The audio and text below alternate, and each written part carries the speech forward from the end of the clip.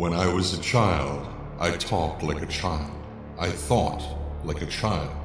I reasoned like a child. When I grew older, I set aside childish ways. Corinthians 13:11. In the distant future, mankind has spread into the stars and found it is not alone. Within the cluster of planets known as the Silrayne Heart, many races strive for survival or supremacy. But throughout this array of planets, societies, and cultures, each has one thing in common the crucibles. Scattered throughout the galaxy, each moon sized structure contains a core of raw sorium, a form of mysterious energy used to power ships, cities, and sometimes the warping of the fabric of reality itself. Beings who can do this have been given a name Espers. The power of God has been granted to God's children.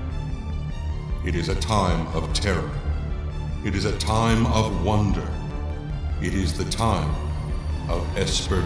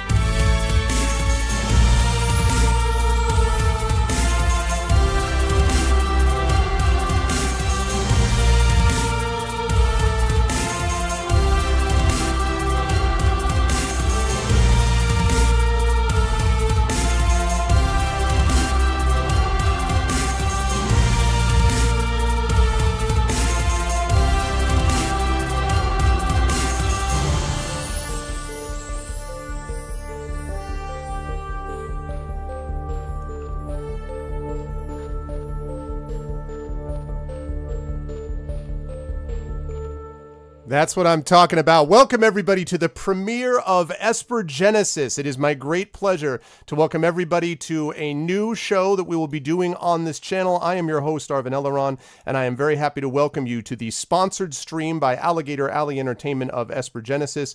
That video, which was so epic that I spent much of this morning uh, looking at it over and over and being like, wow, this is a really epic video. I'm really excited, was brought to you by the incredible um, combined talents of, first of all, Kilobyte uh, who was responsible for a great deal of that. Um, the headshots provided to you by Chaotix, uh, who brought that together, and Matt Van Roon, also known as Chrono Wolf, who has done the sound stuff for Icarus, brought you the music. The person who is not, in fact, a jerk, the person that you heard at the very beginning of that stream, was the amazing Trendane, um, who is here. And that's true, you don't see me yet because uh, I am trying desperately to find where I put my intro and outro scrolls. There we go. That's that's where the heck that was I was like, I knew I saw this someplace, but I can't remember where I actually put it. But there it is.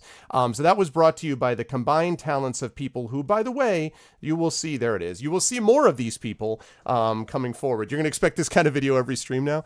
Yeah, I'm telling you, man, they, they these guys did an amazing, amazing job. And I want to thank everybody um, on the team, a team of people that I'm going to be introducing to all of you formally in the not too distant future who did amazing work on this promo for this, setting up for this, the Thunderclap. We ended up with 109 people out of 100. Got got a big thunderclap stuff as well. So I was super excited. Um, we did super, super well in promotion for this. Thank you to all the members of the community who made that happen as well. Starting out with 41 people before we've even done anything is pretty awesome. So thank you guys so, so much. Please spread the word and let everybody know. And uh, thank you all so much for being here. It is the premiere of Esper Genesis. I do want to mention ways to support the stream if you haven't done so already. Please make sure to follow the stream. Please make sure to check out the YouTube channel. Please make sure to check out the uh, stream group. Um, the YouTube channel is exclamation point ArvTube. Please make sure to check out the Discord with exclamation point ArvCord, the Twitter with exclamation point ArvTweets.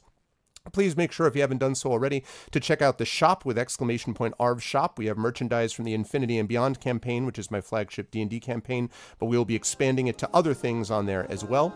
Please make sure to check out, of course, the uh, two other financial ways to support the Patreon, currently sitting at 416. That makes it possible for us to do some of the cool stuff you see on this channel. Thank you to all of those who have supported it so far. A lot more cool stuff ahead where that is concerned, and you can support that with exclamation point Arvtreon. And last but certainly not least, sub button right above the video window. We had a sub from VidStore Cowboy earlier today. So thank you all so, so much uh, for being here and for supporting the stream in any way you can. Tomorrow we will have Infinity and Beyond and Dungeons and Dragons, but I'll talk more about that later. But now it is my great pleasure um, to bring in the players and uh, to bring in the um, developer who's actually here. And actually, now that I mention it, I think what I might do, yeah, the windows are not, well, they're close.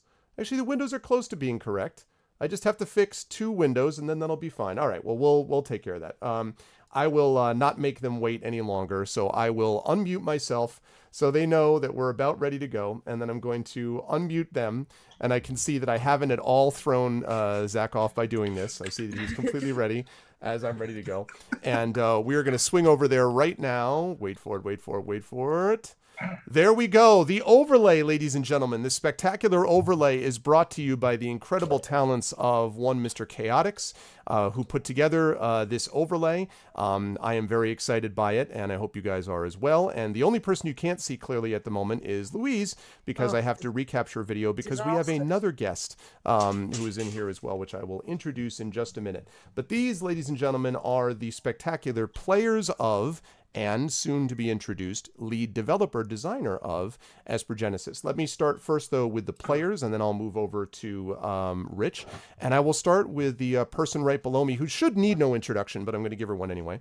And that is, of course, Cat Rambo. Uh, you are looking right below me on my screen, sitting in front of a bookshelf of books. Uh, Cat, thank you so much for being with us. It is a great pleasure. And um, I guess I is there anything you'd like to say about yourself to introduce yourself to people who may not know you? I guess. I am Cat Rambo. Uh, I'm a writer and editor up here in the Pacific Northwest.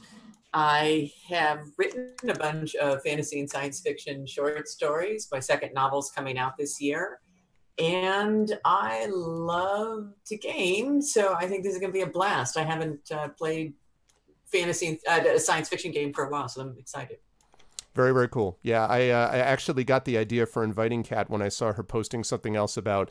Uh, she does a lot of like tweets about things that happen in D and D sessions. I'm like, this is a person that should be part of this, and I knew Cat already from from common writing experience. So, um, but thank you, Cat, so much. It's a pleasure. We will talk about your character in a little bit.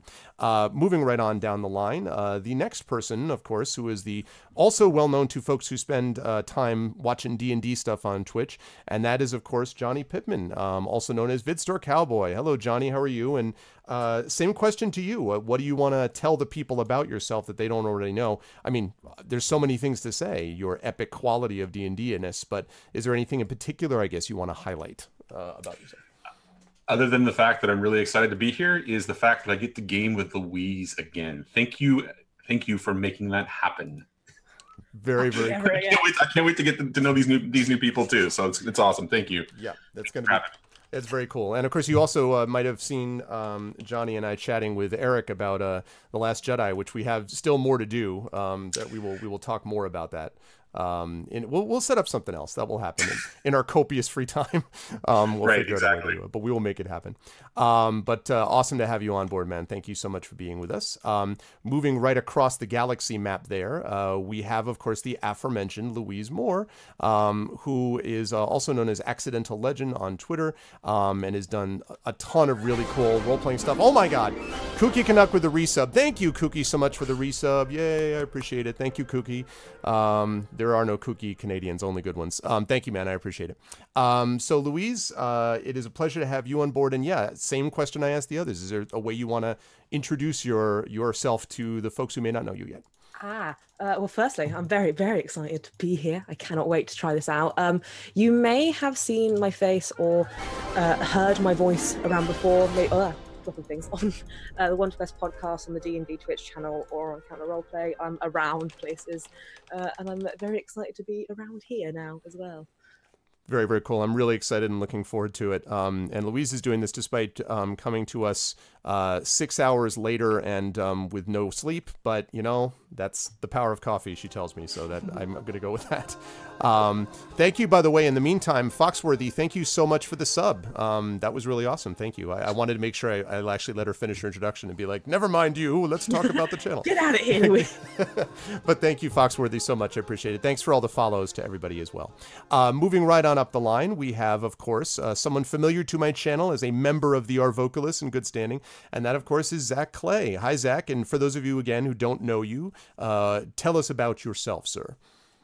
Well, hello, I am Zach. I when you were saying, "Oh, the aforementioned," I thought you said the Afro mentioned. I was like, "Oh, this is my debut." no. um, but no, uh, I had my my debut on Twitch was actually with uh, Exploding Dice, uh, and another channel here on Twitch on the Iron Gods D and D stream, and that was where you picked me up. Uh, Yep. Then I was part of our vocalists, which is really cool. I'm really glad to be here. Uh, personally, I am a voice actor. I do audiobooks, um, and then as far as D and D goes, I am now running D and D for uh, an after-school middle school group. So that's really fun. Yep. And and working with those young kids and seeing them grow up and and in their formative years is a challenge, but also a blessing. So Yeah. I'm really glad to be here and and do this in this capacity. That's awesome, man. I'm really glad to have you here. Like that, the fact that you do that is one of my favorite stories to tell about community building in D and D. So I think that's really Yeah. cool. Um, and uh, then last but certainly not least, we have uh, a gentleman who only needs a little bit of introduction before you're like, oh wow, this cool dude. And that is the person who's on the top of the screen. And I want to make sure it is less, not Lay, right, Rich? Am I right? Lescouflair? Yes. It is Lescouflair. And this, ladies and gentlemen, is the lead designer of the game that we are playing today, Esper Genesis. Uh, and it is, of course, Rich Lescouflair. Rich, thank you. Thank you so much for being here and joining us. And I guess I'd ask you the same thing I asked the players, which is A, do you want to talk a little bit about yourself? And then B, maybe just give us a little quick overview of what this game that these hapless victim, I mean, these wonderful players are about to play. Uh, tell us about it. And you. Ooh, okay. Well, before I introduce the TPK, uh, I am uh, Rich Lescouflair. I am very honored and humbled to be amongst such cool people here tonight. Uh, I, other than being the lead designer for this game, uh, I am a, uh, a writer, graphic designer. Um, you know, I, I, I do layout work. I've done work for D&D Adventures League. I am one of the uh, Dungeon Master Guild Adepts, and uh, I've you know done some done some freelance work. My career kind of uh, launched maybe more about a year and a half ago. Uh, but that's that's pretty much it about me. that's detail there. I mean, you know, your your career may have launched about a year and a half ago, but uh, you you have you've made up for the time because uh, this uh, particular thing made, I believe, over twenty five thousand dollars on Kickstarter, if I'm not mistaken. This system. Um, It did, and it uh, it pulled another. Uh, we have another about fifteen grand wow. uh, after kit, also. That is no joke. See, this is this is why I know what I'm doing, people. See, I was like, this thing is awesome. This system's gonna be cool. So, Rich, tell us a little bit about, if you can, the background of the system itself, uh, and then we'll get into um, characters. The great thing about this for me, by the way, is that I get to sit there and just be like, what about this? I'm like, how about I ask the person who designed this to tell you exactly what the answer to every question you'll have. So I'm gonna do a lot of, what do you think, Rich? But um, yeah, tell us a little bit, Rich, and that's true. If you could come up a little bit, actually, I might be able to do that on your window, but it, could could you boost your gain a bit, Rich, on your end, your microphone a little bit? You're a little Uh, quiet. Yeah, I'll give that a shot. Hold on just a second. Okay, let's see if I can do that as well. Um, Rich looks a little like a young James Earl Jones in Conan the Barbarian. What was the character called? Um, no, was it? what- Oh yeah, the dude. What's his name? This the snake uh, priest guy. That guy. Uh, Oh man, right, go back to 1981 here. I know Thulsa Doom. There you go. Thulsa Yeah. Also Doom. That's oh. right. Of course, Trent knows. Oh, oh, yeah. Of course. You look like Thulsa Doom. You're all set to go. Um, now I'm just going to be tempted to just hashtag Thulsa Doom in reference to this session for no reason. I'm Um, usually pretty good on this software stuff, but uh, it's my first time using this. So I'm just going to talk louder. How's that? Okay, that sounds fine. You're good. So yeah, so tell us a little bit about the setting. Uh, also, I one thing I couldn't find was the year. So tell us the year if you can, but also just like a little bit about the setting and maybe the inspiration for it, and then we'll get into working on characters for these folks. Okay, well the year um okay. So it's it's actually about 1200 uh 1200 arc binds. So the way that the uh the way that the year system works is is uh it's it's the entire galaxy. There's no actual, you know, it doesn't follow the Earth calendar. Um we'll start from the beginning. How's that? Uh the Sounds good. uh, the entirety of the galaxy uh, started spacefaring uh, a little over a millennia ago, uh, maybe, maybe about 1500 years ago. Uh, there are artifacts in space known as uh, crucibles uh, that they resemble small moons and they're almost like small, they're, they're almost like uh, moon-sized machines. Uh, they began awakening about about 14 to 1500 years ago in different parts of the galaxy. A select number of races traveled to these moons and they realized that these crucibles generate a source of energy that is infinite. Uh, they learned how to harness it. Uh, they learned that it powers anything from a light bulb to a city. And they used it for space travel, for, you know, obviously some generating weapons of war. And societies had advanced uh, very quickly throughout the ages. Uh, over time, certain people started attuning to the power source that came out of these crucibles and they started exhibiting general abilities control over gravity control over light uh, control over the elements the ability to to to matter smize to create matter from nothing and uh, these became known as the espers of today um, the society itself is known as the Silrayne Arc. Uh, it is basically a chain of uh, the major spacefaring races that reside along one arm of the galaxy, and each one has a home planet that is that is near to or next to a crucible. So they're the most advanced.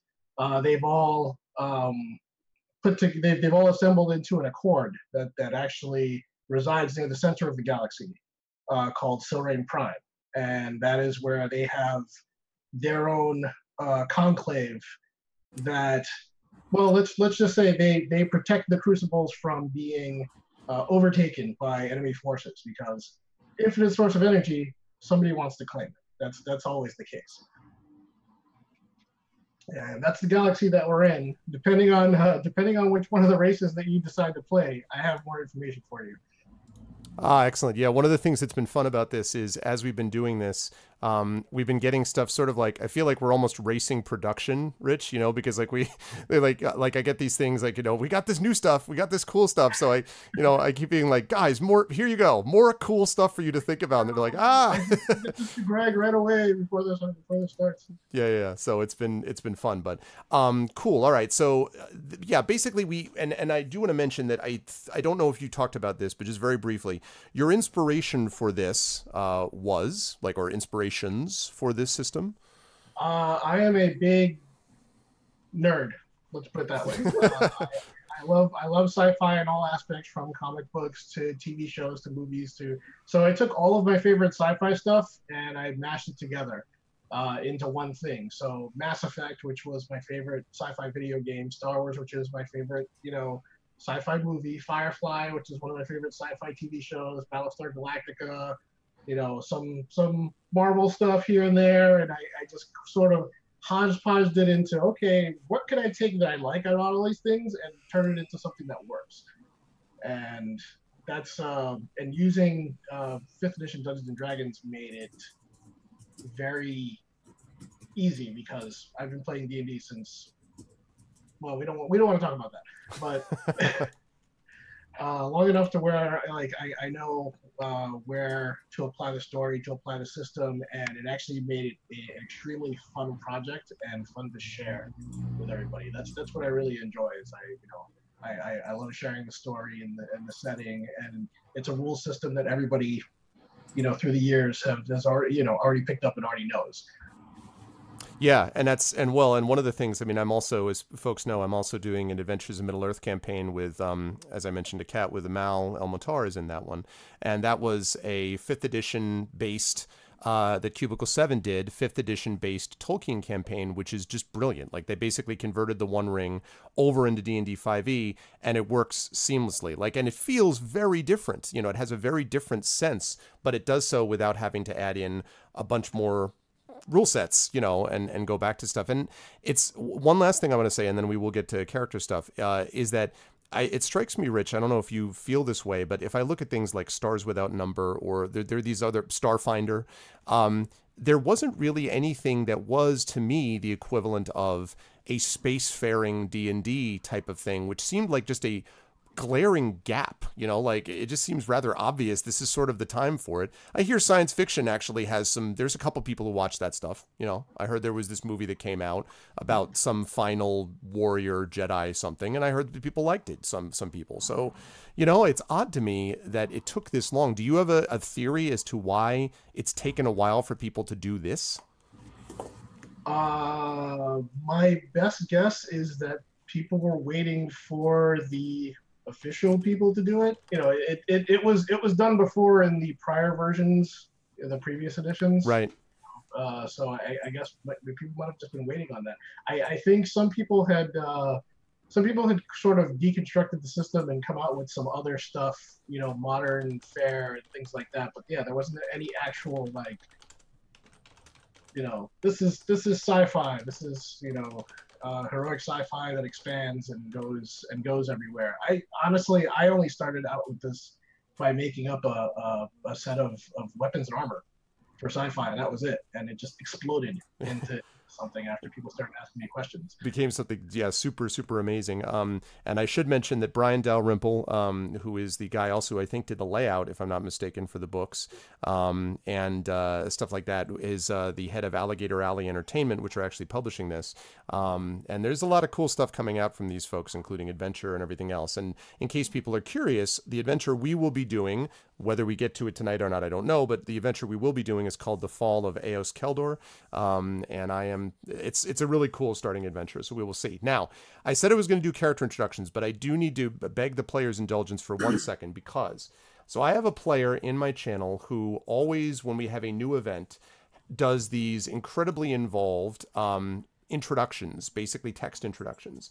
So he literally has been preparing for this, introducing all of you uh, individually for some time. And so he has done it. He has sent it to me. So I do want to do this introduction quickly because it wouldn't be fair otherwise.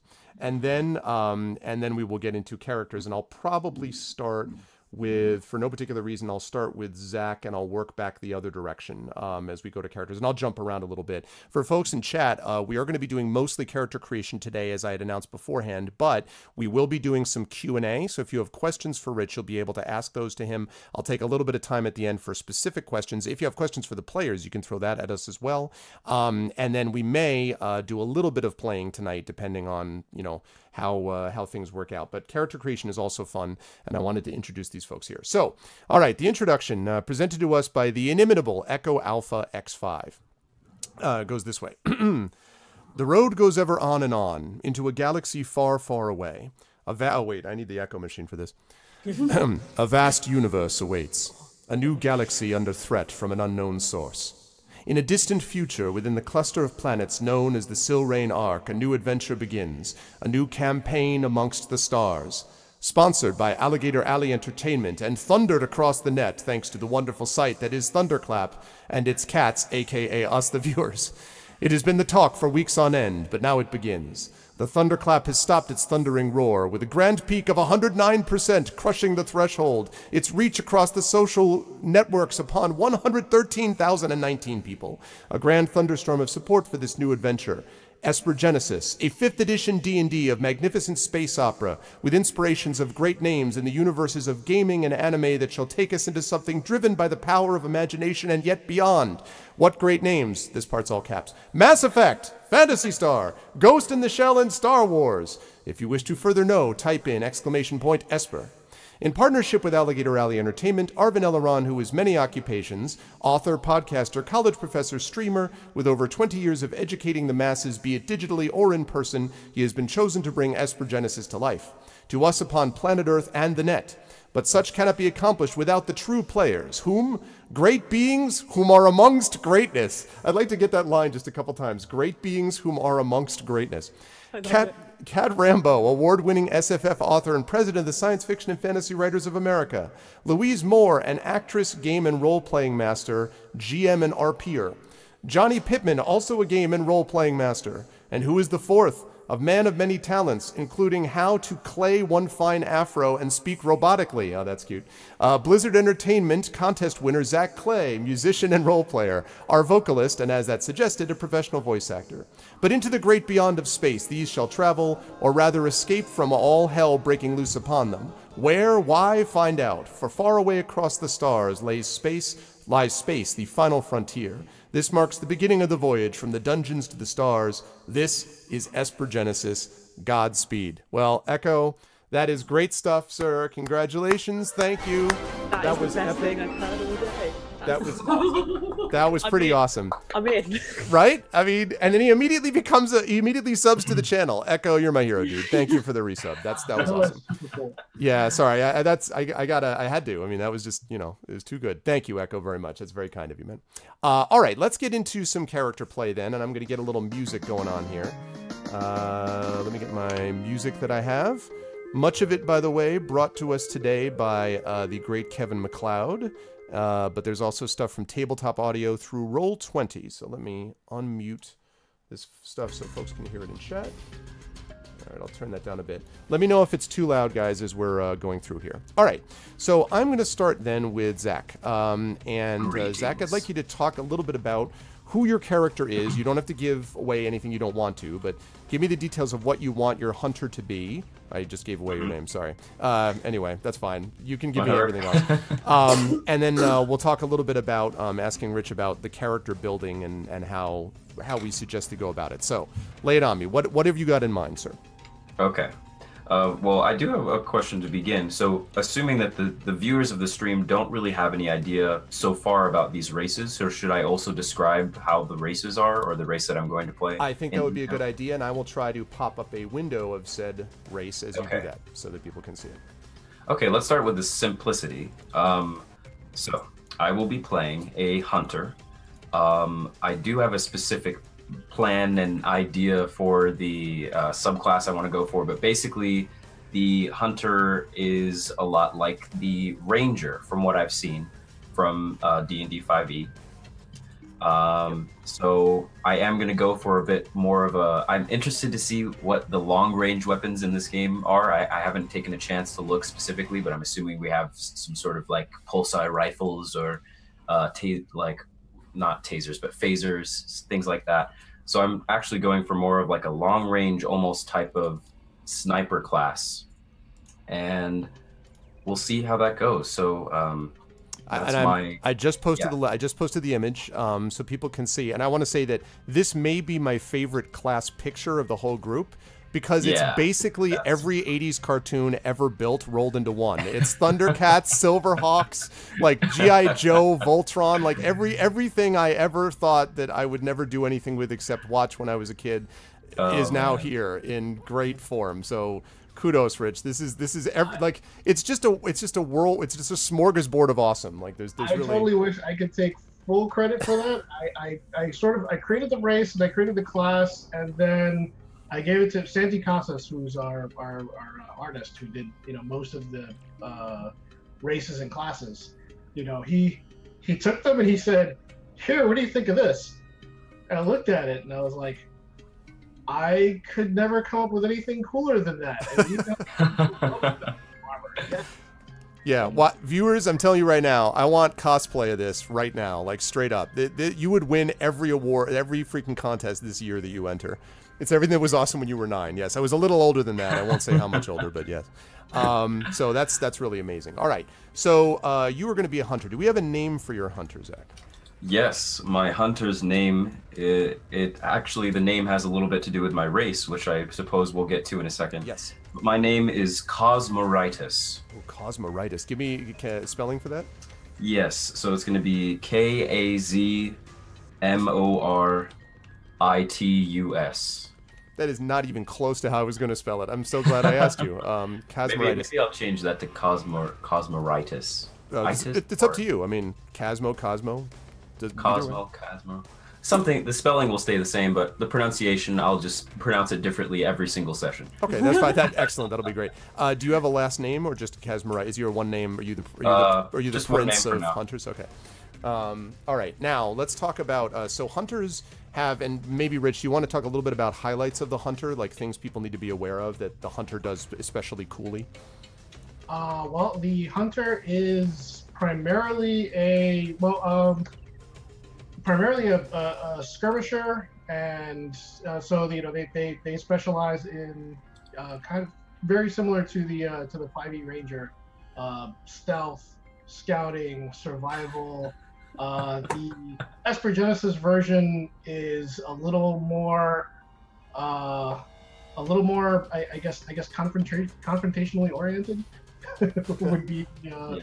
would be the best way to put it. You know, they, uh, whereas you know your fantasy version of the ranger sort of has their their their, their enemy beast or whatever, but uh, but the Esper Genesis hunter takes uh, takes jobs or takes roles or takes assignments, contracts, and each and every time, you know, they can sit there and they study, you know, who they're who they're going after, who they're stalking.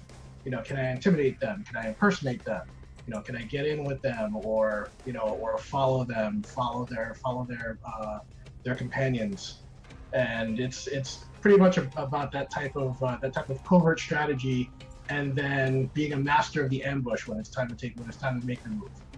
Very, very cool. And I actually want to zoom in on one thing in particular that I liked a lot, which is this know your target. Now, this is similar to what some people will recognize from D&D versions of this, which is you can study and plan ahead when pursuing a certain type of foe chosen as your quarry. But what I like is in uh, the ranger class, it's considered a favored enemy, right, or a particular enemy or target. Whereas in this, it's actually a quarry which you can change um, after a long rest. So you can basically prep for it, know everything about it, and what the, what it does is it gives you Thank advantage you. to wisdom, perception, and survival checks about the chosen enemies. When you have intelli like lore or intelligence, which in here is called xenobiology uh, check to recall information about your chosen quarry. Um, you're considered proficient in that about your quarry. You, I also like the idea that you have advantage on deception and intimidation rolls when dealing with your quarry. But then, uh, and then stealth checks advantage as well. But then you can choose a new type of quarry, which I think is really neat. Um, and it makes it so that you don't have to like the classic, you know, my my parents were killed by an aberration and then you don't actually see an aberration till level 12 you know like it's it's nice to be able to use that straight out um, so that's really cool um, okay and then the other thing is uh, you don't yet have i don't believe for hunters uh, an archetype but down the level at third level uh, zach will have a choice of a couple of archetypes um, Yes. do you want to talk about the archetypes rich like the couple that he could choose from Uh, sure. Um, uh, well, the hunter, I believe, has uh, has three different archetypes. Uh, one is the is the Mechanor, where uh, oh, actually, let, let me specify. Some some uh, some classes they, they, they handle their Esper powers uh, differently. Uh, there are some like the Melders who can literally just draw energy out of nowhere and channel it through their bodies. And then there are classes like the Hunter and the Engineer uh, that carry these specialized devices that they call rigs. And what the rigs are, uh, they take different forms depending on your class. Hunter's rig is like a, a utility belt or a pack, or you know, and, and they contain uh, sorium tools and objects and things that they communicate with with an implant that they wear okay and they they're able to automatically generate you know their uh, their Esper powers or things you know with uh, with use. Uh, a Mechanor kind of takes it a step further Uh, they are your, you know, your companion version of of the ranger, for example. Except for in this case, they have a drone that they uh, that they sort of build themselves, and And it's a uh, Silverhawk. Please let it be a Silverhawk. Please. Is it going to be a Silverhawk? it, could, it, could be, it could be a Silverhawk. Uh, the drone can take whatever form you choose. Okay. Uh, it comes in four different standards, and then as you progress as a hunter, the drone also progresses, and also it also gains uh, hit points and you know and, and and proficiency, and it sort of works in tandem with you. You know, you can you can send it out, do combination attacks with it, you can communicate with it, it can follow your quarry for you. Uh, that is uh, that is one type Okay. of hunter. The other one is the the other one's the stalker. Uh, the stalker is just the way it sounds. You know, they're they're an expert on tracking down whoever they're tracking down and making sure they are never seen before they strike. Um, you know, bounty hunters are you know for for for example you know some some bounty hunter that that might you know have the first name of Boba would be a good example of like you know a stalker heavily you know heavily armed but skoky and and powerful when he catches you off guard. Okay. uh, and then there is the vanguard. The vanguard is is uh, primarily a skirmisher. They are you know they're the ones that you'll find scouting ahead or charging through the fray or like you know defending the front lines and they know that you know in the end they're they're the they're the linchpin you know the the, the vanguard is is that uh, that one that sort of waits makes a makes a strategy or a tactic and then comes in at the right time to save the day It's pretty awesome. Also, it means that you get to be called a Vanguard, which is one of the coolest uh, you know, things to be. I always wanted to be a Vanguard when I grew up. Um, very cool. So there's uh, yes, there's a lot of cool stuff that um, Zach will be able to think about when he gets there, but that's not until level three. At level Mm-hmm. one, he'll still be sort of building up to that. Although I imagine he has an idea about you know Yep. what he wants to do for that. Um, And the biggest thing that he has at level one is that know your target. He also has uh, one other thing, which is expert wayfarer, which is um, that he ignores difficult terrain. He has advantage on initiative rolls, um, and he has advantage on attack rolls on his first turn against creatures that have not yet acted. I think that's a really cool idea as well. One of the things that was interesting to me about this system, reading through it, is that it makes some good, I think, tweaks and modifications that probably D and D would be well served to include a little bit. D and D, you know, main 5e would be uh, well served to include, and I think that's kind of neat. Um, to have that now, uh, at least initially, um, the wilderness navigation will not come into play that much, at least in this opening adventure. But there is no doubt um, that it will be coming into play um, with future adventures. And if it's not, then you can blame Rich because they haven't made any wilderness adventures. No, I'm kidding. Um, there, there will be lots of that stuff uh, that's on the way. So very cool. Um, all right, so I guess Zach, as you're starting to build your character out, and I'll come back to you with statistics, but um, we'll be thinking about rolling for hit points. You'll be able to see that there. So as you start to put the characters together, I'm going to go to each of the other folks, and then I'll come back to you as we kind of fill out the stats and stuff. If, um, we still have to go over. I, well, first of all, um, Classicor in chat notified me that cosmeritis sounds like a medical condition. I mean, you know, so, and I was actually thinking, I think I do want the pronunciation. It will be uh, cosmoritis. Cosmoritis. Oh wow. Okay. Yes, with emphasis on the more. Um, and then we still didn't go over uh, what race I'm going to do. Oh, I'm sorry. You're right. You're right. Uh, My fault. My fault. Yes. Cool. Let's do. Let's do Just the race making sure. first. So let's talk about races. Yes. What race are you going to be? I believe I'm going to go for the Belair. I think that's how you pronounce it. Is that Rich? Is that how you pronounce it? Probably uh, the Bellari. Belare. Okay, there you go. There's two ways. I, I, I should put those little uh, little quotes with the with the pronunciation out. yes, yes. Cosmoritis. not- Cosmoritis the Valore. Everything is going to be war and Cosmoritis. on and on. Like, yeah. Uh, Oh, okay. So uh, the Belori, which uh, which is actually, yeah, this is such a cool. Oh man, I really love this. So um, let's talk a little bit about what the. I'll ask what the Bellari is. Um, I'll ask Rich to explain that, I guess, and then we'll talk Zach about what you found appealing about this. So, so Yeah. Rich, tell us about the Bellari. this is one of the latest ones that just came out, I think, right? Or that is that's going to Uh, be part of yeah. the core rules. Yeah, actually, the Bellari is a uh, it's an optional race. To be honest, um, it is uh, it was one of the three that were put out as a stretch goal for the Kickstarter. They weren't really supposed to be in the book, and then uh, that, that kind of that kind of got voted on. I said, okay, you know, Yep, so we made it's canon now. the Bellari are uh, Celestians in, in, in a sense. Uh, they they are creatures that uh, literally used to live on you know on the stars. They are uh, made of of of star stuff that that sort of radiance. a lot of people don't really understand the concept of the Bellari. Some some you know believe that uh, that they are extensions of some greater form of of uh, of energy. Um, they are they don't really have a uh, they don't have they don't have genders uh, per se. Uh, they communicate with each other telepathically, and in order to um, in order to communicate with everyone else and to uh, associate themselves with the rest of the galaxy, they wear these biosuits that uh, that you know they, they they need to contain themselves in these biosuits in order to a contain the radiation that they put out and b to prevent themselves from from becoming um, I guess I guess poisoned or affected by by everything that's out there. Uh, the biosuits. So the the way the Bellari work, is, uh, the biosuits sort of work out the character's uh, strength, con, and dex, depending on how the suit is built. The suit, you know, the, the suit can be however you want to look. Just a picture on on the on the race page is sort of an example, and then the mental stats are the creature itself on the inside. Right, right, right. Um, and it, this reminds me a lot of the Quarians um, from uh, from ME from Mass Effect.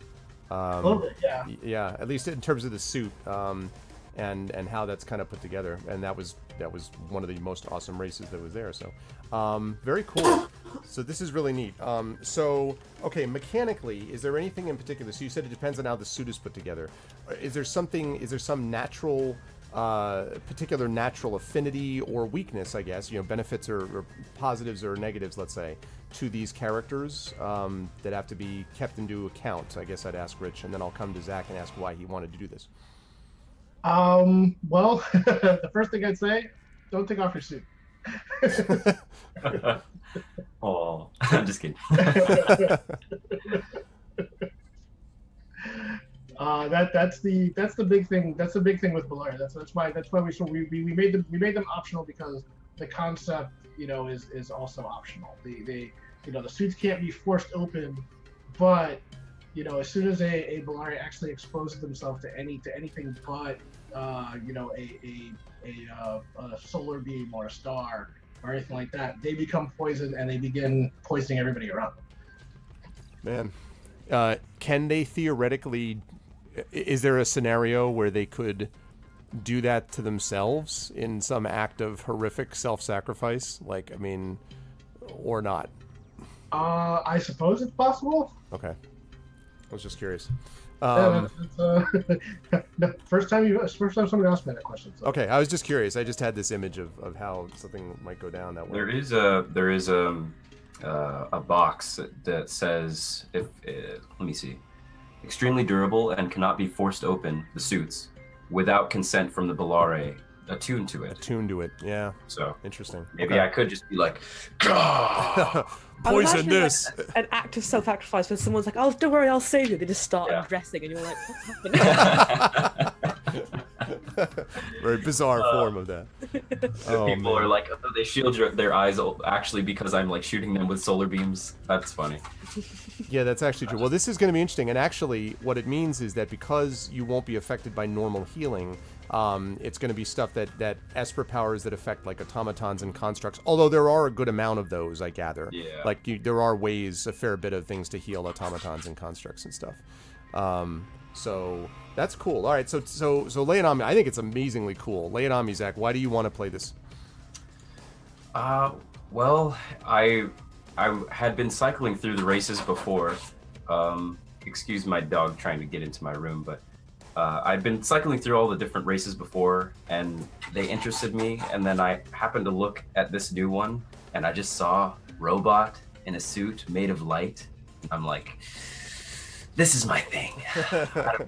Uh, it just struck me, and then reading through, you know, basically radiant energy beings, I like the idea of playing a construct, and I don't think I've done it before. I've played a lot in D and D and done some sci-fi D and D here and there, and I've never done a construct, so I thought it would be interesting, um, and also interesting getting past the limitations of uh, my suit and my communication and my interaction with others. Right.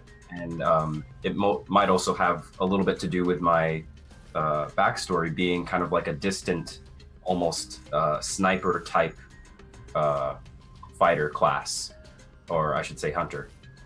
Um, not being able to really interact very well with society and just being on these contracts uh, for taking people down or, or protecting shipments or things such as that. So, but yeah, I, it just interested me. It was something different and um, dynamic to make my own. So I'm excited to do that. Yeah, I think I think it's really neat. Um, and by the way, can I, uh, Rich, can I have you give a pop for a second to your artist? Um, man, uh, the art on these is just so top shelf. Like I just, I can't even Yep. like. Who can you tell? Who are the? Because this is not stock art, right? I mean, this is No, your no, artist. not at all. Uh, the um, the majority of the races and classes were done by Santi Casas. Okay. Uh, this one in particular, though, the Bellari, we had commissioned special. That's uh, that's Tan Ho Sim. You, you might actually recognize some of his art out of uh, Yeah. out of Stars Without Number and uh, various various other. He's he's he's really awesome. Yeah. He- he- this is he's super actually good. doing the art for the ships. Oh, nice, nice, nice, nice. Yeah. Have we mentioned chat that there's ship combat in this? Like you get to, oh man, I can't even. And every one of the players gets to play a part. Like it's all Star Trek. Oh man. I- Anyway, we'll talk about that down the line. Um, yeah. So that's that's really sweet. I, I I love this the whole concept of the character conceptually. And so they do communicate telepathically also with other races, not just other Bellari, right? Like that's how they contact everybody is, or do they have like a? I didn't notice that about the suit. Do they have like a vocoder type of thing for the suit? Or they do. Uh, they, they do. They, they speak normally. Uh, they, they just communicate telepathically with with uh, Okay. with They're with just they're just other stars. That's all. So you just have to be a star, Zach. Just communicate like a star, and that's fine. That's I'm all. a star. All right. um, um, so I can communicate telepathically with other Bellare or with everyone. other Bellari. Got it. Okay. That that's is our language telepathic. Yes. Could okay. Rich sounds could he communicate with others telepathically if he wanted to try, or would it just not be comprehensible to them? Um, it really shouldn't work Okay, in a sense, and even if it did, they probably wouldn't understand what he's saying. got it, got it. I was just curious. Okay, uh, okay. I was curious about that. Okay, so we have a Bellari hunter, Casmor Casmoritis. I believe I did that right. Um, Cause oh, Ca- I'm sorry, Cause Cosmor. more it is. I need to get more and more pretentious You every can just call me Cosmo. Cosmoritis. Okay. Um, so Cos- Cosmoritis, the Bellari hunter. Very cool. All right, man. So I'm gonna, I will, I will let you uh, get to work on filling out some stats then, and I'm gonna move on to Louise if that's cool. Yeah. Are we doing that fully in roll twenty as far as the sheets and all that? You can. Uh, well, so yeah. Now about the sheets, I did want to mention this. I didn't have a chance to ask this to Rich. Is there going to be a, and if not, could we have one? A uh, roll twenty compatible Esper Genesis character sheet. Can that be done? Yeah, that that can be done. I I need time to do it. No, no, that's fine. That's fine. Uh, could you do it right now, this moment? No. Um, right this right this right this second. No, um, I, I had forgotten to mention that that would be something that would be cool if we could do it. That that's that's cool. But like just for now, I guess Zach, if you can maybe just do it in one of the because there is a fillable character sheet that I uploaded. So could you just do it in the fill in the Discord channel? So if you could just do it in that fillable character sheet that I put in yeah. the Discord channel for now, and then we can transfer it over later if that's cool. Got it. Sounds cool. Thank you, man. I'm, I'm looking forward to this character. All right, Louise. Uh, I happen to know something of Louise's character because I got some of this information before. So, uh, Louise, tell us first. I guess. Um, I guess let's start with the race first. What what race are you going to be? Uh, I have been looking and I'm going for the race of uh, the Promethean. Uh, the Promethean. Outstanding. I was hoping someone would do that. Um, I'm gonna let Rich explain who the Prometheans are, and then I will I will come back and ask Louise why she chose that, and then we'll talk about class. So, um, yeah, Rich, tell us about the Prometheans. Okay, well, the Prometheans, uh, we'll have to start with Earth. Uh, and there was a, a certain point in time in Earth's history beyond now where uh, they are uh, spacefaring and they have space colonies uh, out uh, on the far side of the galaxy. Okay. Uh, the, the space colonies are, are handling their, they, they sort of became their own uh, government in a way because there was just so much happening on Earth, so much conflict happening on Earth that they just wanted to be left alone for the most part. But all of the Earth alliances and all the Earth governments kept drawing them into to, to all the conflicts until the Crucible that was uh, you know invisible to all of their to all of their sensors activated, and they discovered this infinite source of energy that everybody wanted. So, just just like we do, they went to war with each other. Right. Yep. Um, this lasted for quite a while until the uh, and, and it, it became mostly Earth, you know, versus the space colonies. Uh, until the Bellari had picked up that there was an activated crucible and arrived in the galaxy, and everybody learned, hey, there's other people out there besides us. Uh, took a couple of hundred years, but the humans uh, had eventually transitioned over into uh, Prime and became part of the Accord. Uh, the space colonies had spent generations doing uh, genetic research. Um, they have been genetically altering themselves, upgrading themselves for, you know, most at first for survival, and then it became a regular thing. It became part of their people. And they decided that they wanted to separate from the human race and become their own race, a perfected human race that uh, that they named themselves the the Prometheans. Um, they have genetically altered themselves to forms that they consider to be perfect humans, but at the same time, what happens is they've lost the versatility of humans because they are now programmed into what they're going to become. So cool. Oh man, um, cool stuff. Uh, so Louise, what? Um, oh, I, I'm sorry. Before I get to Louise, one one last thing because I did ask this about the uh, the race. So sort of based on that, what mechanically, Rich? What are some of the sort of benefits and drawbacks uh, of this? Um, of this uh, of the Prometheans, like what what is the thing that sort of uh, is a positive about them, and maybe not so much uh, in terms of the Uh, mechanical well, thing. well genetically they were able to um, they were able to, to program themselves into into you know having having things that you would see out of other alien races like uh, like dark vision certain resistances depending you know depending on your type uh, they can choose whether or not they're going to be strong or fast or smart. And you know and and they they're able to sort of when when you when you go through character creation with a promethean they sort of have like a base bonus stat. And then there's sort of uh, and then you know choose one to, to, to add one to. It's, it's almost like you're you're you're making your own version of of uh, of an enhanced human Very uh, nice. that's the that's the benefit of playing that race again you know like i said the, the main the main drawback is you don't get the you know the humans who just kind of get one of everything because they're extraordinarily versatile Right, and these guys are more focused. In fact, specifically, there is a crescent, uh, which is more intellectually evolved, it says, uh, making up a lot of scholars and diplomats. And then fire blooded, and I assume that art that we've got up there looks like one of the fire blooded to me. I hope so. Um, and uh, physically tougher and more resilient, um, with uh, advantage on saving throws against poison and disease, increased strength score, uh, may double your proficiency bonus to any athletics or acrobatics skill check once per long rest. That's basically the yes, I can clear that 30 foot pit, jump, watch, you know, type of thing.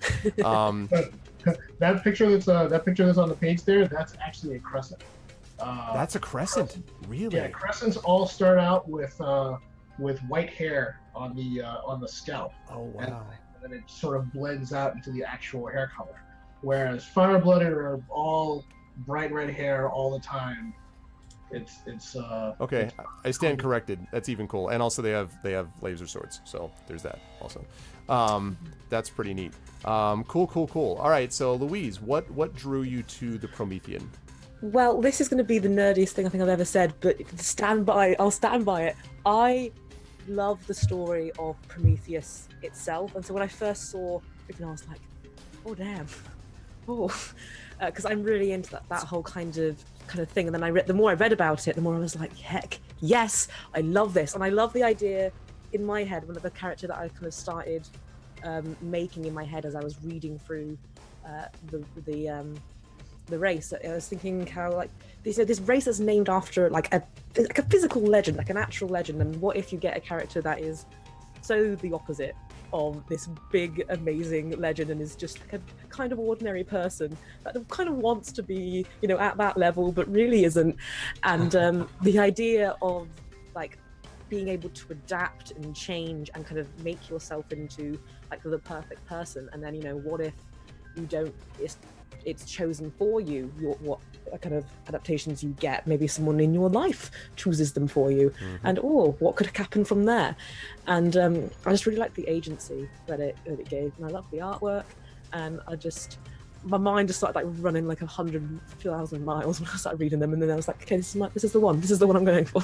You guys, you know, you have a well-developed system and a well-developed class structure and race when people are like, "This is, I'm, I'm already going forward." Because you're going to hear each of these folks um, were really excited about the class that they wanted to play, at least, and I believe the race probably as well. And so that shows you got a good system on your hands when you have people who are really fired up about what they're playing. So, um, all right. So, what uh, class then did you choose to play? Um, then I chose the adept, and most specifically the battle battle mind version of the adept. The Battle Mind Adept. All right. So again, as I did before, I will ask Rich to explain, if he if he will, uh, what an adept is. Uh, here's the amazing art, by the way. Oh man, so good. Uh, but anyway, so explain what an adept is, and then what is a Battle Mind, also, if you wouldn't mind.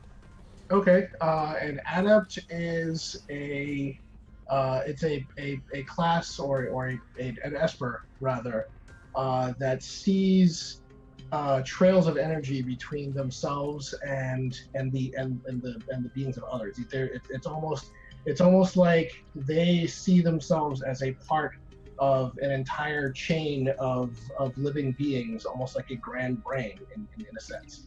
Uh, adepts primarily are psionicists. Um, and what they do is, is they see the synaptic links between themselves and others, and they're able to control that and channel energy through it. Uh, this this enables them to, you know, to uh, um, evoke uh, psionic and psychic attacks uh, on things, and they're also able to control different forms of energy, uh, much like a much like a Melder does, but the but the concept is a little different. A battle mind. Well, let me specifically define the adept as they're able to channel this energy using literally just the force of will and their the force of their persona. Uh, they- basically have- Green Lantern without the ring, in a way. Yeah, pretty much. Okay. Uh, the battle mind is exactly what you would think. Uh, the name is completely borrowed out of the. Uh, I don't know if anybody remembers the fourth edition uh, battle mind. Va- yeah, vaguely. Yeah. Yeah, yeah. I, I just I just took the name and that was about it. And, uh, but you know their their concept is uh, they focus on on on psionic attacks and on uh, on different forms of of energy control for for combat and defense. Uh, right, and I'm actually just I just uh, sort of zoomed in on this. So you focus your uh, training specifically toward defeating foes in combat, both physical and mental. Your skills expand your psychic attacks and defenses while debilitating an opponent from doing harm to your or your companion to you or your companions. You combine your psionic abilities with destructive talents, learning even more powerful attacks which can bypass an enemy's defenses. Now, there was a question actually that I wanted to throw at you because I didn't know the answer. I can't find where Lightning Whip and Symbiont Mark are. Did would do you remember what like what document those are in, Rich? I don't remember if it's Lightning Whip is in the basic rules, and Symbiont Mark is in that additional uh, talent list that I sent you. okay. So Lightning Whip is in the in the basic rules. Okay. Uh, let me see if I can. I thought see because I knew I found it once and then I didn't remember where the heck where the heck it was. Um, okay, Lightning Whip.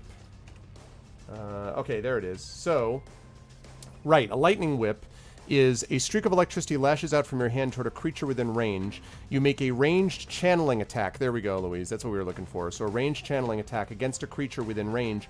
On a hit, the target takes 1d10 lightning damage. The whip latches onto the target. On each of your turns for the duration, you can use your action to deal 1d10 lightning damage to the target automatically. On their turn, the target may free themselves by spending an action and succeeding on a constitution saving throw. So that's terrifying. That's basically just like zap, zap, zap, zap, zap. I mean, like, oh man, sign me up. Uh, that's pretty awesome. So that's light lightning whip and um, symbiont mark, uh, which is in the additional powers thing. Uh, Yeah, Symbiont Mark is you place a psychic marker upon a creature you can see within range. Until the effect ends, you deal an extra 1d6 psychic damage to the target whenever you hit it with an attack. Also, you choose one ability when you activate this power. The target has disadvantage on ability checks made with the chosen ability. So I can imagine all kinds of cool combo things here where, you know, someone creates a condition where they're, you know, holding on to I don't know. They're they're trying to uh, avoid particular ranged attacks, and you're like, really, dexterity saving throws. Like, well, how about you have a hard time with that because I've just marked you. So I think that's really neat. Um, How so there's a- about fuck you, right? yeah, yeah. How about you don't do that? Yeah, exactly. So, um, so that's that's cool stuff. All right, so really cool. So, same question, I guess, uh, for you, Louise, which is what drew you to uh, the adept, and specifically the battle mind adept. Okay, well, at this point, after I'd chosen Promethean, I already had a kind of idea in mind of the kind of backstory I wanted my character to have, um, which I could go into now. I could go into later. Uh, I don't know. I don't know. Um, but um, uh, I when should I? Should I That is up to you because it depends on how much you want to reveal. There's some you may want to reveal, others you may want to keep to yourself until the right moment. That that I'm not going to tell you how much or how little. That's up to you. Okay, I will. I will reveal a singular, a singular line, um, and that my character that I have uh, created, her background comes from uh, being in a fighting ring, a, a more of an illegal kind of fighting ring, not really, you know, you know, a, like an upper class. Let's go down to the rink kind of thing. Um, and so from there, I really wanted a character who could use some like other things to her advantage to get the upper hand in combat because she is just like like she isn't the most strongest person but she has this other thing which like makes her really really strong in combat and so I, I just loved the idea of being able to use both strength and kind of these really cool things to like it reminded me kind of like the eldritch knight in d&d Yep. where you can just like slack someone in the neck with a sword and then just you know magic missile them Yep. and i just i love that so i was just like I, I was like give me all the things i love all of this let's it is cool. It's kind of yeah. There's a little bit of sort of like a battle mage feel to it, except that Mm. it's almost it really is enhancing physical attacks with the Esper energy, which I think is really neat. It's it's not Mm. Yes, it's it not was a multi-class as much as it is just like a high like a combo class that, that Mm. really combines those things together. the like the kind of you know how like they have like the little uh, bio i guess of what each thing is at the very beginning Yep. like the second i read that i was like yep uh-huh, this is mine this is the one Yeah, This is, calling it this is my one this is the actual thing. Yeah, Yeah, summons her the one that energies, harnessing them into her yeah. fist. Yep. Yep. smiles as she unleashes the energy upon its chosen path to vanquish her foe and i was like that's me there we are job done Yeah, I was gonna say, are the how, how many of these things are things that guy that you in IRL would just be like, I would like to walk into one of my class and just be like psychic fist. Like I, I just have this image of you know some some value. Um, I, I look forward to seeing that. So that's really cool. Um, all right, now you have a you have a little more information for me, um, and that let's start with the name. So what is the name of this uh, of this battle mind adept? uh, her name is zarina name is Zarina, and same is it? Do you have a last name, or is this also one name star? as of yet unconfirmed Sorry, you broke you broke up a little loose. Say again. uh, as of yet unconfirmed Okay, as of yet unconfirmed. mystery who knows Okay, so The we have a, long last name. it's yeah it's like 17 double barrels you know it's Serena, as of yet. the artist formerly known as Zarina. All right, uh, cool. So we've got uh, Zarina, the Promethean adept, um, which is not at all struggling with my notepad to keep it on one line. Um, okay, Promethean adept uh, battle mind. That is awesome. I am I'm very excited to hear more about Zarina. Uh, you gave me a lot of info already. But now that we know where the talents are, maybe you can start filling those in, Louise, uh, while I move on to Johnny and talk to him a little bit. So let's move on to Johnny. Before I do that, I want to remind everybody thank you all for who are watching this character creation session uh, and maybe a little play session, we'll see, with my wonderful players and with the uh, lead designer of this incredible system, Esper Genesis, which is based on D&D 5th edition rules, space opera, epic sweeping space uh, fighting slash exploration awesomeness that I'm looking forward to. So Rich is here with us. Also with us are our four players, uh, Zach Clay, Louise Moore, Johnny Pittman, and Cat Rambo. And speaking of Johnny Pittman and Rambo, we're going to get to them right now, starting with Johnny. Um, so Johnny, uh, you're up next, sir. Uh, what what are we talking about? First of all, race wise, and then we'll talk about uh, class. What did you choose for a race? So for race, I went with Ashen Forged. Passion And- the moment that I read about the Ashen Forged, uh, a backstory kind of jumped out to me that sold me on what I wanted to do with the character. So yeah. so, this, so what appealed to you about it? And then I'll ask Rich to describe it. What appealed to you about the Ashen Forged? um, it was the idea that they were made, they were created, and not that they were born. Mm-hmm. Uh, and that leads to some interesting philosophical questions that a character could explore um, in respect to a backstory. Mm-hmm. Yeah, so that's true. There's a lot of information that you can kind of work with there. That is going to be neat. There's going to be a lot of really cool stuff with constructs and uh, created. I, I really am looking forward to seeing how that all uh, how that all goes down. Um, all right, well, so let me ask Rich then to describe the Ashen Forge, which is also something that grabbed my attention as being one of the cooler races of the original set. Um, what are the Ashen Forged? Uh, well, to describe the Ashen Forge properly, I would have to go and the Ashen Forge is basically a sort of a, a story link between three different races. Uh, the Eldori, uh, what had happened with them, to long story short, their Crucible was their moon. It activated, destroyed their entire ecosystem, and they started exhibiting powers that they couldn't control. Uh, most of them decided to rebuild their their uh, their their homeworld and the and the surrounding planets, where a select few thought that the gods had bestowed them with powers to rule the galaxy, and that's what they were going to do. And they had split off and become the Lorendi. Uh, the Lorendi started an intergalactic war that lasted uh, for uh, for a very long time, for decades. Uh, the Dendis, um, who were losing uh, that part of the war, decided that they needed soldiers. So the Dendis are the race that is um, they are the most adept at harnessing the energy, the sorium out of the crucibles, and they did so, and they had forged these biogenetic um, soldiers per se, and and then implanted them with with an artificial intelligence. These became the first Ashen. Uh, once the war was over, uh, the dentist had realized that they created an actual race of people with personalities and you know that that didn't really have a purpose anymore so they decided to send them off with you know the, the, the best help that they could and said go and and, and do it do whatever you do do whatever you feel like doing uh, just do it right that's that's pretty much the uh, the short version of it This is reminding me a little bit of um, the relationship between, oh gosh, uh, Thane's race in Mass Effect. I can't remember the name of the race, and then the um, Hanari, I think the the the basically ones that sort of saved. I don't know. I should know this because I love oh, Mass Effect. the, the the Drell The Drell, yeah, yeah, yeah. It, it reminds me a little bit only because there was this always this positive, and I, I, I imagine the Ashen Forged have maybe conflicted feelings about the Dentist, but there's got to be some sense of vague gratitude about some parts of it, or maybe not. I don't know. Is is that accurate or? It is. Uh, the, the dentists are, I mean, the, the Ashen Forged are uh, obviously grateful that they were not made into a slave race. Uh, that is something the dentists did not want because the dentists were once a slave race uh, to another uh, powerful entity, which we'll show, shall remain unnamed for now.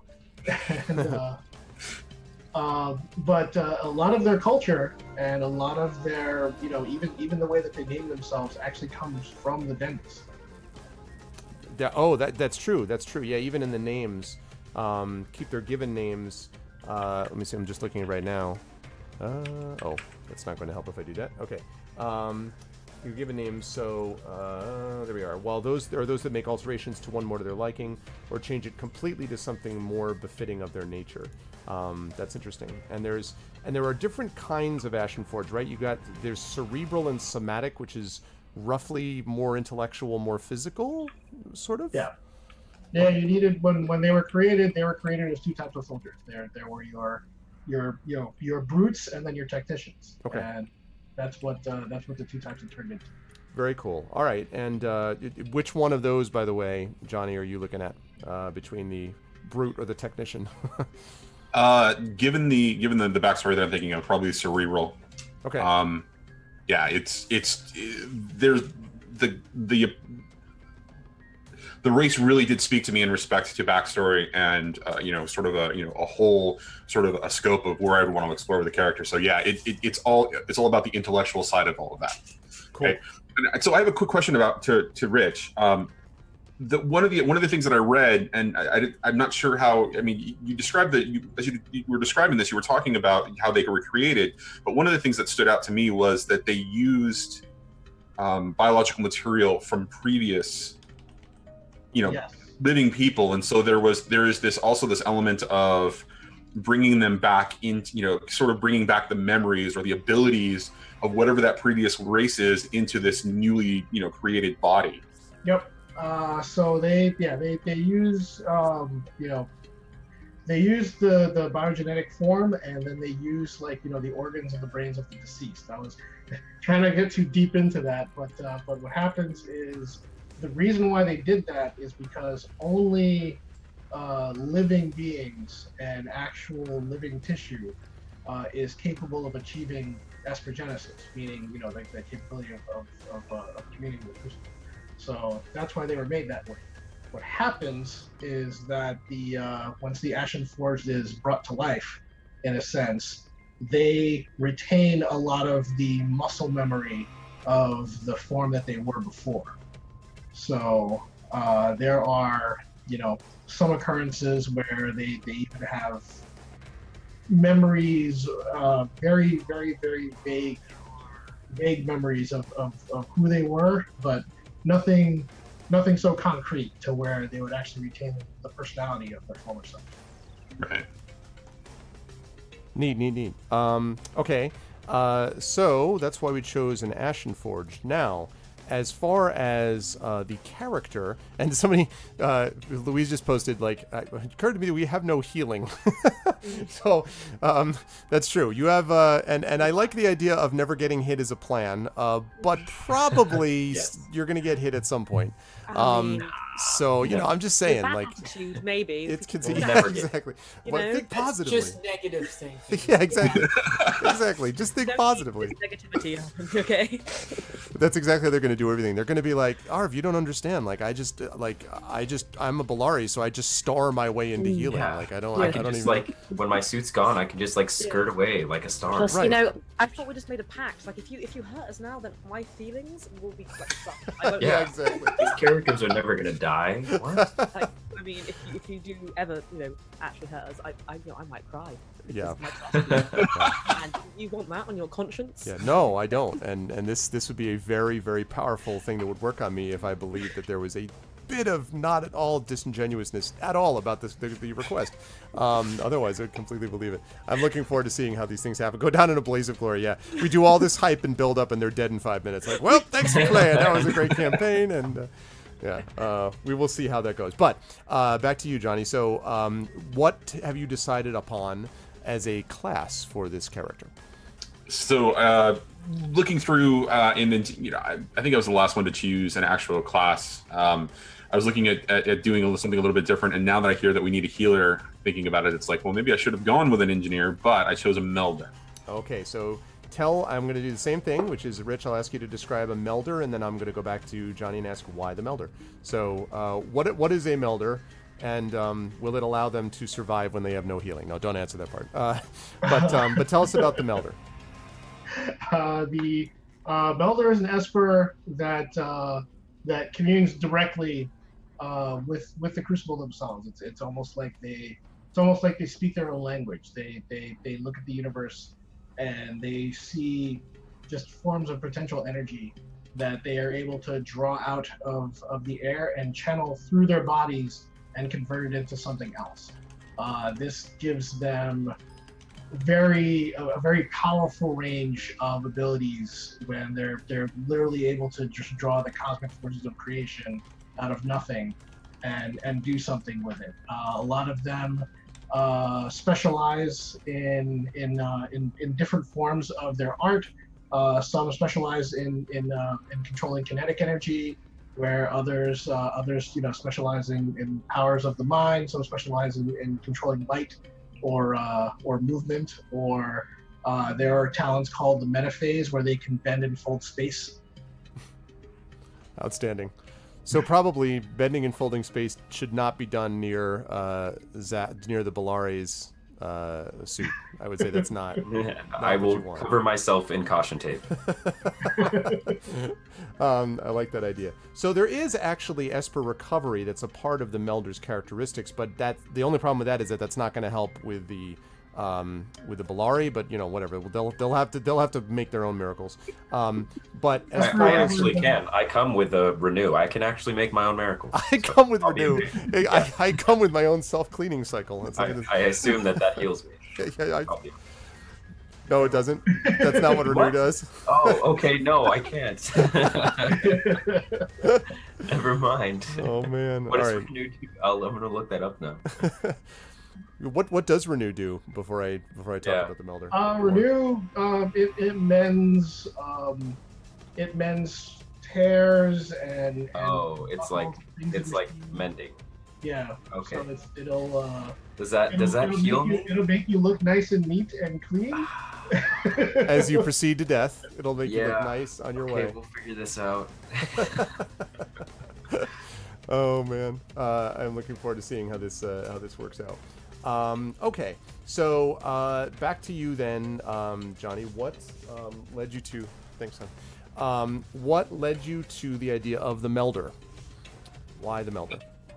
Um, I wanted to play some. I mean, I, I wanted to to explore the idea of what you know, what these you know enhanced abilities, um, that you know, the, the fullest extent of whatever these enhanced abilities were. It Right. wasn't just technology that came from the the Crucible. It was about the whatever the the the the essence of all of that like at its most core it's it's, it's like playing a, a magic user in a fantasy setting right i wanted to i wanted to, to tap into that very basic level of of the mythology uh, of the the you know why things are you know in in a um uh, in a uh, what's the word I'm looking for? I, I just I wanted to tap into the, the way that you know the, the universe kind of works uh, from a, a fantasy perspective or from a from a setting perspective in, in that. And Right. Melder seemed like the most appropriate way to explore that. Right, and then you know in contrast to the the Ashen Forge, it's like it, there's this also this weird balance and philosophy going on there again. So because this- they're unnatural. Yeah, yeah, yeah. I, I like the idea too that some of these classes that you guys are picking are based on exploration. You know, that you really wanted to kind of see what this world is all about.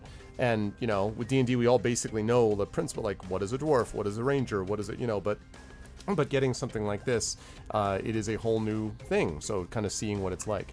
Um, so that's neat. I'm I'm looking forward to seeing sort of what comes out of that. Um, I should mention so there is Esper recovery, and that is you were able to regain some of your spent energy through focused meditative techniques. Once per day, when you finish a short rest, you can recover a small number of talent points. So that will allow you to um, gain some of your ability to cast the equivalent of spells, but you know these use these Esper talents. Um, do are there some talents because I haven't I haven't looked at the I haven't double checked. Are there talents that the Melder could get, Rich, that would have healing characteristics? That Uh, Or no? Not, uh, no, no. Most uh, most of your healing uh, come from techniques. okay, and that falls in the in the realm of like the engineer, the sentinel. Ah. Um, I believe the I believe the hunter actually has a uh, uh, uh, the men the men technique. Mm, I can heal you, but I can't heal myself. yeah, exactly. That's what it hap- That's what happens when you want to play a star, man. Okay, next time less celestial bodies, and you wanted this problem. Um, we will. I'm Uh, we'll thanks, thanks in advance. Yeah, you're right. Exactly. Thank you. Um, but it's good. Actually, I'm I'm glad that we heard that about the Sentinel because we, we may be hearing more about that in just a minute. Um, the last thing that I guess I want to mention about this too is that um, the as you sort of get higher up in these levels, there are uh, disciplines, um, subgroups that um, you're able to do, and I think for the Esper disciplines. Those disciplines you pick right off. Did you did you mention? Is that you, you pick one right to begin with, Rich, or no? Or is that second level? The I think Esper second dis- level. It Yeah, is at it's- second yeah, level. second level. Okay, so oh, I see it. I see it. So starting at second level, um, you'll be able to uh, do. You'll have a couple of these choices. You have Cosmic Flux. Um, actually, not a choice. I'm sorry, you get both of those. Uh, stellar Expertise. So any ability check you make that uses the Astrophysics and Xenobiology skill will double if you're proficient in that skill. And, and I love this description your alternate view on the concept of time allows you to handle immediate situations with speed of the mind over the body. When you roll for initiative, you can make an intelligence check instead of a dexterity check. I love that idea of like, you may have thought you would ambush me, but my different perspective on how time exists means I ambush you because this is how I'm, I'm oversimplifying, but I still think that's awesome. Um, and you can also um, create space-time fluctuation when you hit some creatures um, at second level with a channeling attack. And so basically what it does is extra damage and they have disadvantage to their next attack roll. So what I like to think this is, is that you not only damage them, but you also warp the fabric of space and time for them. Just a little bit though. I like it's just a little bit. It's just a little bit like we've slightly altered your understanding of the world and the universe around you. No big deal. Just a little, you know, little soupçon of bizarre time movement. I dig it. Um, this will pull in the Wrinkle in Time crowd like no one's business. Uh, but that's cool. I'm I'm really excited and looking forward to seeing more of the Melder. So I will leave Johnny to continue to work on filling out some statistics, and I will get to certainly uh, last but certainly not least, of course, Cat. Um, so Cat, uh, same questions I've been asking everybody else. First of all, let's start with the race. Uh, what race did you decide to do? I also decided on Ashen Forged. Yes. So we're going to give the Ashen Forged race a really thorough test here. Yep. And Uh, I also I also like the idea of I- don't know a created being and kind of the idea of sort of questioning what one is created for, and I think that's sort of the core concept for mine. Yes. Um, however, there are uh, there is a, a substantial difference in your Ashen Forged in one respect, anyway, Yes. um, which is which is what basically. Character class. Uh, well, actually, before we thinking of class, something else? Like- before class, you're choosing somatic. I think we decided instead of cerebral for the race, or am I wrong about oh that? yeah, yeah, yeah, yeah. Okay. Yes. So the reason that's important is because the somatics, uh, according to the description, are built for physical feats. So whereas the cerebral thinks about things more intellectually, the somatic is much more used to sort of arduous tasks in harsh environments. Um, always about protecting those, uh, protecting those of smaller stature. Basically, Cat is taking her SFWA presidency and extending it into this universe. um, I think is that's basically how it is, uh, as a sentinel, you know, as, as this thing uh, and you do not suffer the penalties to movement or stealth checks associated with wearing medium or heavy armor because you're so used to it, basically, is the way I imagine that. Um, all right, so we've already talked about the Ashen Forge, but what uh, class have you chosen to be? I want to play a Sentinel. Uh, that sounds like a really cool class, and I think that sort of it, it fits in well with uh, the somatic uh, Ashen Forged, and uh, they're the ones that have basically the rig that they uh, you have to sort of decide how the rig is going to manifest, and I want it to manifest as sort of a, like a, a body armor sort of thing. Yeah, really, really cool. Um, yeah, Rich, maybe tell us a little bit more about the Sentinel, and then I want to hear. I'll go back to Cat and ask what made her think about choosing a more tanky type of race. Uh, so, but Rich, tell us about the Sentinel. Okay, uh, the Sentinel is um, primarily uh, primarily a, a, a combatant. Okay. Uh, they wear uh, they wear their rig as a harness.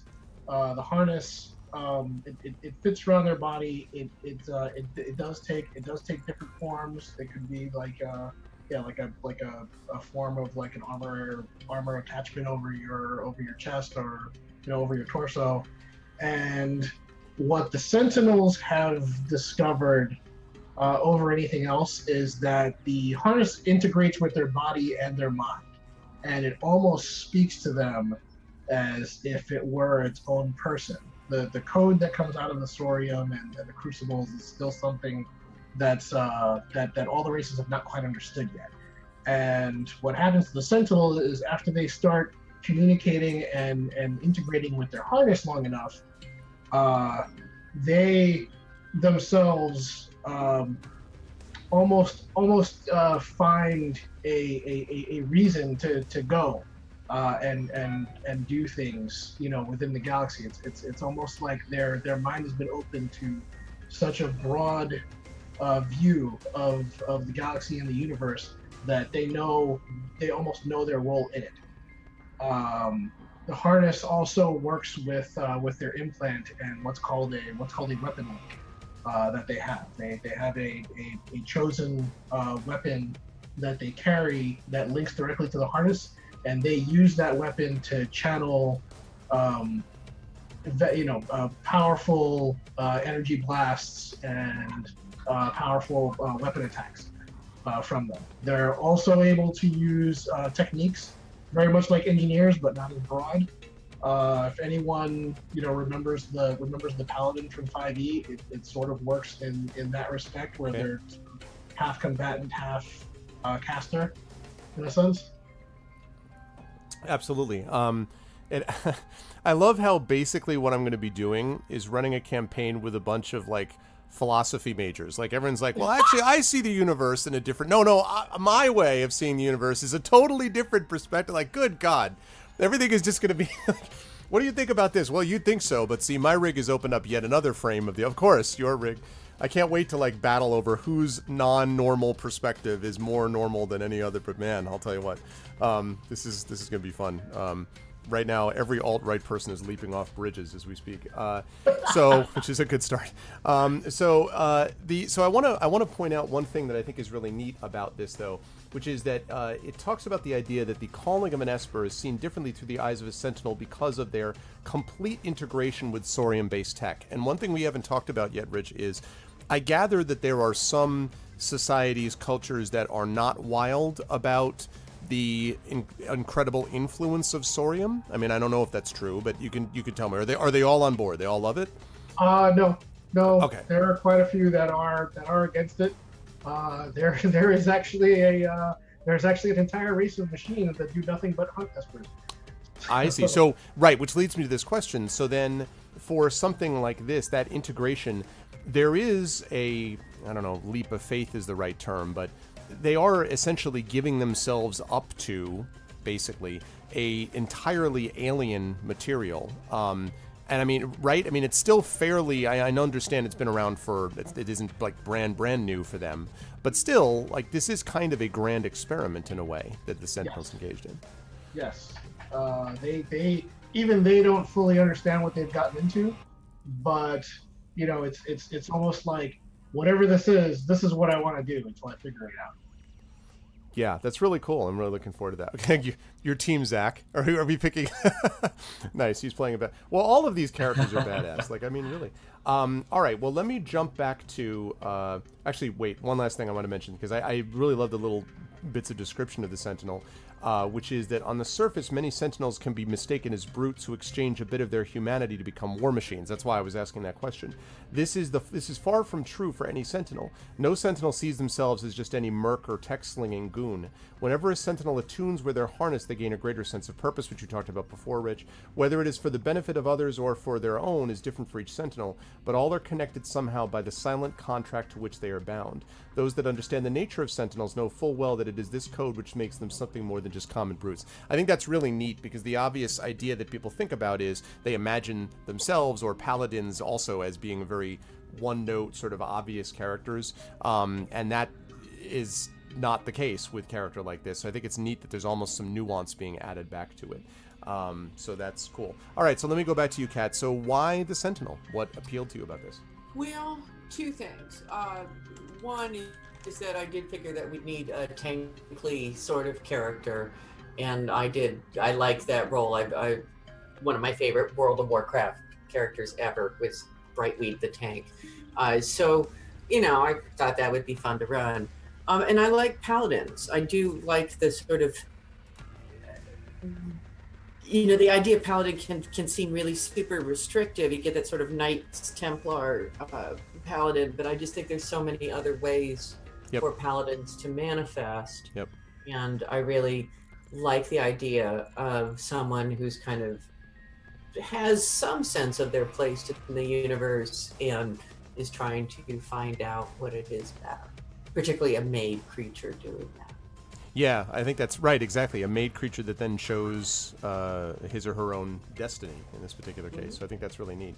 Um, there's a lot of cool things as well in terms of particular materials. Um, so you can actually make your rig invisible to mundane senses, although it's detectable by special senses. So you could actually conceal your rig if you wanted it to be hidden.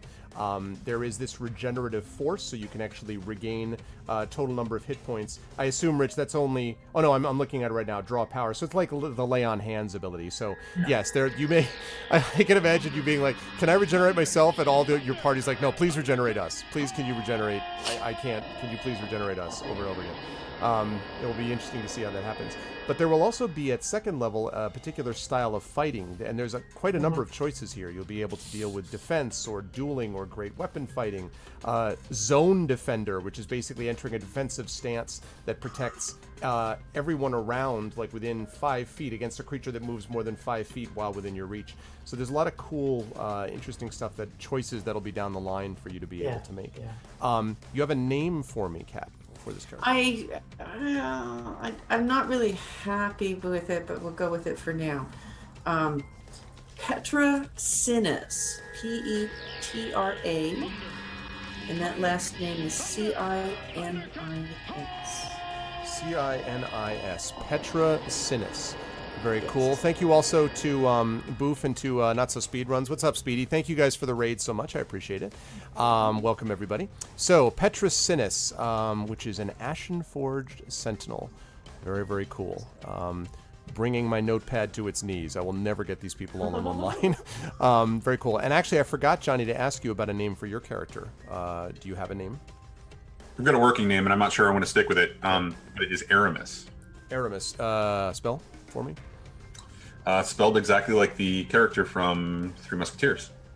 Oh God. Well, all right. So this is where I I admit will. that it's I will. been. I will. I will message it to you. Two, it's been two decades since I read it. All right. Okay. Good. all right. Perfect. I'll message it to you. all right. Cool. Um, cool. So we have Zarina. We have uh, Casmoritis. No, Cosmoritis. Um, Cosmoritus. Cosmor. Jeez. Cosmoritus. Even Yes. more. All right. Cosmoritus. Cosmoritus. Um, we have- Sensing an ongoing theme. yeah, exactly. I'm just gonna call him Bob by the end of this. Um, Cos- Aramis. Cos- and uh, Petra Cinis, and uh, that is the party. I feel like this is the part where everyone like this is the moment where the camera's rotating around the Avengers, right? Where they're all they're all sort of looking at him. I, I love it. All right, well then, um, what I'm going to do is I will let uh, Cat, unless you have questions for Rich about your character, uh, in which in which case feel free to ask them, Cat. But if not, then I'm going to let you fill out some stats and go over to Zach to see what he's come up with. But if you've got some questions, you can lay them on them. Um, Rich, does that all sound reasonable? I'm not coming up with anything where you're just like, oh my God, this woman has totally perverted my dream. Uh, well, I was uh, I was building this with the hope that it couldn't be, you know, you can kind of take whatever combination you want and it'll be cool. And I think an Astronaut Sentinel is awesome. So Awesome. definitely plus Okay. for me. Works for me. Cool, cool, cool. All right. Well, let me switch over to Zach, see what we've got as far as statistics are concerned. Greetings. What have we got, Zach? So, um, I started filling out all of the individual stuff. Let's see what I have so far. Um, And if you actually, and it- I- let me, I'm sorry, let me jump in for one second. If you have the sheet, even if it's half filled out, you Mm-hmm. could uh, maybe, if you wouldn't mind doing like, maybe if you could throw it in a drop, or actually you can just upload it to Discord. Um, Okay, Just I quickly. will It- try and that. I know it's in progress, but that way the folks can see you, see what the sheet was I like. supposed to roll stats fully? Uh, no, no, no. Just whatever you have so Okay, far. good. I did not. That's fine. Whatever you have so right. far is fine. Okay, I will. I will do that in a second. Okay. Here, I'll do that right now. I do have a question, so maybe uh, Rich Yep. can answer my question while I'm uh, doing this. Let's see. My question for Mr. Rich is: um, the Bellari have an infravision. Uh, you can see in dim light within 60 feet, as if it were bright light. It's kind of like dark vision, um, but also only while in dim light or darkness, you can choose to see and discern heat signatures within a specified range through up to five feet of non-metallic sol- solid material. So, is that um, heat signature seeing tied to the distance of my infravision? So, 60 feet out, I can see heat sig- signatures, or or you're still muted. By the You, way. you're muted, Rich. Sorry. Uh, yeah, the the infravision, uh, you can you can sort of you can sort of switch between the two. Uh, but yes, your infravision Oh. does, does extend out to 60 feet. Uh, Okay. But you know, if you're if you're looking for if you're looking for you know uh, someone behind solid material, then it only goes five feet through. Okay, got it. All right, so I could see someone that's 50 feet away behind it for a four foot stone wall. Right. Cool. All right. So you're basically Okay. Predator, Zach. is what you're Yes. saying. Okay, okay. I just wanna be clear. Predator. Predator with a, a sniper rifle. Okay, Predator with Um, a sniper rifle. Let's see. Um, another question I had. I'll I'll upload this in just a second. Okay. Um, are we using? Are there backgrounds already for this Esper Genesis, or would we be using normal D and D backgrounds? No, no, there there are backgrounds uh, in the base rules book. Uh, Okay, I have, I will look in there. more coming. Okay, I'll look in there for that. Okay. Otherwise, uh, give me a, a minute or two to upload this to the Discord, get this file out. Okay. Um, well then, since Louise is up next and she was kind enough to uh, to send this to me, I am going to pop this up so that people can see it in chat. Okay, so uh, let's see if we can take a look here at um, the highlights that we've got. So we have, and by the way, if, if people can hear through my soundproofing, uh, that is the sound of my uh, less than two year old who is heading to bed. Um, he's sick, which is why he's getting to bed late and why he's grumpy. So um, that's that's why uh, he's feeling this way. So if you hear something screaming, it is not me. It's it's it's my it's my child. Uh, okay, so uh, let's take a look at uh, let's zoom in a little bit here. So we've got Zarina, uh, an adept battle mind, Promethean, fire-blooded, background soldier. So give us what is the soldier background, Louise? Yes. Well, I'm just kind of reopening the thing so I can get it again. Soldier was the one um, that I found that most kind of defined her background. There wasn't one specifically that I was like, this is her, because obviously her background is a bit kind of off the rails. Mhm. Um, so Soldier was the one that was kind of the most near the, the, the parallel. It was on parallel tracks. Okay. Um, so I've gone with that one for now, and I'm just trying to find it again. But me being me, I closed it all down Oh, because I'm, you know, a helpful. sorry, I didn't mean to put you on the spot. Um, all right. Well, while you're finding it, I'm going to look at these statistics that we have. So you have gotten actually. How about I? how about I include it so people can see it? They're like, that's great. We would also like to see those statistics. Um, yep, that's him. He is uh, not a happy child. All right. Uh, I found it. I have found. the You found it. Okay, so tell me, Yes. lay it on me. Tell me the uh, the soldier thing. Uh, soldier, trained to be a master of arms, you spent years practicing the art of combat. Your experience has taught you how to survive in the field both alone and with a group of fellow combatants. You may have been an army grunt or a space marine, or perhaps you spent your years as a mercenary or member of the Knights of Infantry. Uh, so you get skill proficiencies of athletics and survival. You get one vehicle type of your choice for a tool proficiency, and military combat uniform, basic clothes, and 150 cubal. And then you get uh, as your feature, you get fellow uh, fellow at arms, which I thought was really cool. Which is um, during your career as a soldier, you gain the position of respect and authority amongst your peers. You can make use of your military persona to gain friendly alliances with other- military factions. You may also request sanctuary or safe passage, especially from others of your own military organisation. So I thought, kind of taking that and then putting it onto the other tracks of the, the kind of legal fight ring zone. Um, you can like I thought I could parallel kind of things like that um, with other fight ring, like other kind of like fighters that I would know, uh, people that would have known me from word of mouth from what I did, uh, kind of things like that. Um, and and yeah, and the other foot soldier was pretty pretty cool cool lads. Cool, and it does kind of work very well. Um, Let me just jump in quickly to say thank you for the uh, raid from TikToks for the tower, huh? So thank you, TikToks, Quizard1973, perhaps my new favorite name on Twitch, Orcs Make Beautiful Lovers, uh, CJ Chess, um, Lady Quizar, uh, and Pint Size Phoenix. Thank you guys so much for the raid and the host. I appreciate it. Welcome to the Arvanauts. Welcome to the uh, channel. And welcome to Esper Genesis. Yeah, I think that does fit very well, actually. Um, and uh, we got some some good statistics here. I am incapable, apparently, of capturing windows in a way that makes sense to anybody. I pro streamer. I do this all the time. uh, Rich, you wanted to throw something else in? Uh, yeah, I, I wanted to point out on, on that character sheet. It looks like uh, it looks like that might be the the the version before the the actual uh, the actual character sheet. I apologize for that. It's missing one thing under the abilities. Uh, the score goes in the first column. The you know the uh, the bonus goes in the second column. The third column is for your saving throw bonus. Ah, okay. So you have Five the, what? Sorry. the saving throws. So the saving throw goes on the right side, and then the, the raw score on the left. Okay, cool. Uh, yeah, that was the one that I had, but I can, I'll, you know, I'll get a new one and can upload it to them. Um, so cool. So we have a 16 strength here, which is plus three, 14 dexterity, 16 con. We've got an 8 intelligence, so I see where the uh, dump stat was. Uh, we've got uh, 18 wisdom, 12 charisma, 18 wisdom. These were See, some. I know, I know, you know, I know.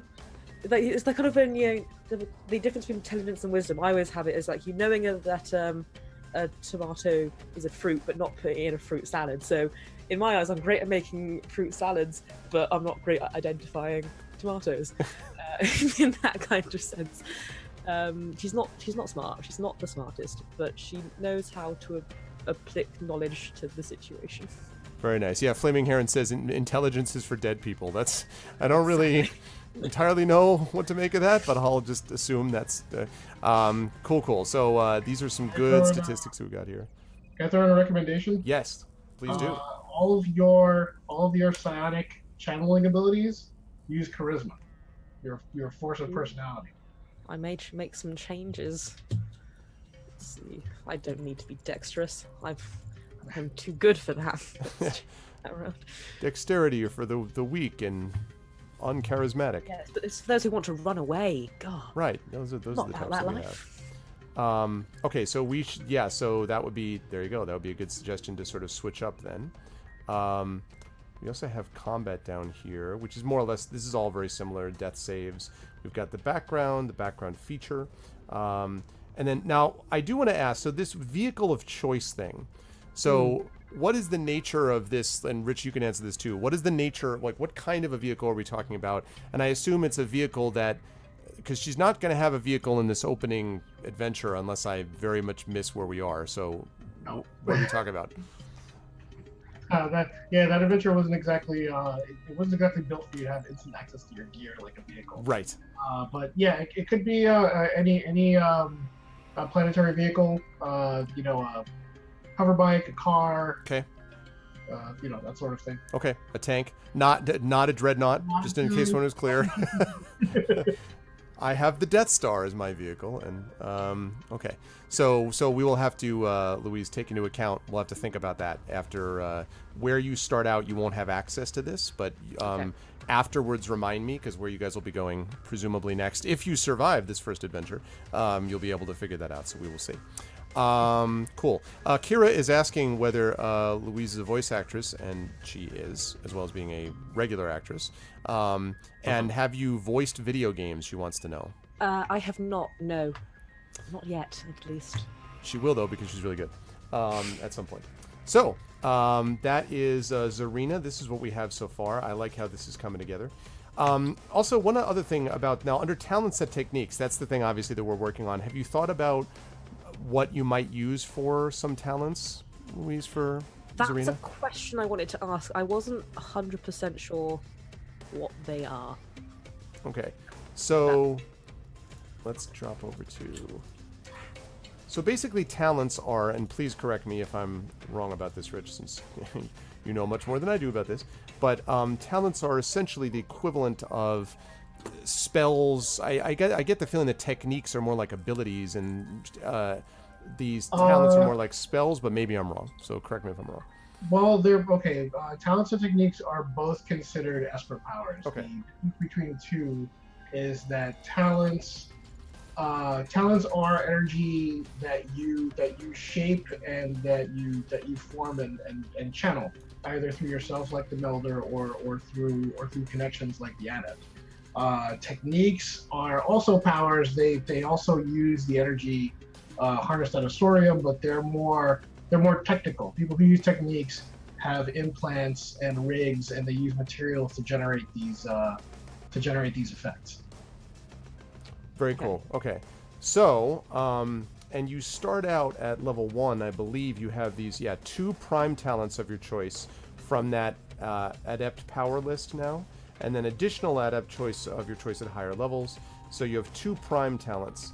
Um, so basically, two of these things. Uh, the and the two prime talents here are we've got uh, Aegis, Dark Conduit, Friends, Illusory Point, uh, intuitive aim, metal missive, Psy Blast, push, and tricky fingers. So I guess the, the overall question, Louise, would be what do you want to um, what do you want Zarina to be focused on in her?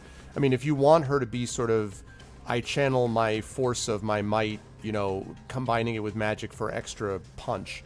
You're looking for more combat oriented than things, or like what are what are we looking at? Most likely more more combat oriented things, yeah. Okay. So then, if that is the case, then let us take a look then at Aegis. Uh, actually, well, let me ask Rich. So under the Prime list, do you have a couple of suggestions then for her about more combat-oriented Prime Adept talents? Sorry, I looked for the mute. yeah, no, that's fine. Um, the very the very first thing I, I would recommend taking is Psy Blast. That is that is a uh, a uh, strictly combat. You know, I, I fire psychic energy through space and do damage. And uh, when you advance as an adept, you also have a, a psionic combat option that enhances it. Mm-hmm. Uh, so that would be my first recommendation. Aegis is also very good.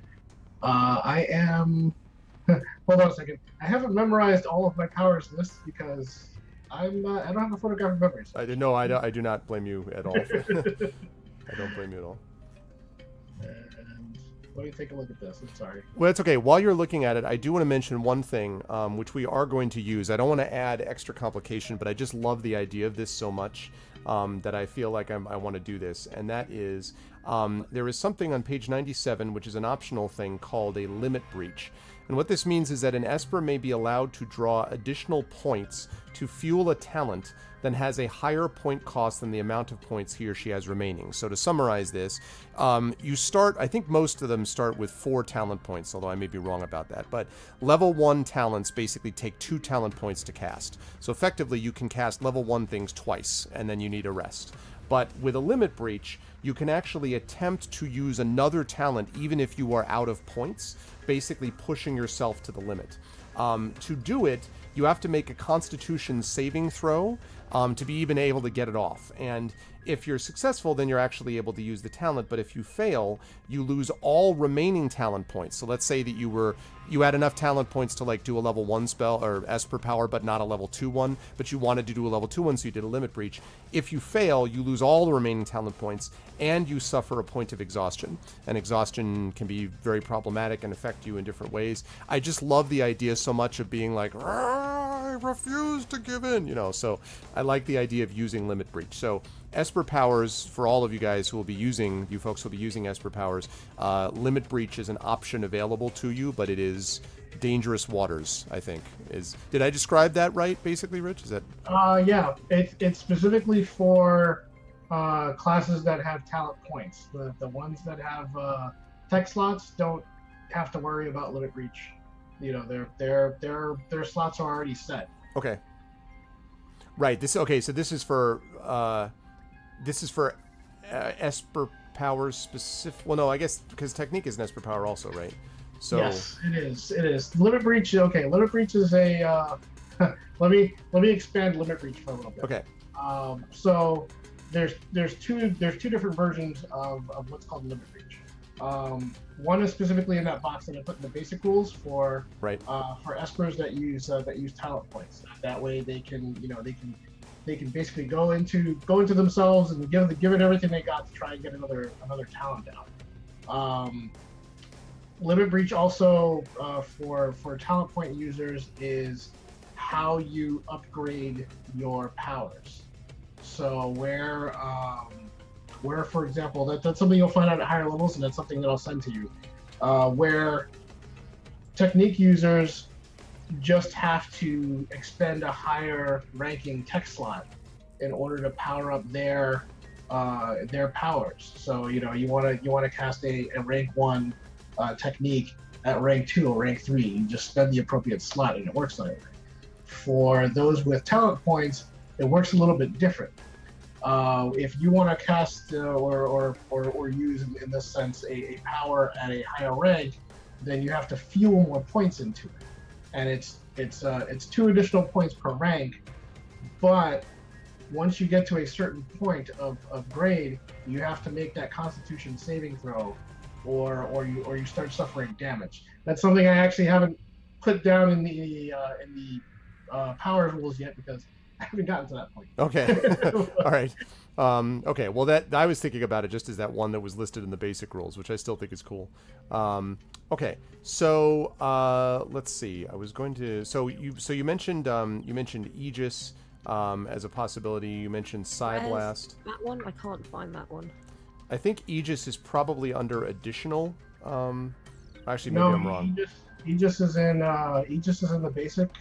Okay. Oh, I see it. It's on. Uh, it's on page 105 or page 102, Louise, of uh, the basic rules. Wonderful.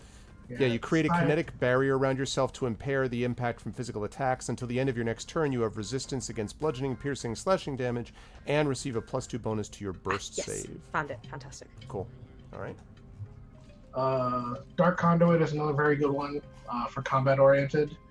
Uh, that's also in the basic rules. Psy Blast is in the additional powers. Yeah, Dark Conduit is on page 105, Yep. and um, and the other one, uh, Psyblast, is in the additional, as he said. Wonderful. Dark Conduit, you create a dark zone of plagued energy around the target. Okay, oh, that that's sounds like pretty something awesome. I do. I love that. Make a ranged channeling attack against the creature to assail it with negative energy.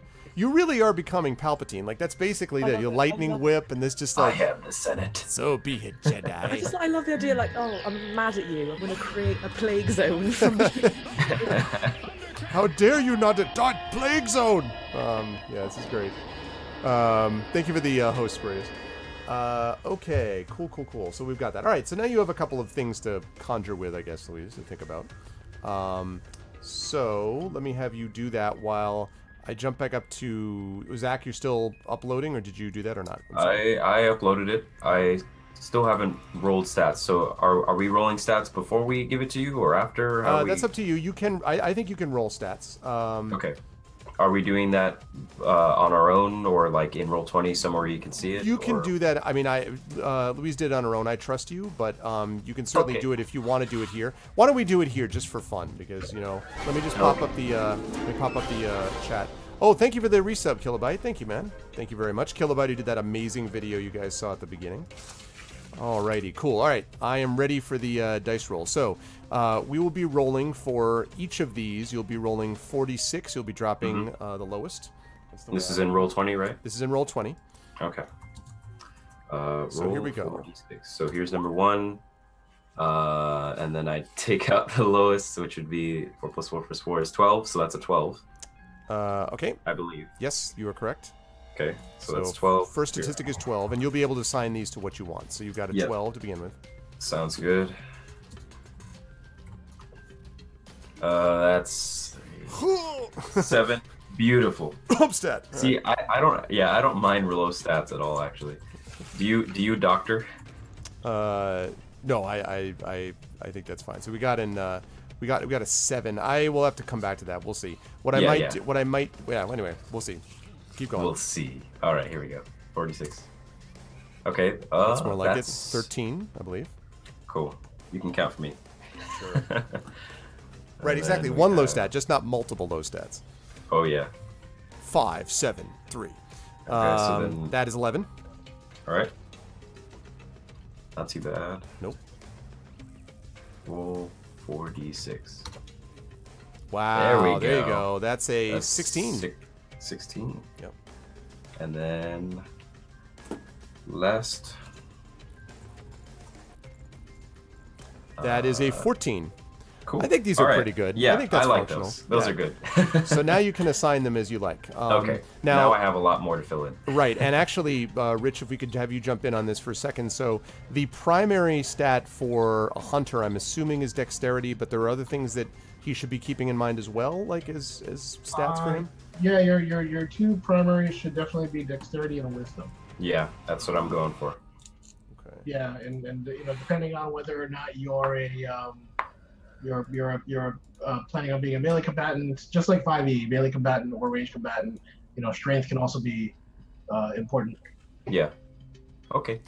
like, so I'm looking at the I'm looking at the statistic: hair star, eyes star. like that's his, my I'm I'm a star. that. Don't ask me questions about specific. Oh my god, that Uh, is. So I just funny. wrote it in as a joke. so yeah, so this this has this is without all of those stats that we just rolled. So I'm immediately going to go in now and fill the rest of those out. But uh, yeah, so I have some skills that I filled in. Um, Athletics, a- insight, perception, stealth, survival. Yep. Yep. Um, I have advantage against poison because I am a Bellari, and then uh, let's see what else. Um, I have advantage Seven on initiative. Nine. That's that's. Yeah, the I read that the average for the suit uh, is seven and a half feet. Wow. So let's err on the side of tall, because why not? All right. And um, aside from that, I still have a lot more to fill in, adventuring gear and so on. That's fine. Okay, Um, so we'll let we'll allow you to yeah. do that, but that's cool. So we got we got some stuff that we're starting to see build up here. 34 years seems young for a star. That's true. Is this 34 light years? Like what? 30, 34, 34 years. Oh, uh, one other thing. Background drifter. You wanna you wanna talk just briefly about that? Yes. Um, so my idea for this character, um, I think it describes in the kind of af- the aforementioned notes. It says the Bellari are not as common in the Silrayne arc as much as the other major races. And this was kind of when Rich was talking about how this is an additional race. They can be found in major cities and space stations, but in more remote areas of the galaxy. Um, the Bellari are considered to be the stuff of stories and rumors. So I'm, um, and also with the thought that I'm trying to make some sort of sniper here or uh, very distant combatant when it comes to those sort of things. I'm thinking that this guy is kind of like a, a space mercenary, I guess, traveling from star to star and um, I guess, yeah, drifting around looking for odd jobs and perhaps he's in a search for something. I'll have to think about that. Ah, I dig it. Okay, cool. I like that. Um, Very, very neat. All right, cool. I will let you fill in more things. Um, I will jump over to uh, Johnny next, I think. Um, uh, Johnny, do you have uh, a sheet for me, perhaps? Uh, or just like the basics of it, not, uh, you know, I don't expect everything filled out or anything, but. Yeah, absolutely. Uh, give me just one second to upload that because I'm just finishing one thing here. Okay, sure, no problem. Um, while I do that, uh, chat in a minute, I'm gonna let um, I'm gonna open up things for questions for Rich if he's amenable to this, um, where uh, you guys can ask questions either of him or of the players. However, I will act as a uh, mother hen and buffer for the players because they're also frantically trying to fill out stats and things like that. But I will I'll try to direct them in the ways that I can. Yeah, exactly. Um, but I want to stop for a minute and just say thank you to all of you who are in here. We got about 76 people right now that are watching. Uh, this is Esper Genesis, the premiere of uh, Esper Genesis on Twitch. I am very happy to say that we are sponsored by Alligator Alley Entertainment. Um, we are going to be running a campaign of this on Twitch. I am joined by four spectacular players. I am extremely lucky to have great players in all my campaigns. This is no exception. So we are joined by Cat Rambo, Johnny Pittman, Louise Moore, and Zach Clay, who will be amazing, and Rich Lescouflair, who is the lead designer of this game and did an incredible amount of work. Um, and it has a system that I think is going to be dynamite. I expect this to be very, very successful. Um, is uh, with us as well. It was generous enough to give us some of his time. If you like what you see in here, please make sure to check out and follow this channel because I do, if I may make a moment of self promotion, I'm a writer, I'm an author of speculative fiction, but I also uh, run things like this on my channel. And so I have a sponsored Adventures of Middle Earth campaign uh, with a with um, Tolkien. I also do uh, a D&D campaign, the Infinity and Beyond group as well. Um, and I do a lot of narrative and role-playing based games because I'm an author and I like story and narrative. So uh, if you like any of that and want to see more of it, please follow the channel. Please check out the channel's YouTube, uh, the Twitter. You can see the links right below at the bottom of that overlay um, if you want more details about that. And also, uh, there are ways to support the channel on the financial level. There is a shop that we have, exclamation point ARV shop. Also, the Patreon, which a couple of you were nice enough to jump on board with, I believe, and a uh, sub button. A few of you have subbed to the channel as well tonight. So thank you all for watching this. And uh, we're going to, again, uh, be doing some more character creation. If we have time, we'll do a little play, but not a lot, like maybe 15 minutes to a half hour at most. Um, and then uh, we will really get into the meat of the campaign on our next session. But um, I will answer that in a minute. Having said all that, I managed to stretch things out enough for all of the wonderful people to have their uh, their things ready for me. Not that that was intentional at all. Um, okay, So we have uh, Aramis, yes, Aramis, I believe. Uh, Yep. Aramis being played by Johnny, who is a class melder, race Ashenforged, also a background drifter. Uh, six foot two. I have this image that everyone I come across is going to have to add more inches to their height, knowing knowing that they've got a seven foot nine person in their parties. They're just going to be like, "I am six foot eight and the baby of the group because I." So, um, but yeah. So let's see. Let's talk about some of the uh, highlights of this. So we have a we got a nine strength. Sorry, let me uh, move this over. We've got a there we go. We've got a nine strength. We've got a 13 dexterity. We've got 16 constitution, which seems like a good thing here. We've got 16 intelligence and 16 wisdom. So I think we see all of the sort of the intellectual qualities and 15 charisma. So we have actually a reasonably charismatic Ashen uh, Ashen Forged Melder, um, who is a drifter. We've got survival, persuasion, lore, which seems logical, and astrophysics. I love that. Um, 10 hit points, and then for weapons, we've got a collapsible staff and throwing blades. I like the image of the collapsible staff. So, uh, did you was this just sort of assigned to you? I don't remember in the sheet, or did you did you pick collapsible staff, Johnny? There's a couple of things. I mean, you can get a. I think it, what is it? Um, looking at the. Hold on, just a second. It's the. Uh, the, the collapsible staff was one of them, or a combat knife, a metal baton, or throwing blades. The staff and the baton seem like the same thing to me, at least you know from a um, you know fighting standpoint. So the idea of being able to handle himself in you know close combat, but also having the ability to, to do something with throwing knives seemed like the, the, the right versatility. Where for a character who is mostly going to be probably using his uh, his uh, talents and abilities. So Seems reasonable to me. Is that does that jive with your understanding of things, Rich? Does that sound reasonable? Yeah, absolutely. Okay. Um, so uh, let me ask then about, uh, as I'm looking at this portable shield device, Explorers Pack. So let's talk about talents. Um, are there a few that you've uh, that you're thinking about, Johnny, or some that you want to throw some questions uh, at Rich for? I haven't even started down the talent tree Okay, or the fine. talent path yet. So um, uh, yeah, it's uh, it's probably the, the thing I'm probably going to spend the most time with. Yep. Um, and that's probably also going to factor into the archetype that I choose, the, the the subclass that I choose for the character. Right. So I definitely want to to spend a little bit more time, sort of, you know, kind of processing that as as I as I start down this path. Cool. All right. Sounds good. Cool. That sounds good. Um, whoops. Okay, let's just get rid of this. Uh, no, I do not. All right, cool. All right, um, then I will, uh, in good order, move over to uh, Cat and to Petra Cinis, um, who we have now got the character sheet for coming up right now. Okay, so uh, let's take a look. So we are working on the statistics still, I think, Cat, right? The the And I stats. just rolled them in the roll 20 and got somewhat bizarre results. So you might want to check them. Okay, so we have got. Let's see. Um, oh my goodness. Okay, so we've got. The Well- RNG god was smiling on her. Yeah, you guys can see some of these roll. Well, the, the later ones, yes, but the earlier Oh one was my interesting. So she had three ones and a three. I may I may fiat that out. I don't think I want anybody with a six. I don't know the others. Whoa. Yeah, I don't think I want a five as a statistic. The other one though, yeah, that's wow. Look at that. So you've got okay. Well, this is interesting. So you've got. Oh, wait, let me show this to chat because you're probably wondering. I want to see too. Um, I guess you guys can see it in the dice roller, but I'll just scroll up. So she she started out by rolling this. So she rolled three ones and a three, then then she rolls. Wait a minute. Uh, then she rolls five, three, five, and a six, which would be sixteen by our method. Then five, six, four, and a one, which would be fifteen by our method. Then six, six, one, and three, which would be fifteen by our method.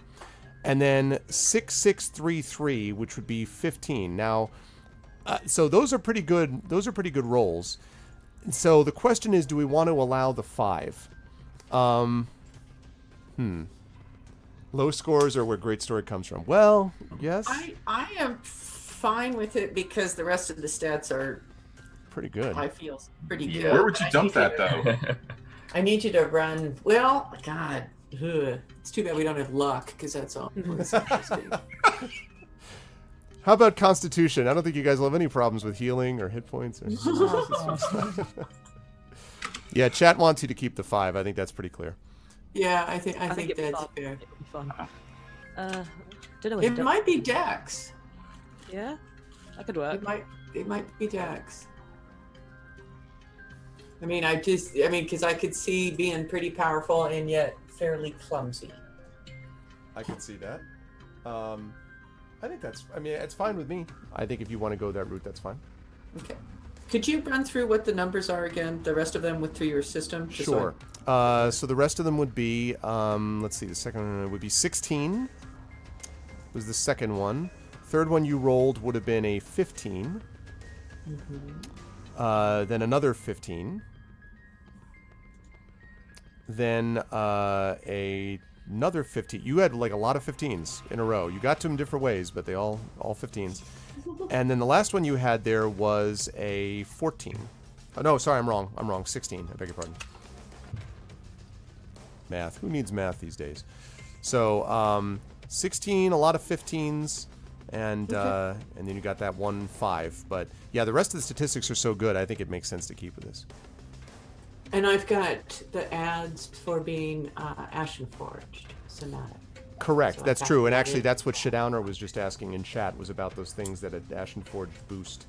Um, Well, I can tell them because I looked it up. It's a plus two Constitution and a plus one on Strength for somatic, cool. which Very seems good. like a good, good one. Okay, so I'm gonna fiddle with that. All right. Um, good, good. Uh, okay, well then, while the folks are fiddling, I'm going to open this up to chat. There was one quick question, Cat, before you fiddle that uh, Oh, yeah. Asked in chat, which is a non-game related thing, but it was for the Video Game Writing Award category in SFWA, are all games eligible for their story content?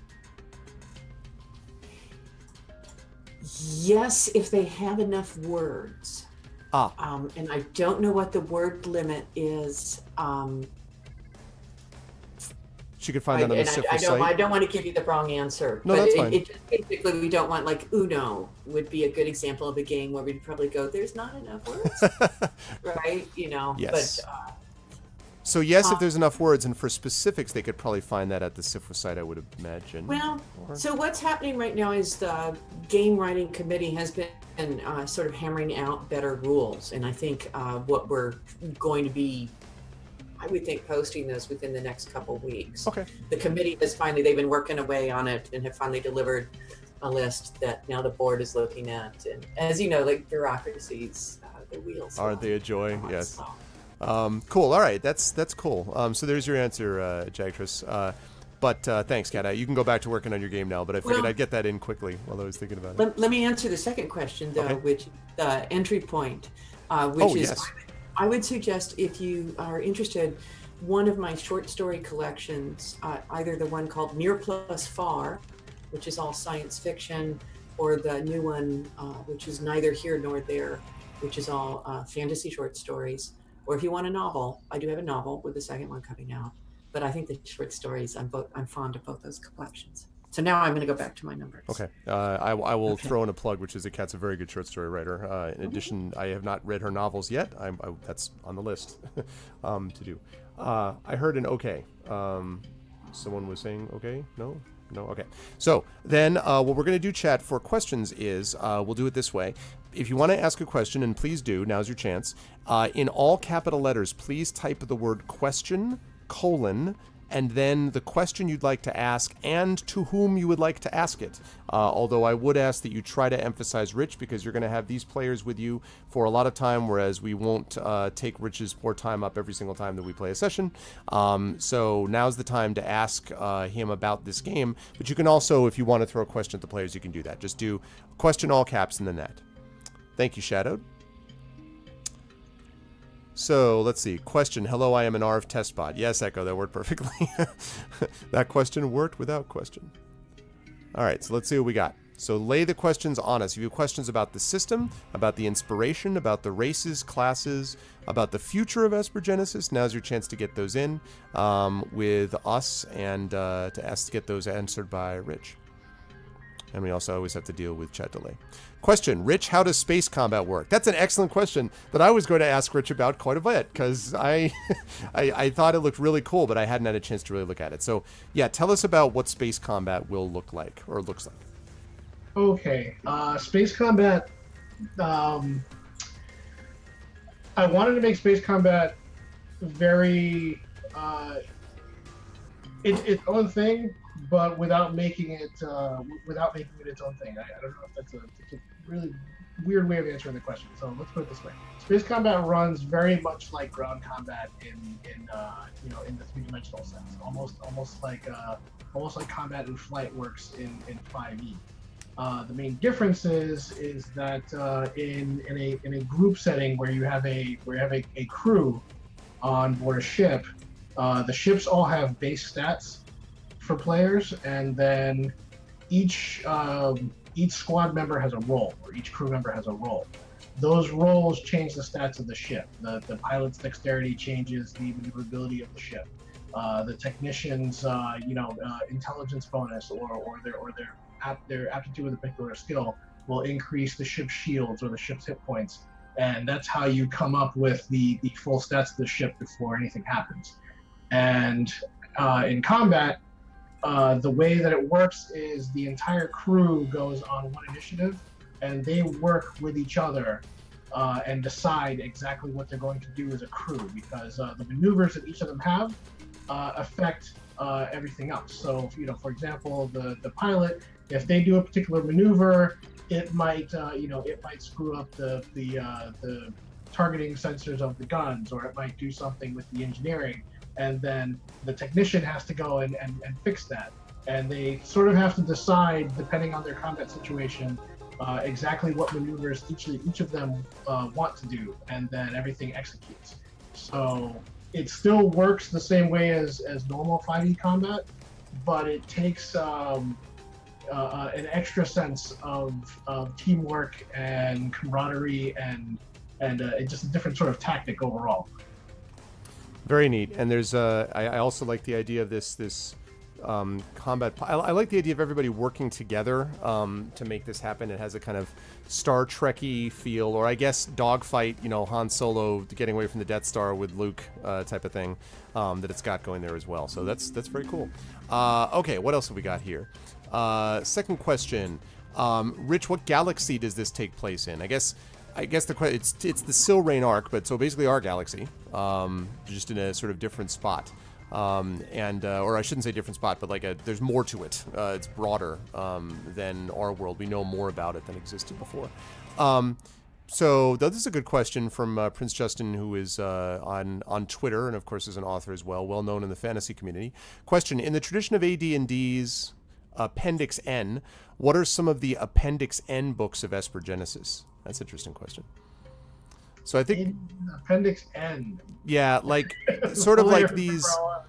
They're they're kind of like so the extra, you know, the supplement like the uh, like the class, uh, not class list. I'm trying to think of an example. Uh, like you know swashbuckler kits and like the the you know in 3e and 4e they had these little small little thin relatively thin books that you could get to kind of fill out your character that type of thing. Are there things like that that are planned i guess?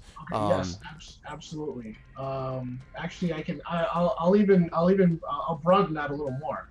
Uh, not only are we planning on on adding uh, you know new little additions onto onto each character class and subclass uh, we actually want to uh, the, the the galaxy right now, the setting that's in the that's in the core book. We're planning on on expanding that into into other genres. Uh, like the, the game itself is is uh, is inspired by a ton of, of different sci-fi genres. You know, of my my favorites from childhood in a sense. But you know, there are certain things that you can't quite do with the core rules, like mecha combat or you know um, uh, you know, it's it's a it's a broad galaxy with different worlds. So you have so you have uh, you have steampunk, you have cyberpunk, you have all of these different niches of, of, of sci-fi that uh, do need to get their due, so to speak. So we're we're definitely moving on into that as well. Very cool. Um, yeah, that's that's exciting. It's, it's, there's a lot there's a lot of ambition I think in this. Um, Steve will ask question, Rich. Is Sentinel choice for infused strike I'm not sure if I understand this question. Is Sentinel choice for infused strike melee range chosen and locked when second level, or do they get both options and use as they want in play? Oh, I see. So do they have to choose one and then stick with it, or can they go back and forth? both options. Okay, so they have both options all the time. Cool. Both, both options use the same the same weapon. Very cool. Uh, Darkman asks, "Hello, Rich. I was wondering if this system will be coming to game stores or just as a digital PDF." Uh, no, no. This is uh, this is actually planned to be three hardcover books. And guess who is going to get the physical books immediately? Because I really love physical books that I want to th- like to thumb through. PDFs are great, but man, I can't wait the physical books. Uh, the, the the core manual is is your is your 5e, you know, uh, OGL book on, on how to play the game and the base the base races of the classes.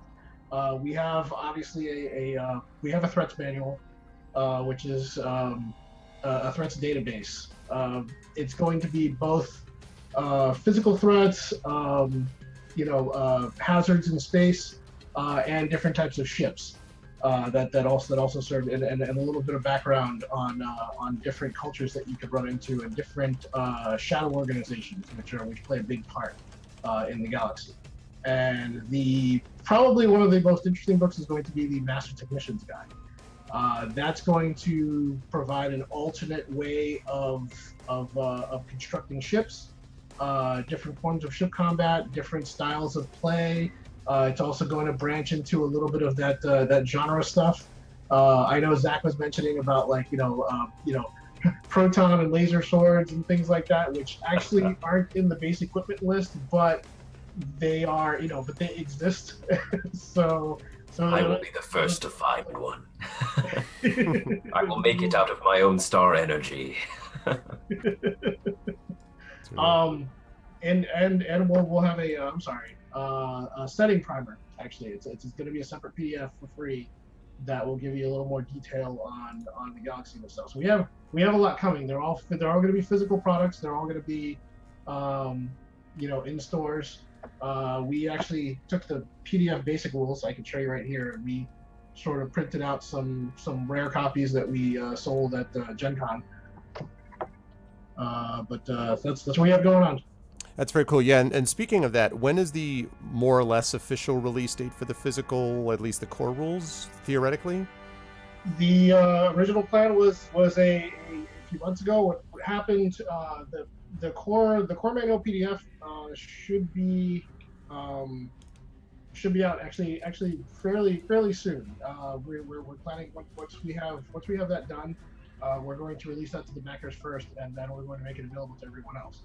Uh, we are planning on having the physical copies uh, printed uh, later on this year. We have we have to uh, we actually changed our, our printing method, and it's it's going to take us a little bit longer than we anticipated to actually have the physical books out. Okay. Uh, but we you know we, we are hoping to have uh, the the core manual definitely uh, by Origins. By Origins, good, cool.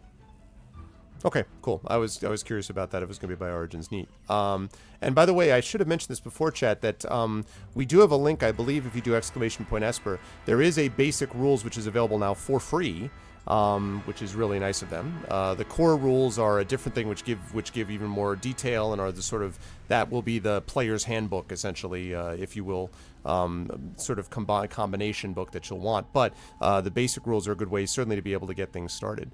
Um, so Jay asks question, uh, Rich, 5e is fairly accessible, but are there any other systems you pulled from for some of your custom rules? Um, other systems. I mean, uh, maybe maybe a little bit of, of, of older of older editions of uh, Okay. of D&D. I, I I've also pulled a little bit out of uh, well conceptually more uh, more so than rules wise. Uh, I, I pulled a little bit out of out of uh, D6 Star Wars. Um, that I played way back in the day. Shadowrun was another you Mhm. know wonderful system that I played for many years. So you know I kind of drew out of some con- drew some concepts out of that uh, to to put together into the game. Um, I most most most of it though I, I kind of stuck to 5e for the most part. Cool. Um, how much?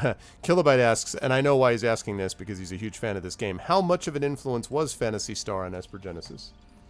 Um, massive. Yeah, I thought maybe.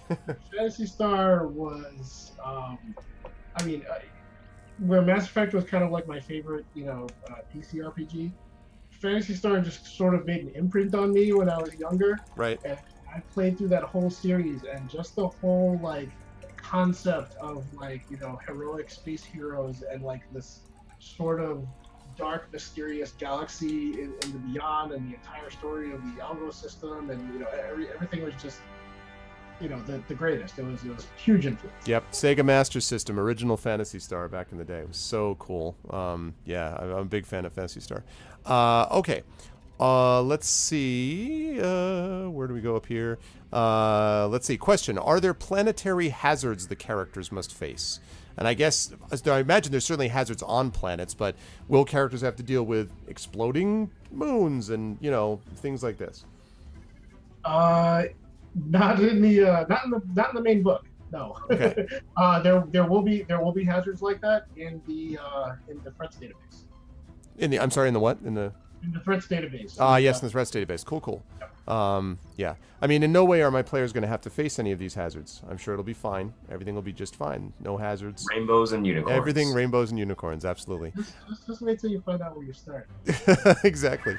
Uh, Kira asks, question, can I play alone? I have no friends. Oh, Kira, that's not true. Um, but uh, that actually, was there, was there any thought of doing any like solo stuff for this down the line or not? It's a whole different thing, but I'm just curious. It uh, it wasn't a thought, um, you know, for this as as the you know the game lends to having at least one player and one game master. Right. Uh, but um, I, I'm not I'm not saying it's not possible. Uh, you know, I I do believe that way back in the day there was a a number of, of solo um, DD modules, and uh, you know if I were to do anything, I'd, I'd probably you know uh, at least take a look at that and, and see where to go from there. I've never really put together a solo uh, tabletop.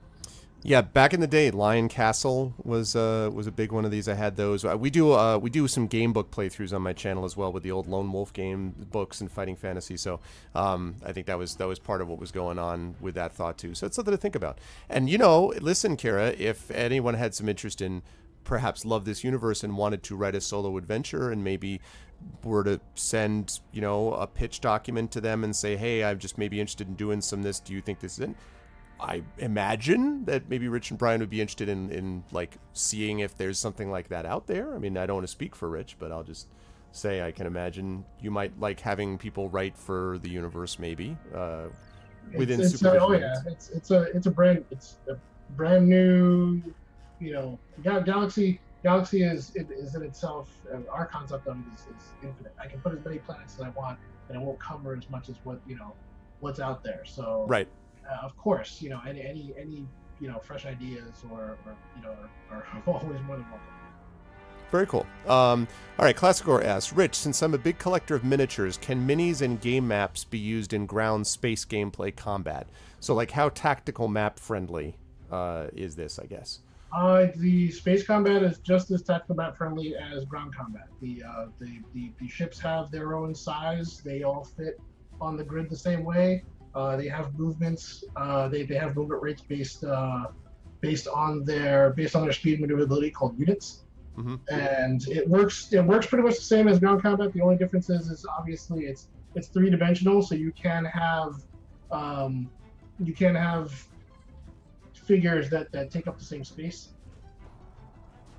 Uh, the difference, you know, the difference being just as long as they are within combat range of of, uh, of weapons or the like, then it should work pretty much the same way. Okay, okay, and that's yeah, and, and that's sort of like the benefit of 5e is that you don't you're not slave to the map the way other systems were 4e, um, but uh, you're you're sort of able to use some of it if you're if you're in that uh, situation. Okay, um, couple more, and then I'll jump back to my players, see how we're doing over there.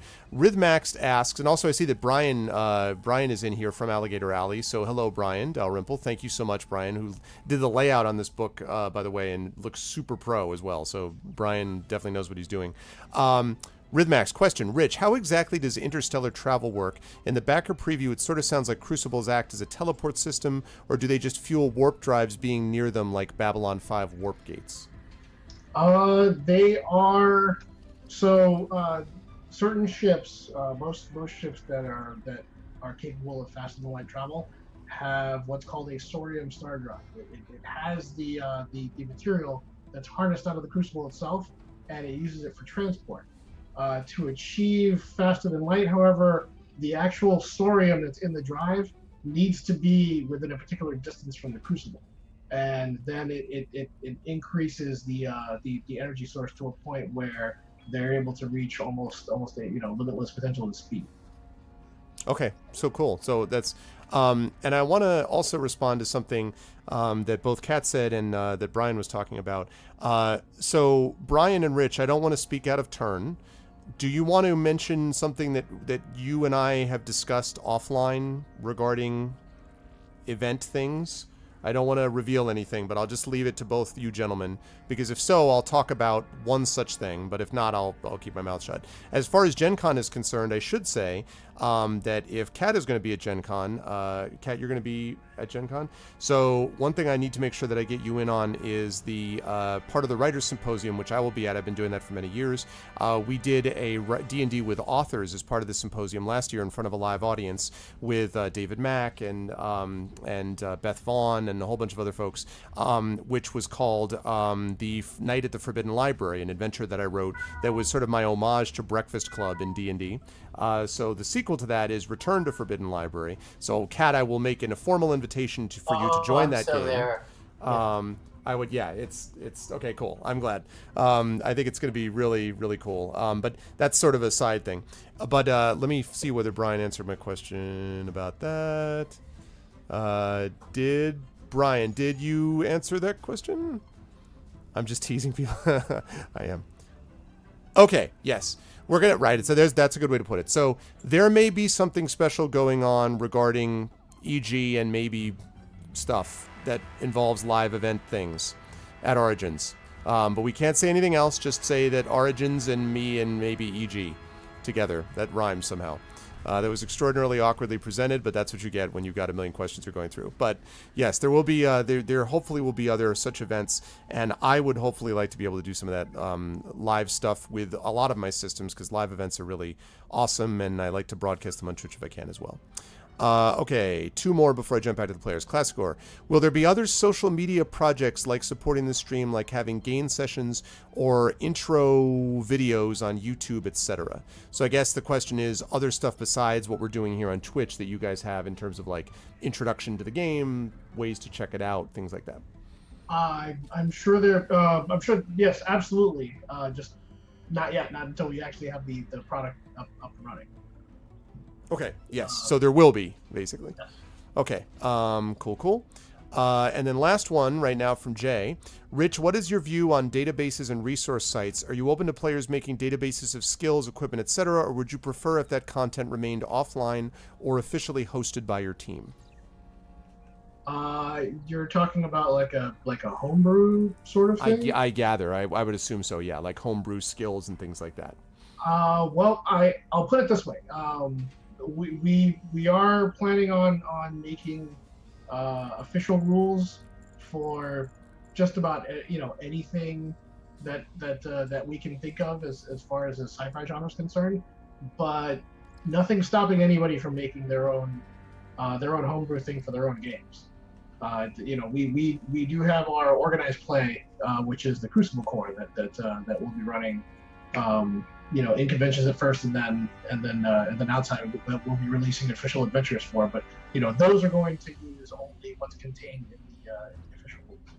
Okay, cool, cool. Um, but it, yeah, it, these these I get the impression that they're not going to come down like a hammer on people who want to do homebrew. They're like, that's that's cool. Um, just don't go selling your homebrew and pretending it's something new because that's bad and you shouldn't do that. um, Obviously. Um, all right, let me jump back to my players and see whether perhaps Greetings. we might be closing in on being ready enough to do just a little bit of play, just a bit. We'll see. Um, let me start with Zach first. Oh no, actually, yeah, I'll start with Zach because I want to make. he- I had him gave him the most time so far. Um, Okay. So, lay it on me, Zach. So, I do have more questions. I've been able to fill out some more stuff, get some equipment, and so on. I feel pretty ready.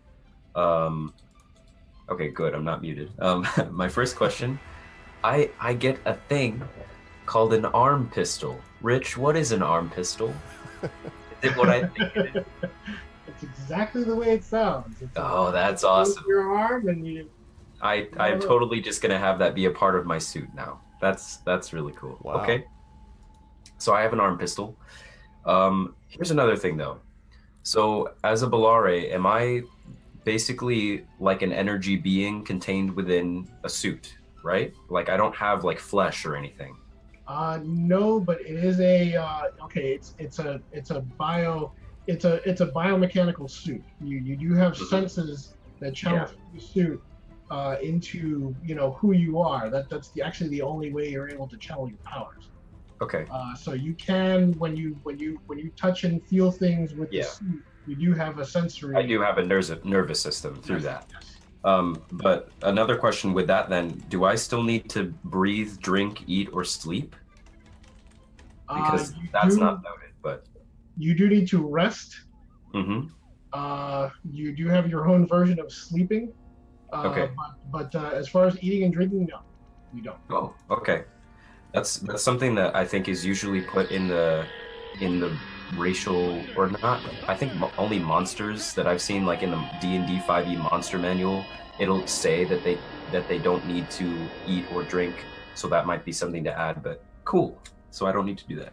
Uh, before you go on, let me just jump in. I, I misunderstood the question. So Jay was asking about whether putting Esper Genesis content like basic rules or core in database form. So basically turning the core rules into a database where people can search it. I guess kind of like what D&D Beyond is doing, sort of Ah, theoretically. okay. Uh, I I would not recommend that as of yet, as as uh, as some of that, yes, some of that is is is is, is standard 5e, you know, SRD OGL, and some of it is IP stuff. So, uh, you know, I, I we I'd rather have uh, personally, i- in any case, you know, I, I'd rather have our stuff released first uh, Right. in, in, a- in an actual product before we even move on into that stage. Yeah, that's that's what I would have assumed too. Okay. Um, just want to make sure I clarified. So, uh, Zach, any other questions for Yeah. the group? Um, and just to clarify, so I don't need to drink or eat. Do I require air to survive? Uh, yes, actually, you do. Your suit does. Okay, got it. You just eat stardust though, so it's fine. okay. Um, let's see. I, I think those were my main questions. From here, I already wrote in my arm pistol as my weapon. I have an auto rifle weapon. I have all the hunter stuff in here that I'm uh, ready to look at. Um, in here, it says I gain the following benefits when traveling in a particular area for at least one hour.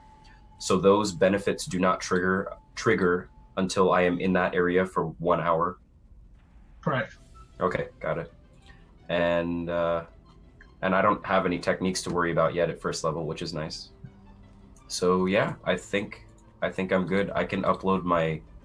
I mean, I'm I'm still still adding stuff to it. And That's like fine, adding that's my fine. hunter actions, but I'm That's pretty. cool. I feel pretty good. All right, uh, lovely. Then I will drop down to um, Thanks, uh, only Rich. only drop on the screen. I will drop down to uh, Louise. Louise, uh, other questions that you want to uh, kind of fill out a little more um, of Um, stuff? yes, one quickly. I'm bad at finding things, is what I'm learning today. Um, do we have a list of the feats somewhere? Because I saw them. I saw there's a to look to the core manual for them, but I can't find the core manual. Uh, we don't. Uh, feats are in the core manual, but the but that section of the core manual hasn't been released yet. That's what I Um, can't find. you don't get feats, and you don't get an option to pick a feat until level four. Okay, fab. Uh, That's so not a problem. Then. And um, with talents and techniques, the Aegis and Five Blast, are they prime or rank one? And what is the difference between? Uh, prime uh, talents, or oh, oh wait, I'm, I'm sorry, you're you're playing a uh, Uh, adept. an adept. Yeah, okay. Uh, prime prime talents are your uh, your your your at wills in a sense. You can use them at any point in time.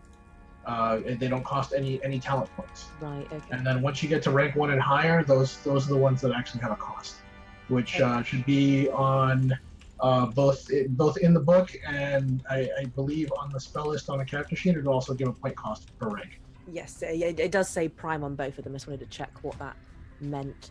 Uh, that's all the questions I have.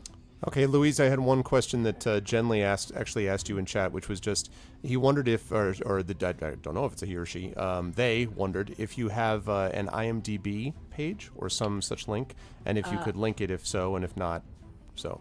I uh, unfortunately don't because the majority of my work is kind of theatre based, so they don't do have IMDb for that. But uh, check my Twitter at no more no less, more spelled M W O R E. You can check out other kind of things that I've done there, like podcasts and such. Are all findable from there. Okay, cool. Thank you, thank you. Um, all right, uh, Johnny, do you have most or more filled in, and do you have any other questions you want to throw at Rich here before we move on to Cat, and then maybe do a little bit of play?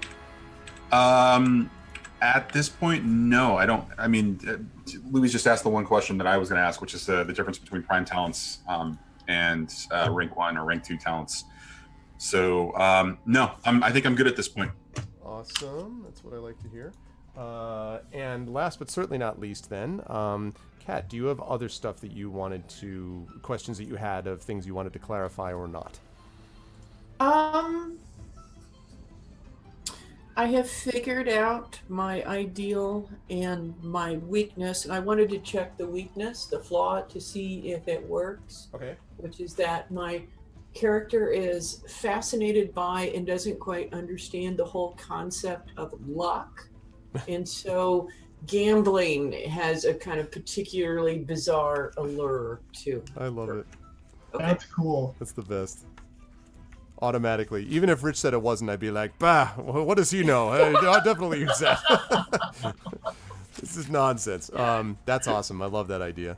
Uh, Yeah, I think I, I think I've got it pretty much. I, I've been jotting down notes. I think I'm in good shape. cool, Rich. You guys got to uh, you guys got to churn out a casino adventure stat. Like, there's got to be a space casino adventure. Like, probably.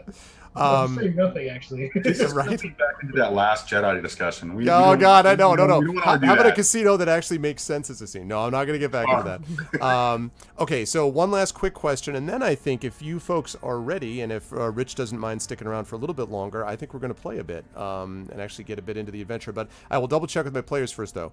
Uh, we're we were planning to go until about 11:30 ish to somewhere around that, It's about another 45 minutes or so. That's still cool with everyone? Like, is Yes. that okay? Rich, are you cool? Like, I don't want to make you stay longer than you need to. So, if you, Uh, yeah, that's that's cool. Um, if I could just leave for about uh, for a few minutes and check out some stuff. Oh, of course you can. That's fine. You don't mind? You mind if I lead into the adventure while you're Oh, doing no, that? no, go right ahead. All right. Let me give you one question though before you leave quickly, just because Dunsel had one.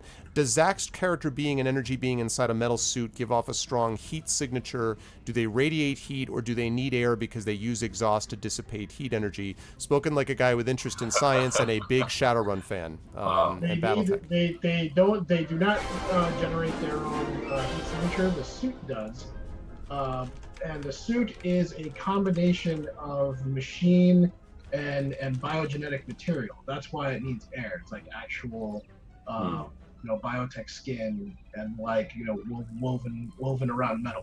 Okay, cool, cool. Yeah, he's a big Shadowrun and also a BattleTech fan, so heat dissipation is always on the mind of every BattleTech person of all time. Um, thank you for the sub, by the way, Genly. Genly just subbed to the channel. Thank you guys so much for all the subs and support today. That's great. Cool. All right. Well, I will. Yeah. So go ahead, Rich. Feel free. Thank you so much uh, to uh, step out for a second, uh, but don't close the window though, please. Um, okay, good. That's fine. No, as long as here. yeah, that's fine. That's fine. Cool. All right. Uh, all right, ladies and gentlemen. In that case, I am happy to say that we are going to get in a little bit of play, um, which I think is cool. I was hoping we would do we would do that.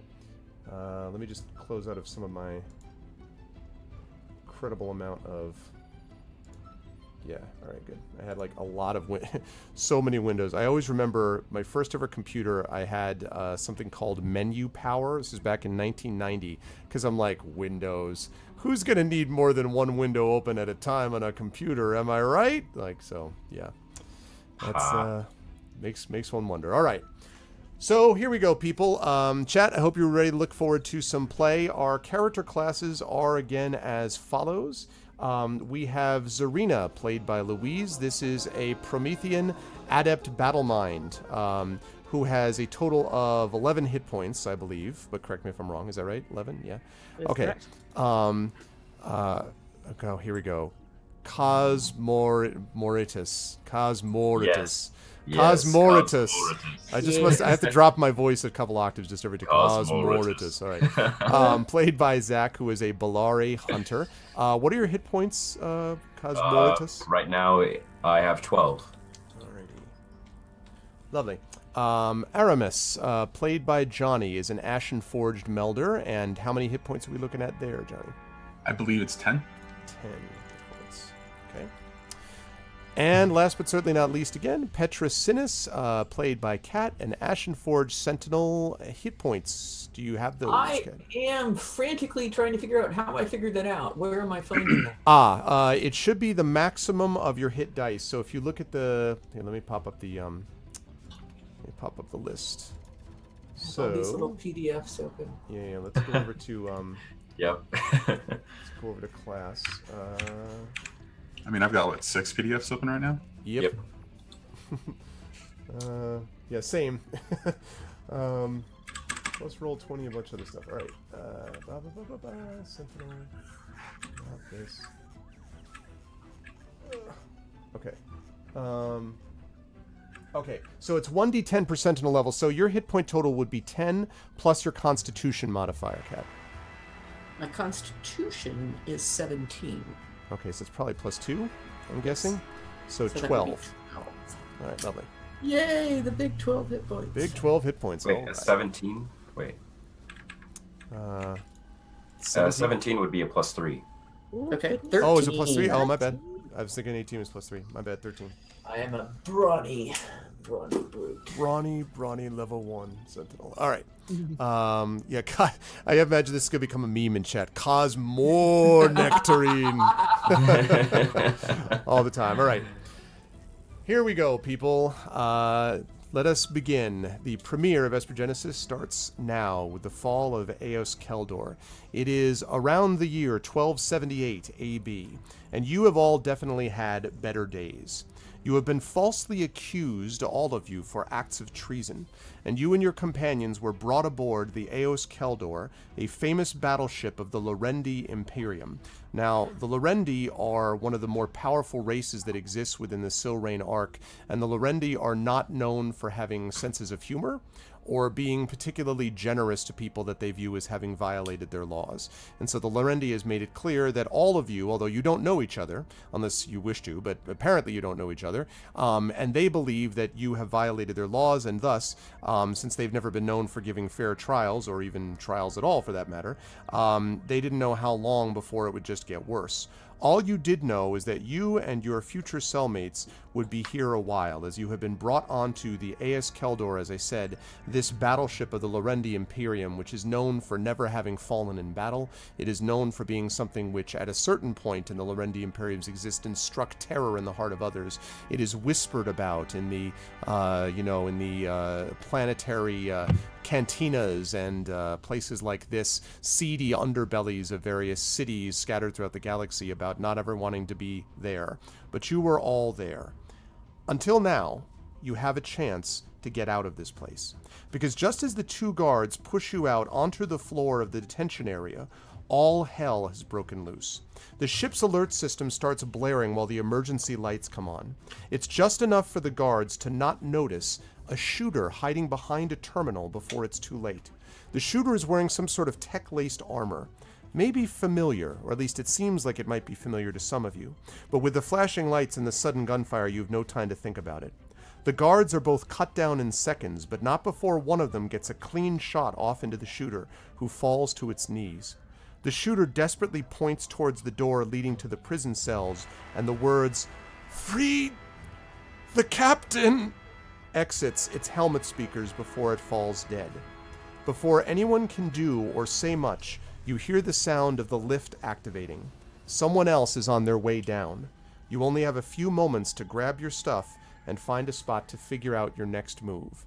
And here is where I will bring you over to where you folks will begin. Welcome to the brig of the Eos Keldor. And I'm going to put all of you, I'm going to actually pull up uh, character things. Later on, we'll be able to get tokens for you and things like that that might fit better. But for now, uh, we'll do the best we can. So let's see. I want a... Let's see if I can get a Sentinel character. Uh, let's go with a Paladin for now. Again, I couldn't put these in because I didn't know exactly what everyone was going to be. So for now, I'm going to put... Uh, let's see.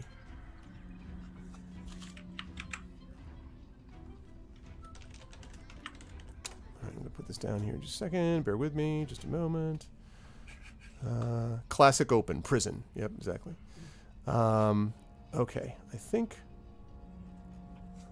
Oh, I'm sorry that these are not more sci-fi, but I'm I'm I didn't have them uh, pulled up close to hand yet. I have six million D and D tokens, but not uh, sci-fi tokens. Uh, hold on a second.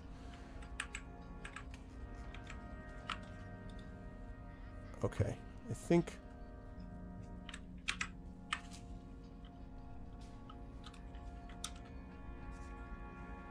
Actually, looking for a knight. Can I just have a knight? Just a knight, please. Yes. There we go. Lovely. All right. So I'm going to put uh, this here. I'm going to give uh, this control uh, of this Dragon Knight. This is going to be the Sentinel. So, Cat, this is going to be your character. Again, this is only temporary.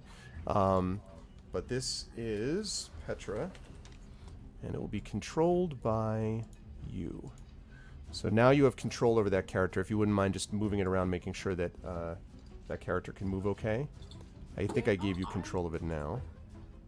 Oh, okay. I did not see it. Yes. Cool. Excellent. Ooh. Alrighty. All right, then we've got the we've got the Bellari. Just a huge picture of a lion. Well, this is what I thought of. Real robot. Daft Punk. yeah, picture of Daft Punk. No, I'm not gonna be. I'm not gonna be goofy. No, no. Oh, I, I okay, was tempted fine. though. I was very tempted. I was like, that could be interesting. Uh, that's Um, my official character art. right. Okay, we're gonna go with this. I think. Again, these are just Okay. temporary. Sounds good. All right. Or looks good, I should say. All right, and let me give that to you. Uh, that is going to be. Uh, oh gosh, where's my notes? I have three monitors and it's not enough. Um, okay. Controlled by Zach. All right, Mhm. Um, You guys can always you can just refer to me as Cosmo if you want. Or Cos or whatever. but you'll be kind of disappointed though, still, right? Like when we do that. Just make sure. Cosmoritis. Okay, are you able to control that, uh, Zach? Your I will character? check right now. Would Mori work? Yeah, whatever. Yeah, that I can control it. Okay, cool. Um, all right. Next one will be, uh, let's see. Let's go with, this actually isn't that bad, I think, for an Ashen Forged as well. Uh, thank you for the, thank you for the host, the uh, Dan and Adam show. Uh, all right, uh, so this one is going to be for uh, Johnny. This is Aramis that I'm making right now. Okay. Again, I will. This is changeable when we find something better. Okay, there we go. So uh, let me make you a little bigger than that. There we go. There's your character. Uh, see if you have control over that, uh, Johnny. Cool, cool. Yep. All right, and last but certainly not least, um, we have got. Uh, let's see, Louise's character. So we've got uh, Zarina. All right, so. All right. Ah, okay. I'm choosing this in part because of the red hair. I feel like I like it. I like it. I feel like that's a reasonable uh, facsimile. Okay, and this is Zarina, and I'll show the nameplate, and it's controlled by Louise. Okay, and just make sure you have control over that, if you can for me. Wonderful, cool. All right, we are good to go. So, um, so now we are back into so so to speak real time. So there is the sound of the lift activating, and in case uh, you guys are curious, the lift is over by a place which I'll tell you about as soon as I get to my damn map. Um,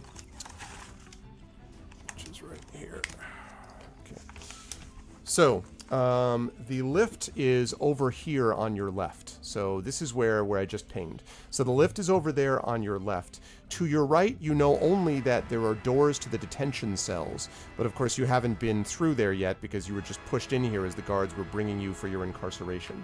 So now the question is, what are you going to do? And I will now leave it up to uh, you folks to tell me what you want to do next. But time is somewhat of the essence. Quick question. Sure. Where was the console where the uh, the sniper was being shot or the, the gunman was being shot? console was right over here and in fact um, these things are these communication terminals um, which are on the north wall and the south wall to the north to the south at least that's what they look like um, there are also i should mention while you're looking down there you can see that there are these grates along parts of the deck that cover what look like mechanical conduits that run underneath the floor apparently. And there is um, on the top on the ceiling a long trail of these interconnecting pipes and wiring that extend across the ceiling between these two exits. Again the sound of the lift over here and then these uh, the place to the detention cells over there and the dead uh, the body of the shooter i should say is right here the guards i'm not going to place them for now but the guards are basically over there as well that were just shot So the invading shooter and the guards are both dead. They killed each other, all basically. dead yes Okay. And where was it he was pointing to, saying to save the captain? uh, pointed towards the pointed towards the uh, prison cell. So pointed this direction towards the door. Okay. The sound you hear now is coming from over here, the lift. And that was not a guard. That was somebody else. then. Well, if it was a guard, he had an interesting way of uh, of expressing himself. no, you're pretty confident it was not a guard. Not also, also not even dressed the same. Uh, in fact, I might have a. I might see if I can find a picture of him while you guys are talking about what you want to do. Okay. And do we know uh, where our stuff is? Do we have all of our things? You do not have you. You yes you you basically do have most of your gear because you haven't yet been you were brought into you were basically in processing right? So you didn't have a chance to get thrown into the cells yet. Uh, the guards were bringing you there when this happened. And while this is going on by the way there is a whole like klaxon that's continuing to echo throughout the ship. Just woo woo woo um, as you hear uh, occasional impacts hitting the outside of the ship's hull. Okay. Well, uh, the the grates that are underneath us, you said they had like energy conduit things. Is that a crawling space possibly, or is it not possible to fit in that under Uh, the grates? It is conceivable um, that you might be able to uh, get down there because the pipes look as if they're lower than the grate. You need to lift up the grate Yeah. um, Okay. to do that, obviously. But it does look like it might be. Uh, it does look like it might be possible. Um, let me show you guys quickly a picture of the shooter. When my thing finally prepares itself. Okay. Um, so. Okay, let's do a. See if I can just do uh, video capture there for you guys quickly. Um, this is going to be appearing on the screen though, not on OBS, just so you guys know. Uh, right. This. Okay. And okay. And all right. And.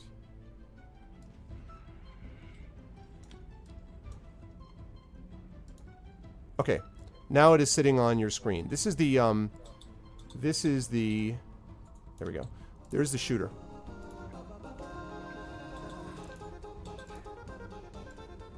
On roll On 20? on roll not on roll twenty on OBS. No on uh, on uh, the on the Twitch the stream. stream. Yeah, sorry. Thank you. Oh, okay, got it. Ah. Okay, there we go. Yeah, so definitely dressed differently than the guards are, um, and looking as if presumably they were hiding here for a while because they, um, you know, they definitely got the jump on on these folks, which is not something you heard usually happens with Lorendi. So, can we make some sort of a an ID on this guy, like uh, maybe like a lore check or a knowledge check of some kind? You can do that if you want. I do want to point out though that the uh, lift is getting close. Do you are you going to do that right now, or do you want to? You can do that if you want, but it may take a little bit of time.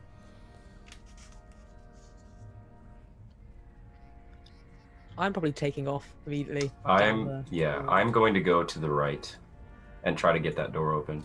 Okay. Uh, well, I, I'm going to walk backwards so I can see the, the lift if it opens. Okay. I thought you just so you could make a cool exit. All right. So you're, No. you're going to moonwalk. I back. am a star. yeah, exactly. Like everything he does is you're a different kind of star than I expected. Yes. Um, okay, so you move back to the door, uh, Zarina. You're booking it down there. Um, Petra, what are you doing as um, as Aramis goes over to check this guy? Is there anything that can get placed across the lift? Is there like something that could be? I mean, I'm fairly strong. I could probably pick something up and put it in front of it. But if there's nothing that other than like the shooter's body. Yeah, most of it looks pretty nailed down except for the bodies. It's possible that you might be able to move one of the chairs. The grates might be liftable, and you don't know if then you could use them to sort of block over the outside of the lift doors. The lift, of course, slide the doors slide open, um, but you could definitely put something blocking someone's uh, egress, but you'd have to do it fast if you wanted to do it. I'm gonna go ahead and do that. Okay, so let's take these all one by one. Um, let's see. Uh, I'm gonna have you do that. So Zarina, move your. Which grade are you picking up, by the way? Like middle, far, the close Middle. one to the lift. The, cl- the closest one. Okay, so you're gonna pick one up. All right. I need you to make then a uh, strength check for me. I'll take athletics if you have it. I suspect you do. And uh, so, yeah, but you've yeah you've rolled uh, Roll you, 1d20. right. Right. Plus uh, oh plus your but then also your strength bonus. Okay. I, I don't I don't think that rolled correctly. Yeah, I don't think that rolled right. No. Type. I think what Uh, you ended up Oh. rolling was a one. D20. Well, thank God for that. Oh, there Ah, we go. Yeah. Eleven plus your strength bonus. So what's your Plus my uh, 16 strength. So, So- I, I think that plus plus two? two. Right. So That's 13. a plus three for sixteen is plus three. Okay. 16, 17, 18 are all plus three. God, why am I keep thinking? I keep I keep underselling Yeah. it. Uh, 18's okay. plus four. Uh, right. So uh, you were able to lift it up. There's all of you see uh, this powerful, um, this powerful ashen forged uh, lifting up the grate, and then um, now that you've got it above, you can actually hear a little bit of the buzzing of the sound of the conduits below you. Um, now you have this decent sized grate, um, maybe about oh, six feet or so and five feet, maybe uh, five by five. So what do you want to do with it? Do you want to just like I'm gonna go put it over the lift Okay. door and try to sort of jam it in place. Okay, so go ahead and move your character over to the door. Um, we'll say that you're able to. You can kind of lean. There's not really anywhere to jam it per se, but you could probably lean it against the door if you want, um, which at the very least would shock the hell out of anyone opening a lift. Um, Okay. So Yeah, there's at enough. least We'll that. All right. Um, you're Prize doing that. bewilder. Yes, that that's pretty much exactly right. Yes, sounds great. Exactly, Spurious. Um, all right, uh, you're doing that. Uh, secondly, we've got Aramis. Um, I'll come back to you last because it's going to take you the longest to um, sort of figure out what's going on with this guy. Um, Zarina, you and um, uh, Kaz are over at the uh, other door about to try to open that one. Um, so uh, you they do appear to be closed. Um, there's not an obvious sort of mechanical way, at least immediately, of opening it unless you want to check it out. So what I'm going to ask you guys to do is to make uh, a mechanics check for me. Uh, actually, intelligence, but if you have mechanics, I'll take it. Um, Okay. and uh, both of you can make that check if you want to see how to open this door. Sure. Mechanics is wisdom, right? Mechanics Um, is wisdom. Mechanics is intelligence, not wisdom. on on the sheet here it says wisdom. And Oh. It's with- Oh, is it on my on my on my adventure? It says intelligence. Okay. Haha! I have found an error. Okay, it is. Uh, all right, wisdom then. Wisdom. Okay. Okay. Thank God. Thank God. There we go. Uh, oh God, so many windows. I was about to type my roll into Twitch. I'm sure the chat would support you in that. oh God. Oh, I'm All right. so wise. Wait, let me check this one more time. Okay. Okay, mechanics plus three. All right, here we go. Okay. Yeah, both of you almost at the same time. Uh, actually, um, you notice that the uh, Zarina, although you don't actually, I should shouldn't be referring by names because you don't actually know each other quite yet. Um, but uh, this uh, fierce-looking Promethean, um, you see immediately kind of.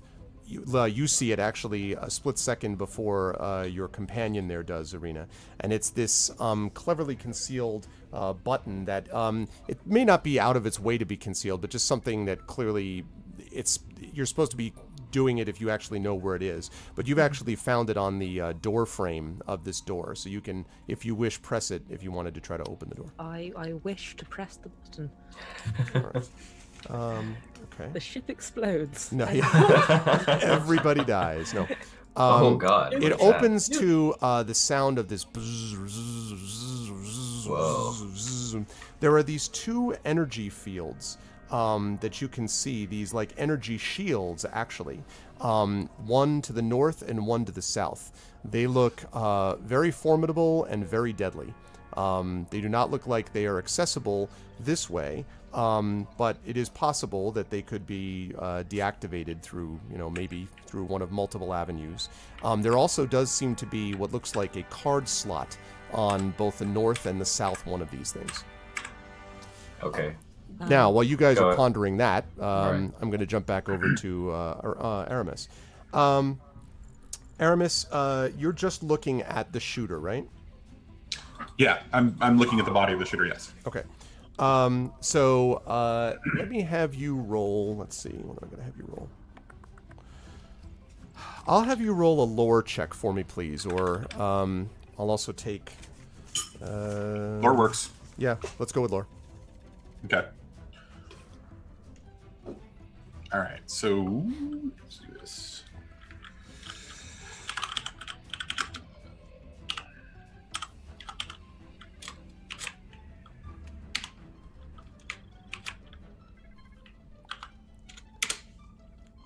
Oh my god. Whoop.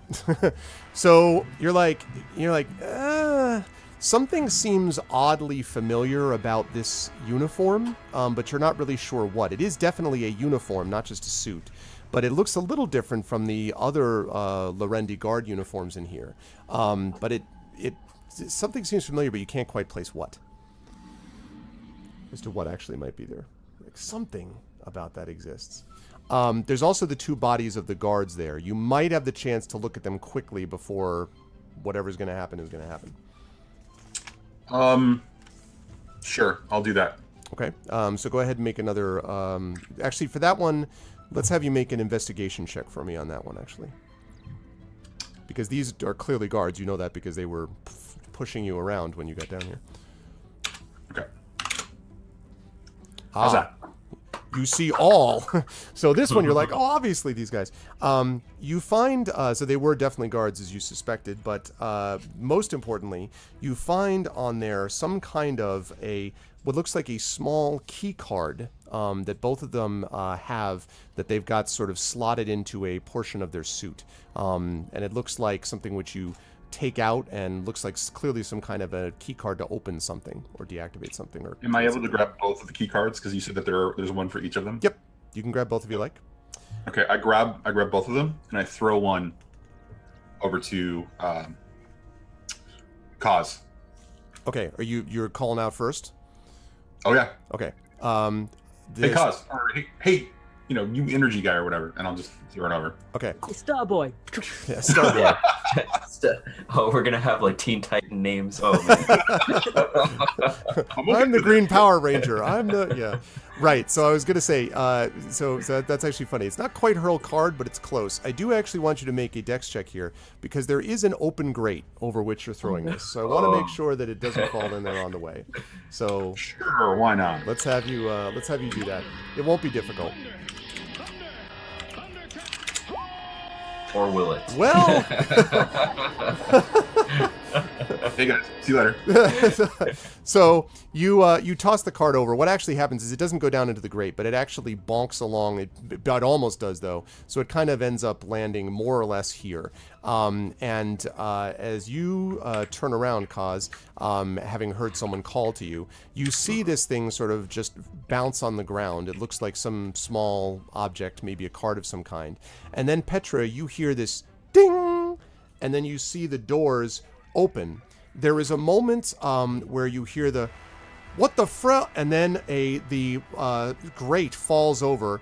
You hear this shot fire into the ceiling uh, and some cursing of some undiscernible nature. And now I would like everybody to roll initiative, please. Okay. I have a quick question. Sure. Have the have the guards, the people that we've been around us, other than my uh, party, did they come from a single um, identifiable race or type? Yes, I'm the- thinking for. Uh, yeah, go ahead. Yeah, the guards the guards were, and actually correct me, Rich, for a moment if I'm wrong. The Lorendi are all their own. They're not multiple races, right? The Lorendi are their own No. race, I believe. They're their own race. Okay, so they are. Yeah, the guards are. Um, were all Lorendi. Um, Okay. As as the Imperium, the Lorendi do not tolerate others very well, from my understanding of it. And then, um, all right. So in my know your target thing, s- assuming that I've been contained here for a while, I'm gonna uh, make my know your target quarry Lorendi. Lorendi, I was I had a, I had a feeling you might do that. Yes, that seems very logical then to me. um, could I also is Ashen Forged because I can choose two types of humanoid at the same time. Mhm. Is Ashen Forged another option that I could do? Does that technically count as a type of humanoid? I, I guess. don't know. I'll ask Rich. Does it count? Yes, it does. Okay. Okay, so my two are Lorendi and Ashen Forged. This is so convenient. I need to make Rich portable so I can just bring him everywhere. Yes, like, let me let me ask let me ask Google. Let's ask the Ask for Rich Genesis bot. Google. Yeah. Rich Uh, okay, so let me uh, let's see. I'm gonna add Petra as well. I should have put this up before. Um, so Cat, uh, your dexterity. So you have a four. Did you end up putting the dex was the low one? I I beg to differ. My dexterity is five. not- yes. Um, that should give you uh, a rather substantial negative, though. Um, so that gets subtracted from that uh, four that you rolled. So oh, good. uh, I think my, that's probably minus three. I'm guessing uh, at the five level. So I think you probably got a one. Um, uh, unless I'm good roll. Uh, quality work. I Okay. sense it won't be the last time. Okay, uh, let's see. Then uh, Aramis has got. Let's have him add turn. Uh, Aramis, you have got a 13. Okay. And last but certainly not least, Kaz. Uh, oh, right, that's right. You get it. I was like, why are you rolling twice? And then I remembered why. Um, okay, so you got a 12. Lovely.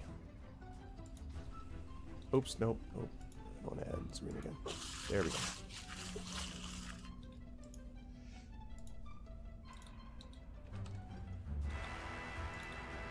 Sending, cool. Alright.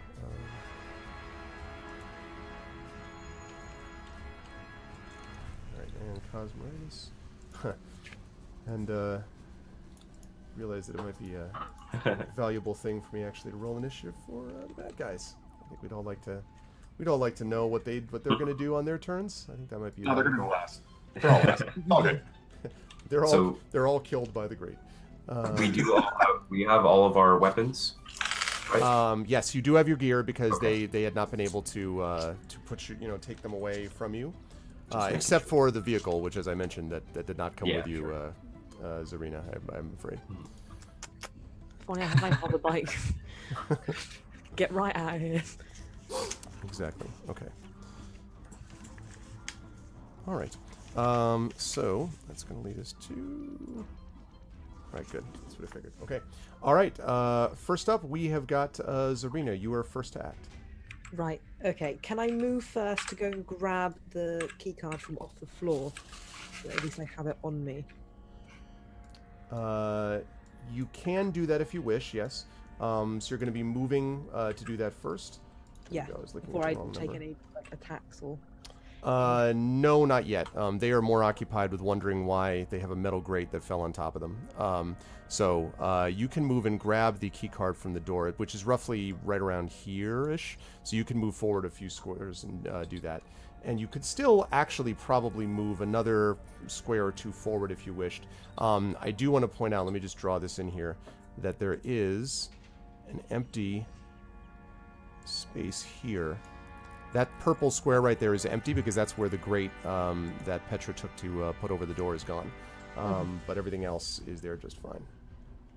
Right. And uh, our two guests are guards, correct? Yeah, they look to be dressed uh, just like the guys um, that brought you down here, the uh, people that brought you down here in the first place.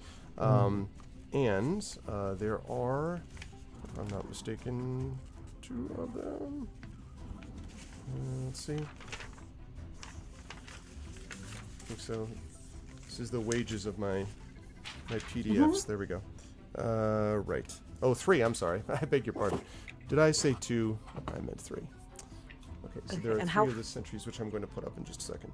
How far away from me are they? Uh, so they are. I'll move this to the other side of the screen.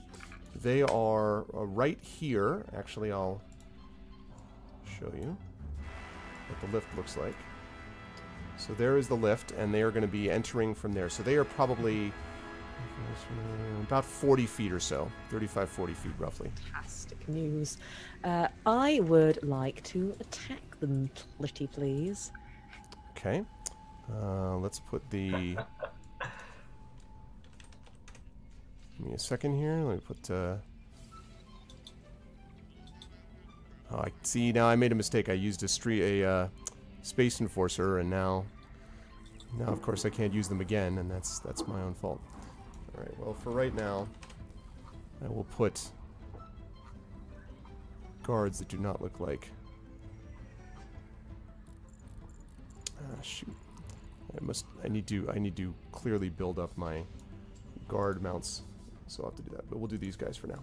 Okay. So you are going to attack them. So there are uh, three of them that are standing there right now. They are struggling.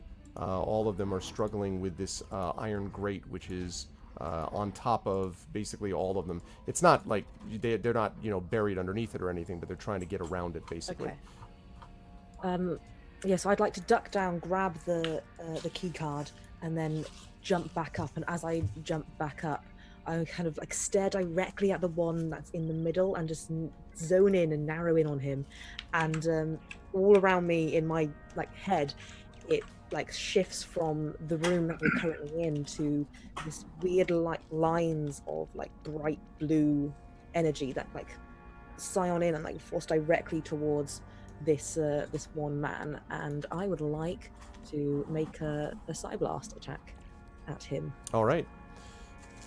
uh, which I do by rolling.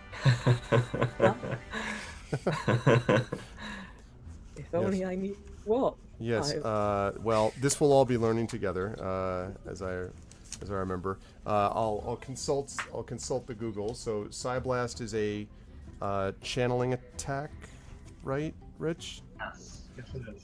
Okay. Which means it's. Uh, a- It is. Uh, it's going to be a D20 plus your proficiency bonus plus your uh, channeling ability, which in your case is charisma. okay, sick. Right. So that we need him every time. absolutely. Can't leave now. There's there's a little spot in the character class. Yeah, yeah. yeah, yeah. Uh, that's a uh, ten. Okay. Uh, let's see. I don't. We're gonna get that on me. Far too many sheets. Um, let's see. That is going to miss. Um, the uh, shot sort of fires, or the blast um, sort of hits over as he's kind of struggling with the metal, um, and uh, with the metal grate in front of him. Do I have any movement left to move? uh, you yes, I would say you could move another couple of squares forward. As he notices, um, he has this sensation that something just missed him, although he's not clear as to what. And so he yells at you, "Stand down!" Uh, I'm gonna stand away and run back to the door. No, I said stand. Okay. Um, all right. Uh, that sounds good. Next up is Aramis. Cause you were on deck. Aramis, All what do you got? All right. Um, so looking at the three of them, the, is the grate um, still wedged in the door, or is it starting to fall? No, or the, no, the, the grate is actually sort of on them. They're kind of actually clustered behind it, trying to move it out of the way. Um, and in fact, I'll show you exactly where. It's basically here. Um, so you can actually see it. I just put it in the. Uh, I just put it in the elevator. So in the lift. So they are. They're basically trying to struggle with it. Uh, One of them is kind of like sort of on his foot, so he's kind of like ah, they're trying to struggle to get it off. Okay, so I'm going to take the grate use propelled shot, Okay. um, which is choose one object weighing one. Wait, how how heavy is the object? Uh, the grate is fairly heavy. Um, Okay. yeah. Uh, Yeah, I'm not going to be able to do this. What's what's the, the limit? the limit is five pounds. No, There's no, no, way it's definitely heavier than that. No, no, no. That's why you had to do a strength check. Why uh, Petra had to do a strength check in the first place. No, sorry. Right, right, right. Um, let's see. Uh, That's awesome, Shadow. Thank you for doing that. We just put in Twitch the crew and the characters, so thanks. That's awesome, Shadow. I'm going to use lightning whip. I'm going to focus in on the first one that's right next to the lightning, uh, right next to the, the grate, and I'm going to kind of close my eyes, reach my hands out, and th- throw uh, lightning whip. All right. Um, that is also, I believe, a ch- uh, channeling attack, if I'm not mistaken. Right, Rich? Is that also channeling attack? Okay. So again, uh, that would be um, your. I think it's for well for Melder. It's not charisma, is it? What is the what's the It's channeling? intelligence. It's intelligence, yeah. Okay.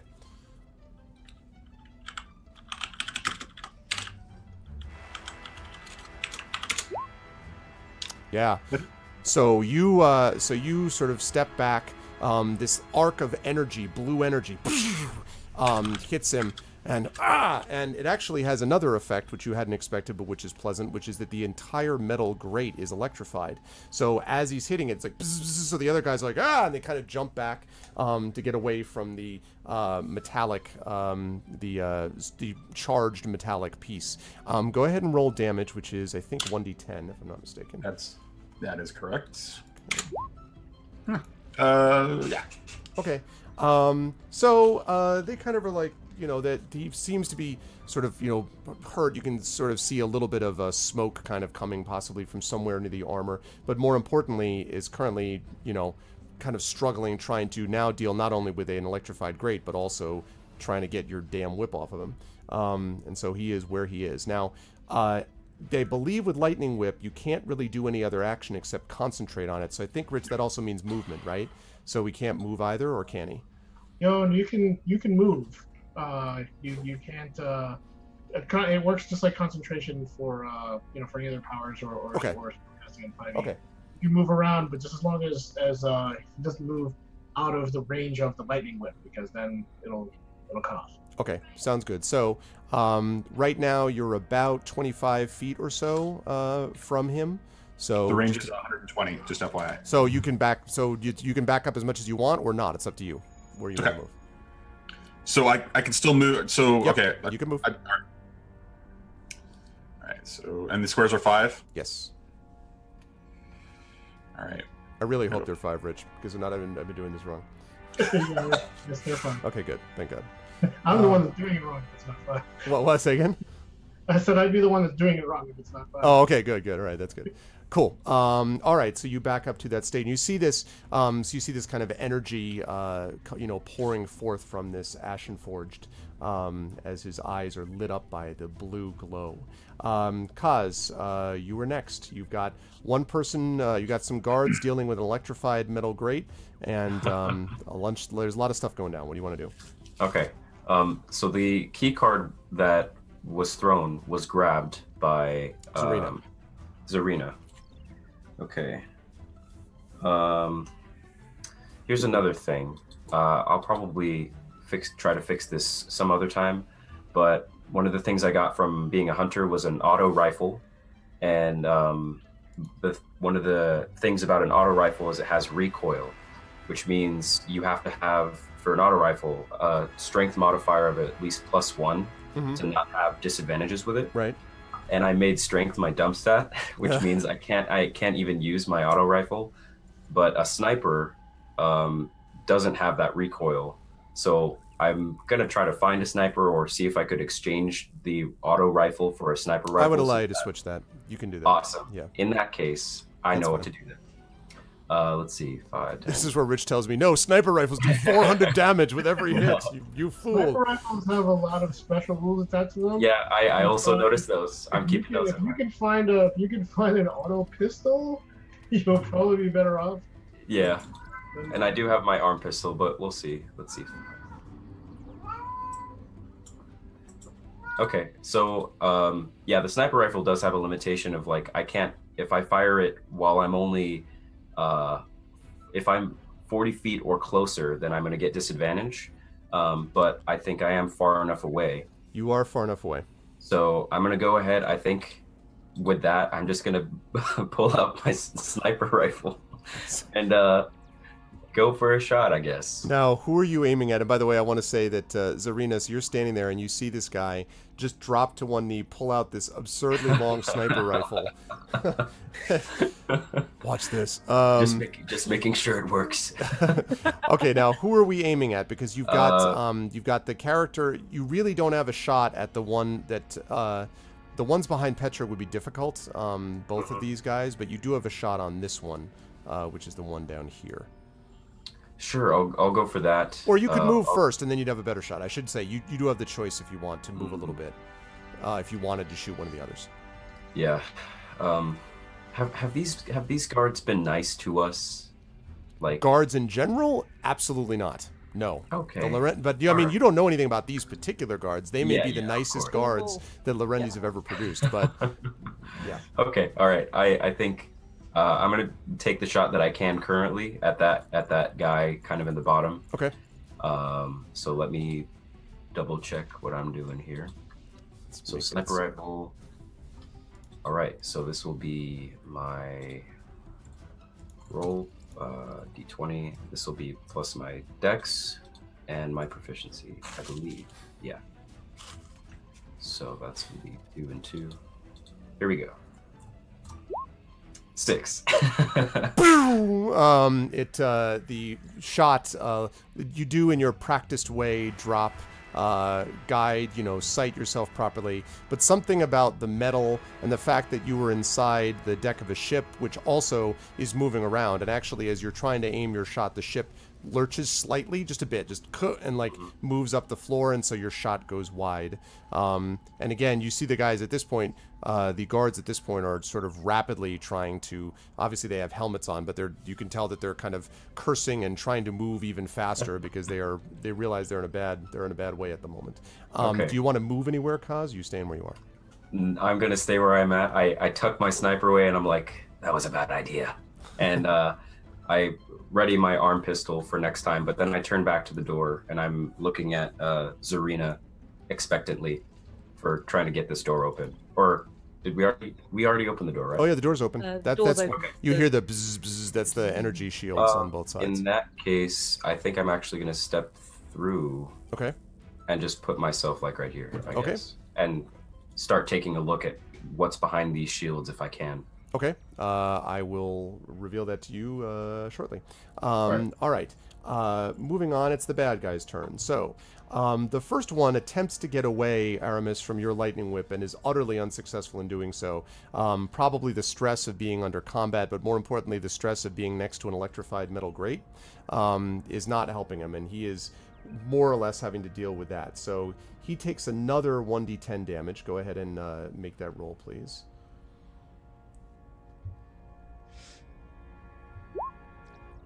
Okay, so bzzz, um, you can tell that he again. There's more sort of smoke rising from his armor.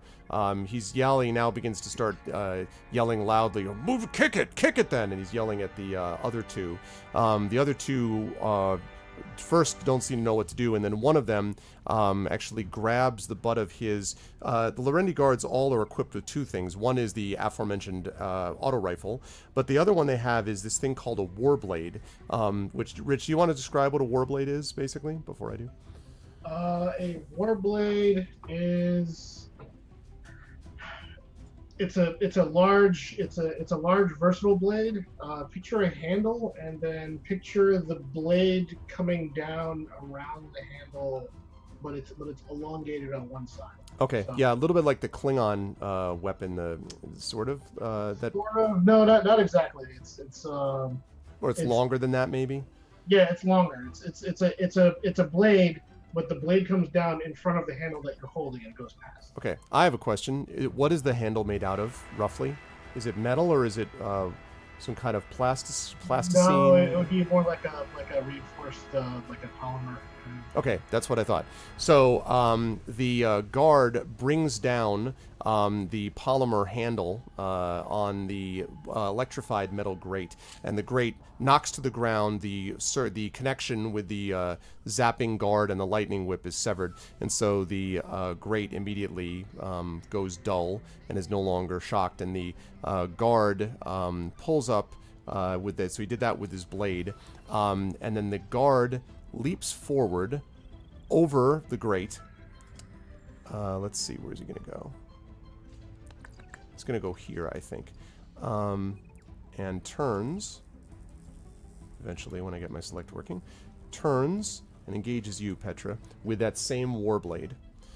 Um, and let's see what he's going to do with it. That is an 18 to hit your 8 armor class. does it do so? You're muted, I think, Cat. Sorry about that. There, there are a lot of windows. Uh, yes, I believe that hits. Okay, so let's see. So he brings this blade down, uh, does four points of uh, slashing damage to you um, across your exposed sort of uh, midsection as you kind of stumble back um, from the uh, impact of the blade. Uh, All right. so he does that, um, and he uh, actually I think it goes like this. Yeah, you notice that as he does this, also he's kind of shifting like this. Um, and a minute later, you can see why, because these two guys um, come out, and one of them fires away at the person who's got the lightning whip, uh, who is hurting his companion. So he fires his uh, auto rifle at uh, you, Aramis. Uh, let's see. Let's see what we got with this roll. However, I don't think that's going to get it done. A nine is probably not going to make it make it work. Nine is not going to hit, so it misses wildly. Um, and then his friend, as I said, is already in the midst of trying to be zapped, and so he can do nothing except continue to be zapped by your lightning whip. That brings us down to uh, Petra. You're up next. Zarina, you're on deck. Petra, what do you want to do? I believe. Oh, I can't create a weapon instantaneously. This is not fair. um, I I would like to hit the person basically. So do I have my weapons? Because if so, You do. You have your uh, weapons. You have your gear. Then I'm going to uh, whack them with a large hammer type weapon. Is what I would like to be using. The scenario for you guys would have been a lot worse uh, if this had happened after they had thrown you in the cell, but fortunately, this is all going on right beforehand. You save that now. Yeah, well then I, the uh, the ship is young, so to speak. Okay, and that's uh, and actually we'd have to add the um, the melee bonus to that, so it's a lot more than 19. Um, that is But it also is minus three because of the dex. uh, your your weapon is dex based. Oh no, no, no, no. I'm was- sorry. Yeah, I was gonna say I, believe- I don't think so. Yeah, no, you're you're I in good shape. dex affects everything. it's all, you're just gonna go back to that. As Okay. the dove stat always hurts me. No, you hit him clearly. I don't ever mark it. Okay, cool. So now we can Ah. roll damage um, on your weapon. I don't know what that is. I do not know what it is either. Okay. Uh, I'm willing to let you actually. Is it a, Rich. is it a warblade like? And I guess I should ask Rich if a warblade is something only Lorendi would be more likely to have, or is it something that a sentinel might well possess? I mean, a, a warblade is uh, essentially just like a, a cool version of a longsword. So a long blade would would be um, would be something equivalent. Okay, Could could it be though, Rich, a big hammer type thing? Yeah, Because that is what I would like to be using. You And want if a big one-handed type of hammer or a two-handed type of hammer? Well, let's do two-handed. Okay. so, uh, or actually, we, we could do both. We can give you a warhammer that you can use one or two-handed. If you're using a Okay. two-handed, Whoa. to beat that. wow. I thought you were going to say you can dual wield two handed and one handed. I'm like, wait a minute. No, I like this game. I call foul. Okay, so uh, so you have a so now you've got a one-handed warhammer, which is same stats as like the one-handed warhammer from E? 5e.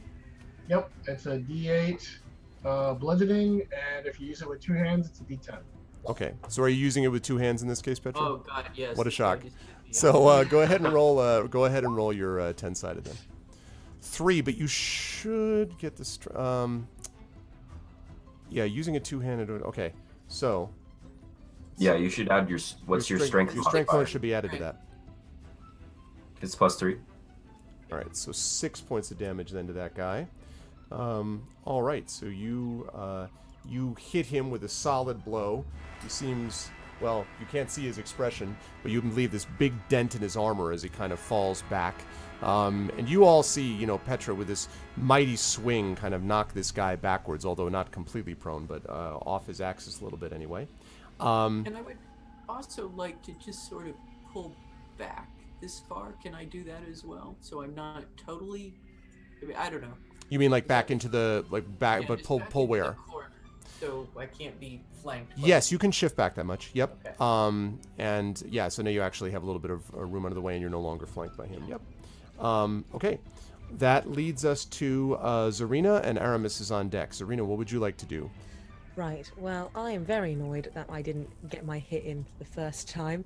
Uh, not this is this this isn't okay. I'm not okay with this. uh, so I'm going to take another swing uh, with the same attack for a f- natural one. Oh no. You're having a hard time focusing. Part of it is that, you know, um, uh, Kaz, this character you don't know yet, of course, this strange being keeps looking down at you and then looking at the door and looking. Starboy keeps looking at. Yeah, it's just distracting, you know. You, you can't really focus the way you want to. And so, unfortunately, it does not uh, succeed. And um, and the one that you've sort of been trying to do this on, the same one who yelled before, who fired off the auto rifle, says, I'll say it one last time stand down and nobody gets hurt. Shut Um, up. I'm going to back up. I'm going to try and, if I have movement, I'm just going to try and. You do. Use the, using the. I've forgotten the. Is, I, I've forgotten the word for keycard for a minute there. Use the keycard on the, on the thing. I'll allow you to do that. You can put this in and actually uh, put it into the uh, check because there is a key card thing. Which one are you putting into, though? Uh, the one that Starboy is looking at. Okay. Uh, which was the north one or the south one, Starboy? Um, Cause. could I actually see through them? Uh, yes, a little bit. Um, and I'll show you what you see. They are uh, not transparent, but a little bit translucent. Um, You see a uh, cell here and a cell here, and there's actually what looks like a hallway extending down either side, um, like basically right up here and down here. There seems to be hallways leading to presumably other cells. You can't really see too far though, like un- unless it's actually down. Or and the cell doors are closed that I can Uh, see. Yeah, they appear to be. Yeah. Okay. Uh, let's let's I let's go for the north one. That's the one I was looking at. Okay, so um, when you put in the key card into the uh, north one, um, this um, immediately drops, um, and now you can actually see um, through to the other side of the cell. Um, but these cells, although actually I believe they're yeah they're uh, you can't really see into um, the cells. They're definitely cells. You can tell from kind of the look of the place, um, but you can't really see into the cells. So you're going to have to open the doors to get there. But you can definitely see that there is more uh, area down here. Um, there is indeed a hallway leading to more cells. But of course, to see more than that, you'd actually have to go up to that area. So there's that. Okay. Um, so that was Zarina. Aramis, you're up. Kaz, you're on deck. Uh, Aramis, what would you like to do? Uh, I'm gonna. I so the the concentration for the lightning whip is still going on, right? Uh, yes, correct. Okay, I'm gonna continue to maintain that. Okay. Yeah, he hasn't broken free of it yet. Okay. How how many turns, by the way, is Lightning Whip? Uh, or how many rounds? Oh, uh, looks like it's one. Just one, I think. Yep. Yeah. It's just one round. Yep. Oh, so it already dropped. No, you mean if you maintain? Oh, okay, It's right. You At have the just end of your round. At it- the end of our. okay right. at the end of your round. Okay. All right. All right. Well, I'm gonna hit him again with it.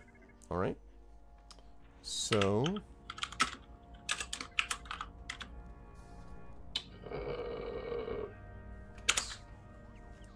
no, guess not. Uh, let's see. No, unfortunately, that's not going to get it done. Um, so let me uh, let me zoom out a little bit so you folks can see the map. There is more of the map. One second here. There we go.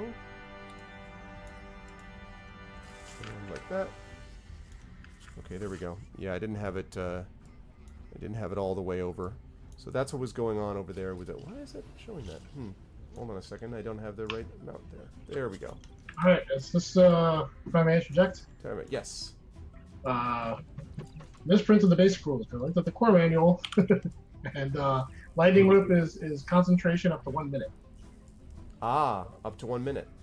Okay, so then you don't. All right, so then you actually didn't need to make a second attack. So, Okay. um, because so he still got it. So you can just do damage actually. Because I think Yeah. uh, actually no damage. No, no, no. I take that back. Damage happens on his turn, not both yours and his. Right, Rich? It He just happens. gets to he gets to check to see if he can free himself first, and if not, then Okay. So the only thing you can really do here is move, Aramis, unless you want to drop the lightning whip. Yeah. No, I'm gonna I'm gonna move back two more spaces. Well, uh, okay, let's do this instead. I'm gonna move back here to the door and maintain it. Yeah, I should- saw that. I saw that shadow. Um, okay, sounds good. Uh, go ahead, Aramis. So you're moving back to where they are. That's And I'm still within range. Yep, you're still within range. Sounds good. Okay. Okay. Um, lovely. Let me just drop this down a little bit. Good. I wish it wasn't so honking big. I'll leave the turn order over here for now. Okay. Um, let's see. I believe that is uh, Kaz who's up next. And yes, I'm, I'm aware of that, Shadowed. We'll be we'll be closing up shop after this fight. Hopefully. Okay. Uh, I will proceed through uh 5 10 15 20 uh um let's see. And i i guess i'm gonna start do i get the sense that these uh cell doors could like sound can be heard through them or are they muffled? Uh, you would have to go up to the door to actually hear it. Um, the problem is that you have this alarm, this. Oh, yeah. Okay. Woo. So it's going to be hard to hear anything at the moment. Um, other Got than it. that. Okay. Um, I can I look for any indication on the outside of the doors uh, that tells that might give any hint about what's inside, like some sort of pad, data pad, or something like that, Uh, yeah, you could you could possibly take a look at that. Um, although uh, most of this, like one thing you can say for sure is that um, this room, just judging by where the placement of the door is, so this room that's right here above you, seems to Mhm. be larger than the other rooms. The other ones seem to be more regular. uh, You know, like smaller and more sort of in order. This door, though, is at a different spot, which suggests the room itself is larger. Okay. That's pretty much all that it says, though. There's no markings of any other kind out front. Uh, do I see a way to open it? Uh, possibly. Um, if you go up to it, you can see that there is um, uh, that there are. Let me actually make sure if you can see these or not. Um,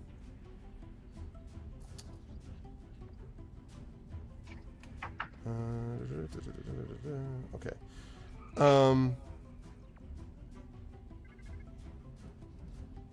Okay. Uh, yeah, there is a way to open it. There is next to each one of them uh, a card slot, which looks to be the same same size card slot as the, what you use to deactivate the shield. Okay. Could could I have um, grabbed uh, the one that Zarina has and taken it from her if, if she would allow me? Uh, I will in I will allow that in this case. Although in Yeah. future we'll need to think about that. But yes, I'll allow Okay. that in this case. so you can take that, assuming Zarina allows you to, unless she's like, How no, dare you? this is my Okay, sure. key card. All right, so I take the key card Okay. and I'm gonna go up to that large door, the first one, and I'm gonna put the key card inside. Okay, I will just tell you what you see, and then we're going to move on for this for now. Um, this opens up to reveal this. Okay, good. Uh, that opens up to reveal um, this, which uh, specifically is a larger room. There's nobody actually locked in here. Um, there looks to be some kind of a um, container of some kind, like a closed container, uh, which is standing against the wall. Um, but there is no person being kept in here, so this might be a storage facility or something like that, if you had to guess. Um, and that is basically what you see is this sort of locked container on the end. And so, which thing is the container, and, and then what's the other thing? Uh, the so the locked container is actually this one right here. Um, this thing over here seems to be some kind of a. It's not totally clear. Um, it might be a. Uh, I guess actually. Oh, I'm sorry. These are both containers. I'm sorry. They, they this was confusing. Yeah, there's both containers, but this one is actually open and empty. You can see that from the door. This one looks to be closed though. Okay. Um, then I'm gonna just start moving. Uh, let's see, Okay. So like we'll right have- there. that sounds good. We'll have you stop there because that'll be that'll be enough for uh, what you've got for your turn.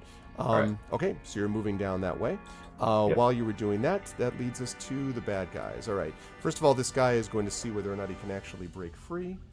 Um, let's see. Can he actually get through with this or not? Oh, that's more like it.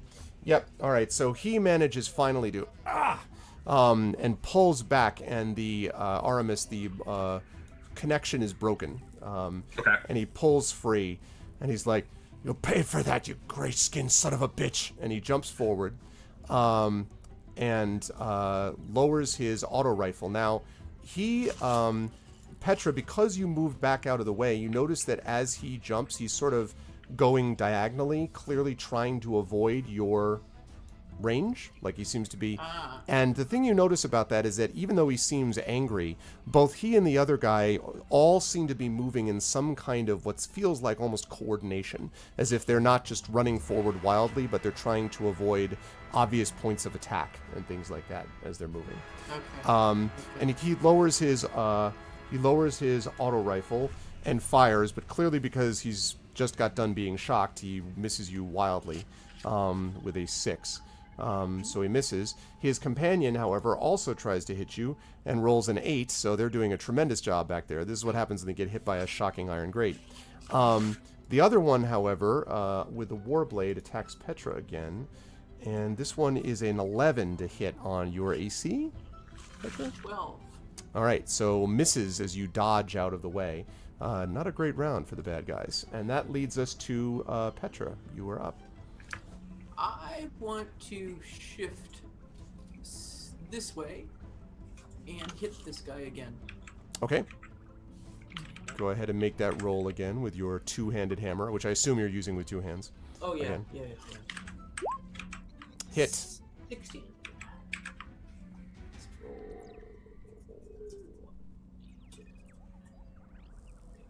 I don't want to hit return. I want a ten. Please, please. Eight. Eight plus your strength and proficiency, so... Uh, Or strength. just plus- No, no, no, not proficiency, just strength.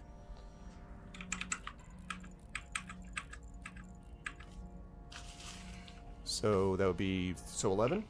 Eleven. Okay, that is a big hit. Um, all right, that guy uh, staggers back. You actually this time hit him directly in the face mask, basically his helmet. Um, there's a crack that appears across the front of it, and he kind of staggers back, puts a hand up. Um, you can see that he's. You can kind of hear this heavy breathing coming out of his uh, his uh, voice modulator out of his helmet. Um, he looks to be in a very bad way, although you can't see his face obviously. But he, just judging by his body language, he looks like he's in bad shape. Um, okay, that leads us to Zarina, unless you want to move anywhere else, Petra. Um.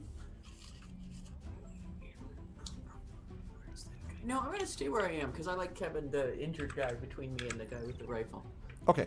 Uh, in that case, uh, Zarina, you're up. Aramis, you're on deck. What do you want to do, Zarina? Cyber blast. like, god damn it! Um, now, now let's days. let's be. Now, hold on a second. Cyblast is uh, was that a prime, so it prime? should, I should Okay, be able to. that's fine. Yep. Yep. Yep. Yep. Okay. Ten again. Wow, that is just like, I'll figure this out soon. I'm just gonna look Um, disappointingly at myself. Uh, I understand that completely. Um, okay, let me just pause quickly to say that I know that Rich has got to get going. We ran a little bit over and was trying to get done with this one combat, um, but we will do that. Uh, before we let you go, though, Rich, um, anything else you want to mention to anybody about where they should find more information about this, other than we'll be talking about it quite a bit, obviously, on this channel, but otherwise, any anywhere else people should go to check things out?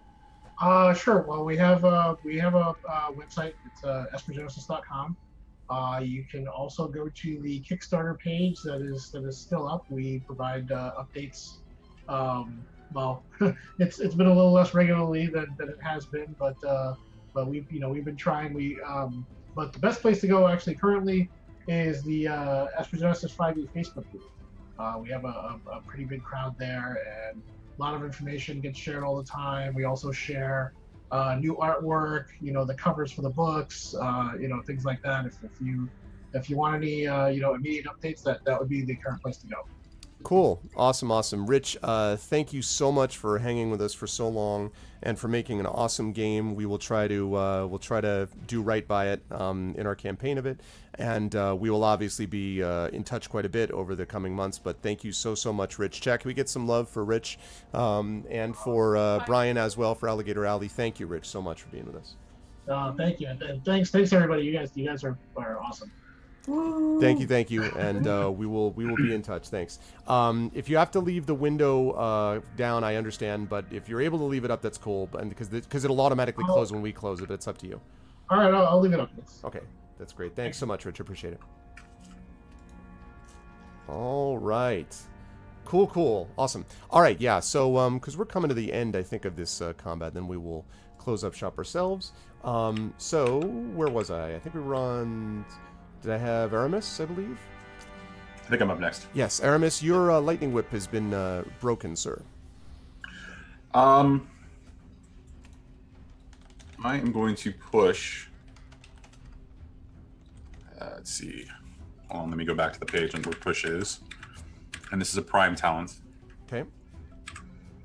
Uh, I'm. Oh, okay. Not gonna do that. It's only ten feet. Hmm. Not a good idea. Uh, lightning whip this guy again. okay. This one right here. All right. Uh, sorry, I, I missed that. Which one? This one right here. Cool. Got it. Yep. Okay. Um. 19? Absolutely a hit.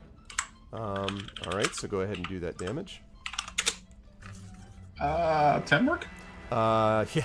So you basically, so he was already in big trouble anyway. As he staggers back, Aramis reaches out again with his uh, weapon, and basically with his whip, the electricity more or less hits him with such force that he pitches forward, hits the ground, and lies there just smoking, smoke just rising from his armor.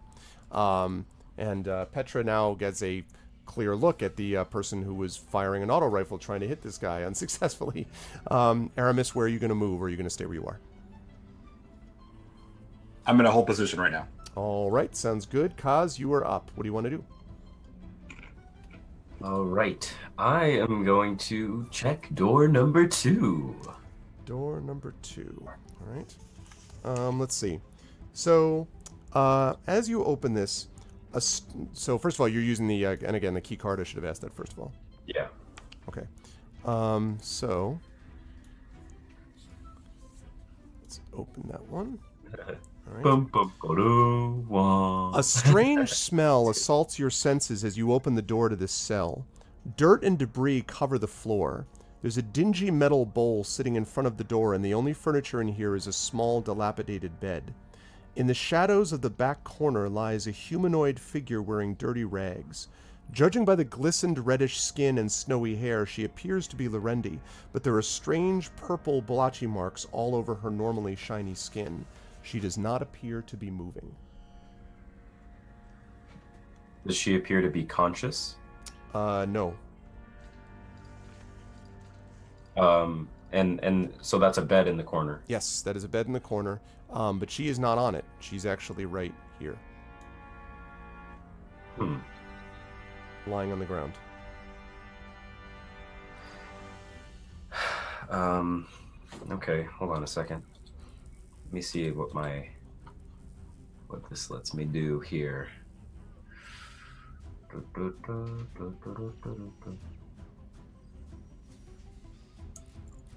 Uh, well, I guess she. You said she has like purple spots on her that are unusual. Correct. Okay. Purple um, blotchy marks. But you need okay. to move closer if you wanted to check them in detail, obviously. I think I'm just gonna slowly and stealthily approach her and and get a good look at what's going well i don't know as a as a uh Bellari if i should be worried about disease actually i think i'm i have resistance to it hold on a second 'Cause i'm like i don't want to i don't want to catch whatever you got but um, um yeah i have advantage on saving throws against disease Go ahead and make, uh, so you move over to her. Go ahead and make a wisdom check. Um, medicine I'll take as well, obviously. And then after that, uh, this will be the last thing you'll be able to do before we have to move to the next person. Okay, so uh, a wisdom check or what did you say? Medicine. If you have medicine, I'll take that. If not, Okay. then just wisdom. All right. If you're proficient in Uh, medicine, that's great. Thwaiting. Okay. Um, as you look, you actually can see that these purple blotches are actually burns. In fact, if anything, uh, you think that she might even be suffering from heat exhaustion. You know that the Lorendi usually have cooling units in their armor for overly warm climates, and so they suffer greatly from these burns. So burns are particularly dangerous to them. Almost certainly, these burns were purposefully inflicted. This is not normal. Okay. Um, While you're thinking about that, I'm going to jump Alright. to the next person. Um, she is alive though, but unconscious. Mm-hmm. Um, okay, uh, this will lead me to the bad guys. Um, so, one of them, first of all, looking around now, sort of looks nervously at you, Petra, um, and then looks over at Aramis and finally decides, I think I've had enough of missing, and turns to you. And um, from, let's see, let's put that right there.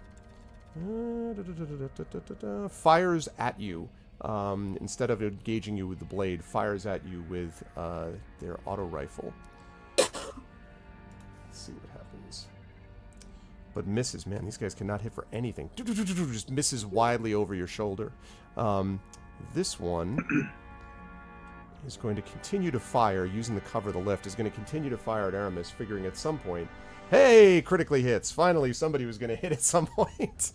Um, finally uh, manages to do that. Okay, I'm sure you're not very pleased that he did that. However, um, you take uh, six points of damage, Aramis, as these um, bullets carve into you.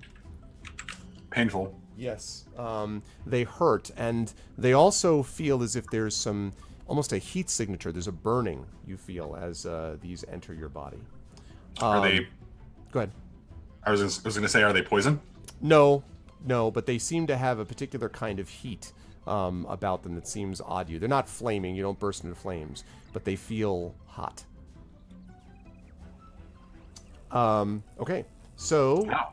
that, yeah, that, it kind of hurts, but they're going to stay exactly where they are. Petra, you are up. You have one in front of you, just fired at you and missed, and another one firing from inside the lift. Yeah, I'm kind of reluctant to go through that line of fire. Wonder why. I can't imagine why. You could theoretically get into the lift if you wanted to engage the guy directly, if you wanted. In theory, In theory. In theory. What I would like to do is actually move to here and hit this guy. Okay. You may do exactly that. Go ahead and make your uh, two-handed attack again. Oh, I believe I missed. Uh, yeah, I think even with the with the strength bonus, that does not miss. So you uh, come up to him, but he dodges out of the way as you swing your hammer down in his direction. Okay, I'm gonna scream in a terrifying fashion while I do so. if I can unnerve him. It's possible that he was. It's possible that he was unnerved. Um, you can't quite tell behind the mask, but uh, certainly your companion seems slightly unnerved. Um, uh, all right, um, Zarina uh, is up next. Then Aramis. Uh, Zarina, what do you want to do? Are we are we are we Two going back- words. Psyblast. Come on, Psyblast. And you're doing the one that's on Petra, I assume. So 13. Uh, 13 is not quite going to do it, I'm afraid. Sorry.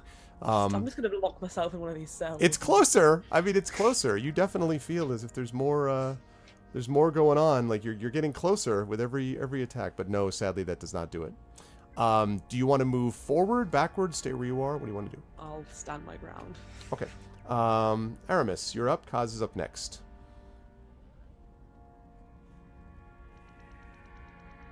Wow, I'm not really sure what I want to do here. Okay, um, I'm gonna move back here. Wait, Hold on, let me grab my actual character, and I'm gonna unlock this door. Okay. Okay. Um, now, I believe you've got. so Karen, I want to make sure we have enough key cards. Okay. So you had Zarina's key card, right? Good. So you did that. Okay. So you want to operate that. Okay. So that does indeed open. and reveals to you something very similar. There is again a corridor um, leading to some doors down this way. And you'd need to go farther into that if you wanted to see it. I could let you move down to like see farther down the hall. Yep. And so you see more That would be about, about the extent of my movement. that's exactly it. And that's about all that you can do this turn as well. But you can see again cells, but again, the door on this one seems to be the door on the one that's closest to you right here. Looks to be a little bit um, a room that's larger. And as you look back over your shoulder, you can see that the door is still open to the room to the north. And if it's anything like this one, then it should be the same size, presumably. Okay. Um, that is going to do it for your turn. That leads us to Kaz. So you're, you're in the room with the unconscious person. Uh, uh, is there? And she is in rags. Yes. Yes. And she. Hmm. The shooter that came in and uh, killed the guards at the beginning of this. Um, that was the one who said save the captain, right? Correct.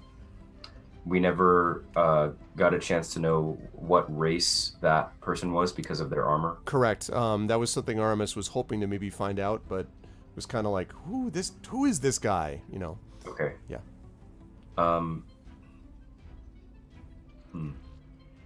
I think I'm gonna back out of the room, uh, leave the door unlocked, and go to the next one. Okay. Um. So, and you're going to try to open that one as well. Yeah. Okay. So let's see. That looks ex- the price is right. exactly. It looks exactly like the room you just left, except no person with rags is in it. This looks empty. okay. I would proceed to the next one. All right, we will worry about that when we get to the next turn. Uh, the bad guys go.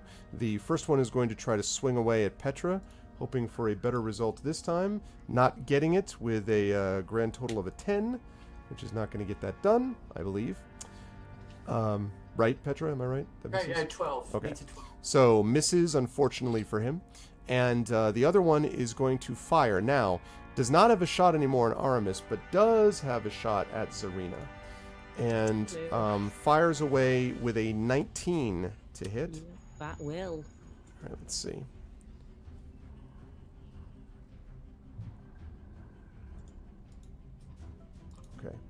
Um, six points of damage, of piercing damage, actually, as these bullets tear into your flesh, Zarina. And again, uh, you also feel this sort of burning. Again, it's not poison, but it feels as if there's some kind of heat, as if the metal itself is superheated somehow. I'm loving it. Having a great time. Yeah, really wonderful, like by a fire, except a fire where you're being shot. Great. Uh, so.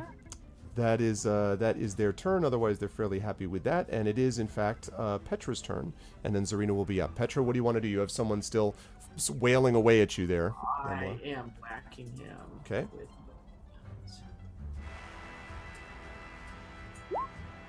Oh, clearly a hit for sure. Now, let's turn my pause before hitting turn and make a damage roll. Yes! Wow, yeah. So, um, that is a very solid hit. Um, okay, he staggers back. You actually hit him so hard that he staggers back into the communications terminal and kind of like as his armor uh, jerks uh, into the back of it, and then he staggers forward again. Um, that left a big, major dent in his chest armor. He seems to be having maybe some trouble breathing, judging by the movement of his head. Um, he's not dead, but he looks like you. That was a mighty blow um, that you struck just then. Um, assuming you're going to stay where you are, then Zarina, uh, what, what, what, what, what do we got here? Wouldn't you like to know? Are we doing this again? I've lost. I've lost. Psyblast. It's practically all I have, and it has to land once. And that's a that one again. Oh my goodness. Wow. Well, you're getting them all out of the way early in the adventure. You just Oh can't figure this out. You're like, this, what is your your head is just distracted. You're not quite, you know, I don't It's just not understand. my, it's just not my day. Yep. You know? I've, been charged for treason, and i Yeah, exactly. The treason thing is really bothering you. It just completely Oh, yeah. throws you off. Um, now, are you going to stay where you are, or kind of back out of the uh, open doorway, or not? Um. Girl, I will head. Uh, I don't know. I don't know where I'll head. Oh God. Um, I'm gonna take take a step into the room. I'm I'm annoyed. annoyed at these people, and they're gonna need to die. Okay. All right, you take a step into the room that leads us to um, Aramis. I'm gonna open up that door in front of me. Okay. Um, all right. Using your again key card that you used for that southern door reveals this, which again looks somewhat similar to the one on that side, although there is one difference. Um, there are two containers in here. Um, both of them are closed at the moment. If you want, you could probably get in and try to open one or both of them. Both of the containers are closed. I'm gonna open the orange one first. Okay. That one has a number of old clothes. Looks like rags and stuff mostly in here. Hmm. All right. Do I have time to open the other one? You can you have time to try. I will try. Uh, it is unfortunately locked. It does look like you might be able to open it, but you would need some specialty tools maybe to do it because it looks like it's um, locked and it's not openable with a key card or anything like that. So Okay. It appears to be locked. Um, and that is going to lead us to Kaz. Okay. Um.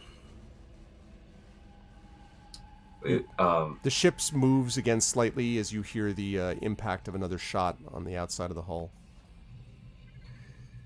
Would going to this door and opening it, um, like end my turn once I do that, or would I be able to use more of my movement afterwards? You might be able to use more of your movement if the door is not locked to enter the room. Um, and then you might be able to interact with, if there is anything, something inside it. Okay. Could I could I go uh five ten, and then check if the door is locked? Uh, sure, and it is not locked. Or Okay. rather, I should say, let me rephrase that. It is locked, but you have your key card, so I, I should put it that way. These are all Oh. locked, but the key card opens all of them. Opens all. Yes. Okay. All right. Um. Yeah, I'm gonna go ahead and open it. Okay. Again, I know it sounds exciting. Exact same. No, no one ever accused the Lorendi of having a lot of imagination. Same exact room design, but again, nobody is inside this one. In fact, it strikes you as a little odd. There don't seem to be a lot of. Maybe they were just saving these things for you, but there don't seem to be a lot of prisoners down here, other than the one that you've already seen. I'm gonna go back another five ten, so that's been twenty so far, Yep. I guess, and then another five, and then I I guess I'm gonna try to shout down the hallway, Okay. um, which I know will be difficult. I'm gonna shout, hopefully, to the others that were uh, with me, saying, "Check the communications. Check the terminal for where this captain is." I'm just gonna shout that, hope, hoping that whoever's still inside hears, and then I'm starting to make my way back to actually do that myself if no one can. All right, uh, Zarina, um, make a perception check for me, please. I'm not going to let Aramis do that because I think it's too far away, probably. But One thing I can do is be perceptive. uh, so I get to add plus two plus six. Aha! Ha ha ha! If I don't get this, I'm I'm officially quitting uh, D&D forever. a lot riding on this roll. yep. Yeah. So- Wow. the gods were like, "We don't want you to stop playing." Yeah, you hear everything he said, crystal clear. He's just like you, uh, not crystal clear, but you do actually hear him say, "Check the communications terminal, find out which one holds the captain." So you do hear him It's say like that. he's in the room with me. so like I whispered it in your ear. Oh, great, cool. So you now hear that. That's Um, my turn, I believe. That is your turn. Uh, that leads us to, um, let's see, that was Kaz. Now the bad guys. So the one that was hit hard by Petra's tries to stagger forward, swings weakly, like the weapon just impacts basically the wall, um, not feeling good about himself. Uh, one is also going to fire at. Um, oh, Exploding Dice with the host. Oh, we got a raid coming in from Exploding Dice. Thank you, Exploding Dice. Holy cow. Looks like a big one, too. Um, the uh, thank you so much. I'll greet all you individually in just a minute. Fires at you and uh, with a 21, uh, Zarina. Um, no, No, that doesn't hit. no, it doesn't. No. Complete Um, miss. I think Yeah, you might so far off my AC of 11. does three points of damage, so you were down to I believe two, I'm mistaken. still alive. Yep, still alive. Um, but again, you feel this heat um, that is sort of uh, that hits every time that these bullets go into you. Um, you also feel perhaps a little bit of a almost a, a weakness beginning to um, enter you. It's not it's not overwhelming you, but it definitely feels almost like a tiredness, like a weariness. Uh, Zarina What would kind be the of way that you would describe what kind of damage is this? Piercing. Piercing. Oh, I think I might be resistant. That would be nice. If so, then I should give you a few hit points back.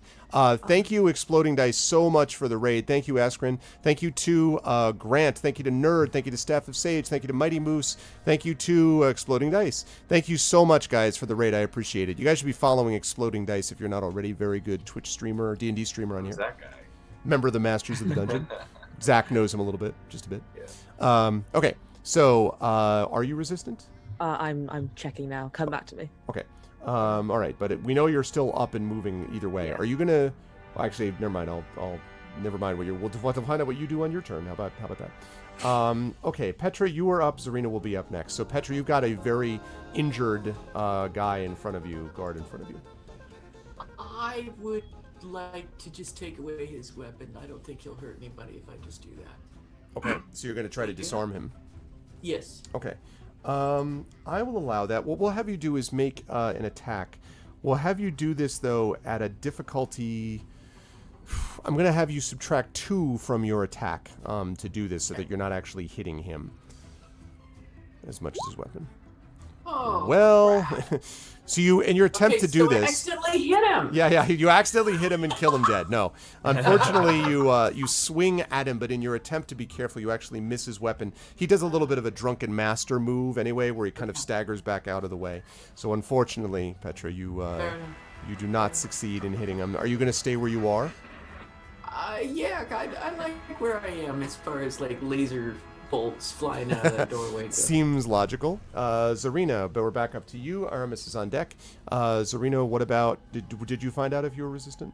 Uh, I don't think. I think I only am if I do the the, the not the spell 'cause it's not really a spell, but the thing that I The have. the power, the technique, or the talent? The technique. Uh, okay, yeah, the technique. haven't done it Okay. So, So then you're I at two hit points. I'm at two hit points, and I'm gonna do another slime Okay. On the guy who's fighting Petra or the guy in the lift? On The guy in who? fighting Petra looks pretty hurt, but I mean, Okay, I'll do it to him. Um, uh, twenty-two. oh, there you go. You were just waiting for that moment. Pow! This time you slam him right in the back of the head with your Psyblast. Uh, go ahead and roll your damage. Uh, I think that's one d ten. Oh, I'm glad, Cap. I'll just double check that damage. Damage. Damage. Damage, damage, the DiMaggio. Let me just check the um, the damage on my. Damage. Oh, yes. We got to I, check the th- I think it's a D10, but I'm not quite sure. just going to do a little check. Hold, hold on, uh, bear with me one moment. Uh, there we go. No, it's not. It's not on that. There's so many documents. uh, not that one. Is it on this one? Who knows? I'll try to find it too. It's um, it is on the additional powers sheet, and it's one d10 psychic damage. Wonderful. That's a six. A six. I like that it says it loses any benefit from cover. That happens anyway, since you basically blow his brain out of his skull, or the equivalent. Um, his head hits forward, and actually, Petra, he is hit so hard by the blast that he literally staggers forward into you, and then falls onto his back, clearly I'd dead. like to have done that whilst like looking dead in the eyes at the other guy, the guy that's been shooting me. Well, Oh. um, that's a yeah. So he, you kind of see him sort of. I mean, you have no idea what his expression is, of course, but he seems to have uh, not moved his helmet from looking in your direction. Now, Zarina, do you wish to then back up, move out of the way of this dude's fire, or what do you want to what do you want to do now that you've taken down this guy? I go to this panel and kind of get like try and get a bit of cover behind it? Which one? This one, um, here. Yes, I would say you could actually. You can probably duck down below it if you wish. Yes. Fab. I'd like to do that, Okay. please. You do so. Um, and that leads us to uh, Aramis. Aramis, you hear the uh, shout of someone being shot down. You don't know if it's one of your companions or one of the bad guys, but um, you it is your turn. Uh, let's see. I'm gonna move back into the room. Okay. Wait, hold on, let me grab this. So, right there, assessing the situation. You Who's see one guy left in the lift. There's a there's a dead person lying by Petra. You see a very pleased with herself looking uh, Z- Zarina, who's uh, crouched by the cover, and then you can see one guy, uh, one guard left who's in the lift. At this point, I'm just gonna be like, all right, equivalent of magic missile, force bolt, Okay. and uh, it is aiming at the last guy. So, uh, Night Thor. For those of you, by the way, who have just come in from Exploding Dice's raid, uh, that unfortunately is not going to hit though. Um, the uh, this is the premiere session of Esper Genesis. This is the adventure Fall of Eos Keldor. We had Rich Lescouflair on here earlier, who's the designer of the game, talking to us, and we are here with our wonderful players, uh, Cat Rambo, Johnny Pittman, Louise Moore, and Zach Clay, also engaged in their first Esper Genesis combat, and I believe the first Esper Genesis combat ever shown on Twitch, I believe. Um, as we are in the process of these people who were framed for a crime they just didn't commit, who are trying to escape. well Um, this combat going? We're all rolling great. yeah, well, it's you're very you're up and down, like very much feast or famine at the moment uh, for a lot of you guys. But um, but if you like what you've seen here, please follow the channel, and I'll wrap up everything later on once we're done with this combat. Um, once we see how it how it ends up, actually, uh, that is going to lead us to. You actually could move out. You could move back out of the way if you wanted, Aramis, because that was only about ten feet. So you could move back out of the way or up if you wished. Okay, just one second, get back to that window, and we'll go here. Okay. Um, that is going to lead us to Kaz. Okay, I am going to b- move back into this room, back towards the woman, and I would like to try to shake her awake. Okay. Um, so you actually do this uh, pretty easily. You um, shake her awake, and uh, she kind of. "Ah, ah, ah, who, who are you? My name is Cosmoritus. The ship is under attack. And Are she says, she says, my ship? Who's uh, who's firing at it? Oh, and then she puts a hand to her head. She's like, I remember, I remember those bastards. And she says, "Uh, you, I don't know who you are, but whoever it is, you can't be working with them. Whoever they are, they don't mean good for any of us. You help me get out of here and get my ship back. I don't care what you did. You'll be free from it at the end if you help me now. Are you a captain? I'm the captain. Okay, All that's right. all I needed to know. Um, I say, I there, and she probably hears the now the gunfire and all the Woo, woo. alarm and Yep. all that kind of stuff. Yep. Um, I don't know if it's possible for me to detach my arm pistol Oh gosh, and have it attached to her arm. I don't remember Yeah, that it's either. probably up. It's probably up to you. Just, just kick the arm off. I'd say probably not. It's certainly not quickly, even if you could. I don't. I don't think so. In that case, I am going to hand her my sniper rifle. Cause why not? And uh, say, uh, or you know what? I am okay. Could I could I not have not have a shot loaded in my sniper rifle? Because after I did my first failed shot, I just put it away. So Right, I haven't okay. I haven't loaded it. Okay. But I give it to her, and then this whole time, keeping my eyes on her still, I'm backing up and saying, um, "Follow me."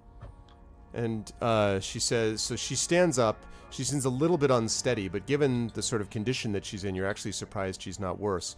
And she looks at you, kind of uh, rolls her eyes, and then pushes her way past you and says, "You always give people an unloaded sniper rifle," and hands it back to you as she walks by. and I, I I grab it and I'm like, "Oh," and then I just, I guess I just uh, turn and follow after her. Okay.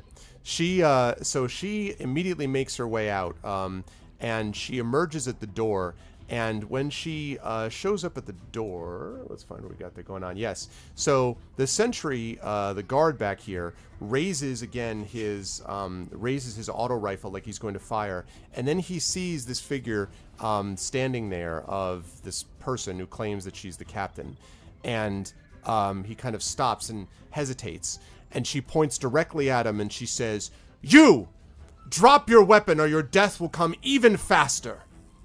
Um, and you know she says this with great authority, despite the fact, as I say. Now you folks turn around, uh, Aramis and Zarina uh, and Petra. Actually, you hear this woman shouting, and you look over to see what I've previously described: this um, woman with reddish skin and snowy hair, dressed in rags, standing in bare feet, pointing directly at the guy and shouting at him.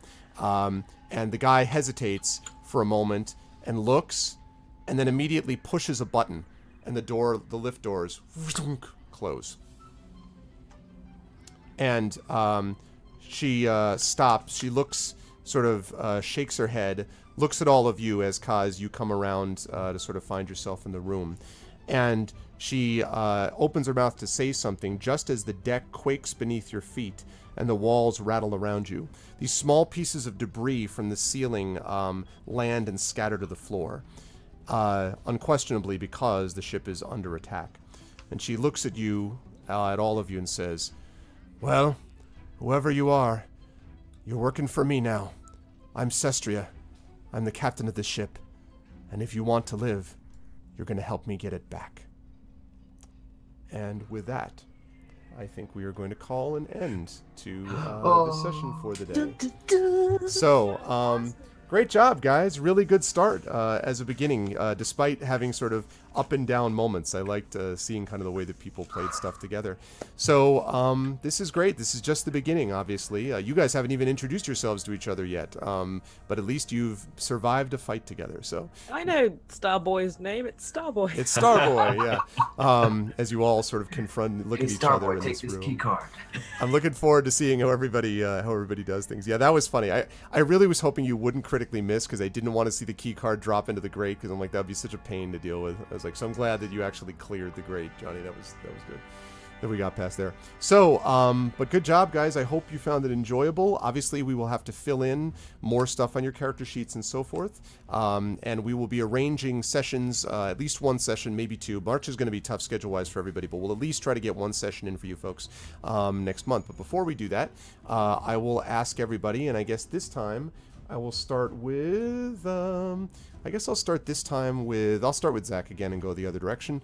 Um, so Zach, thank you so much. Good work today. I am looking forward to seeing what we uh, find out about uh, Cos Moritus um, as we go through things. Um, but where can the fine people find you here on the interwebs? On the interwebs, you can find me on Twitter. Uh, I will currently type it in uh, at Zach Lay. If, if I can, yeah, there we go. It's the same uh, Twitch username I have. That's also my Twitter.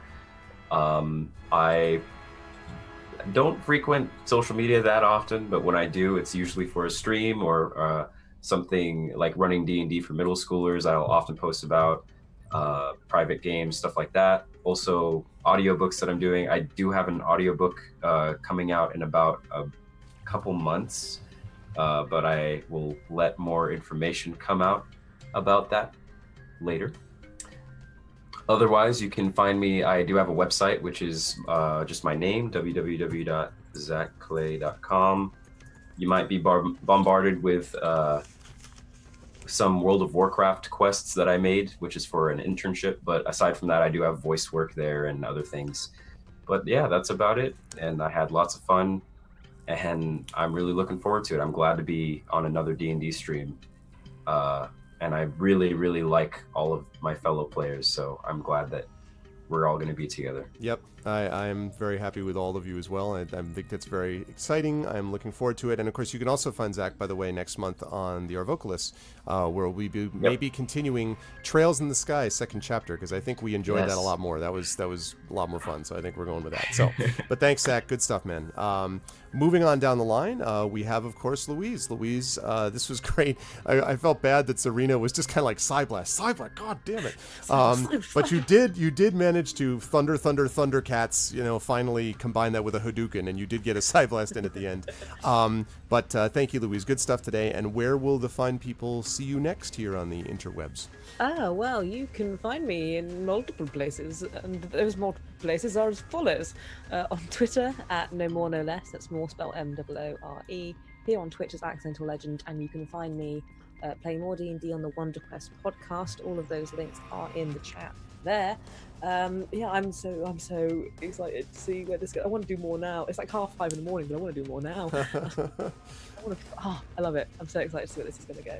Same. I'm I'm really glad that you're uh, that you're able to uh, join us for this. Uh, I tried to have you know Louise and I talked about doing maybe another thing before, but it didn't work out schedule wise. So I'm glad that we're able to do this. That's great.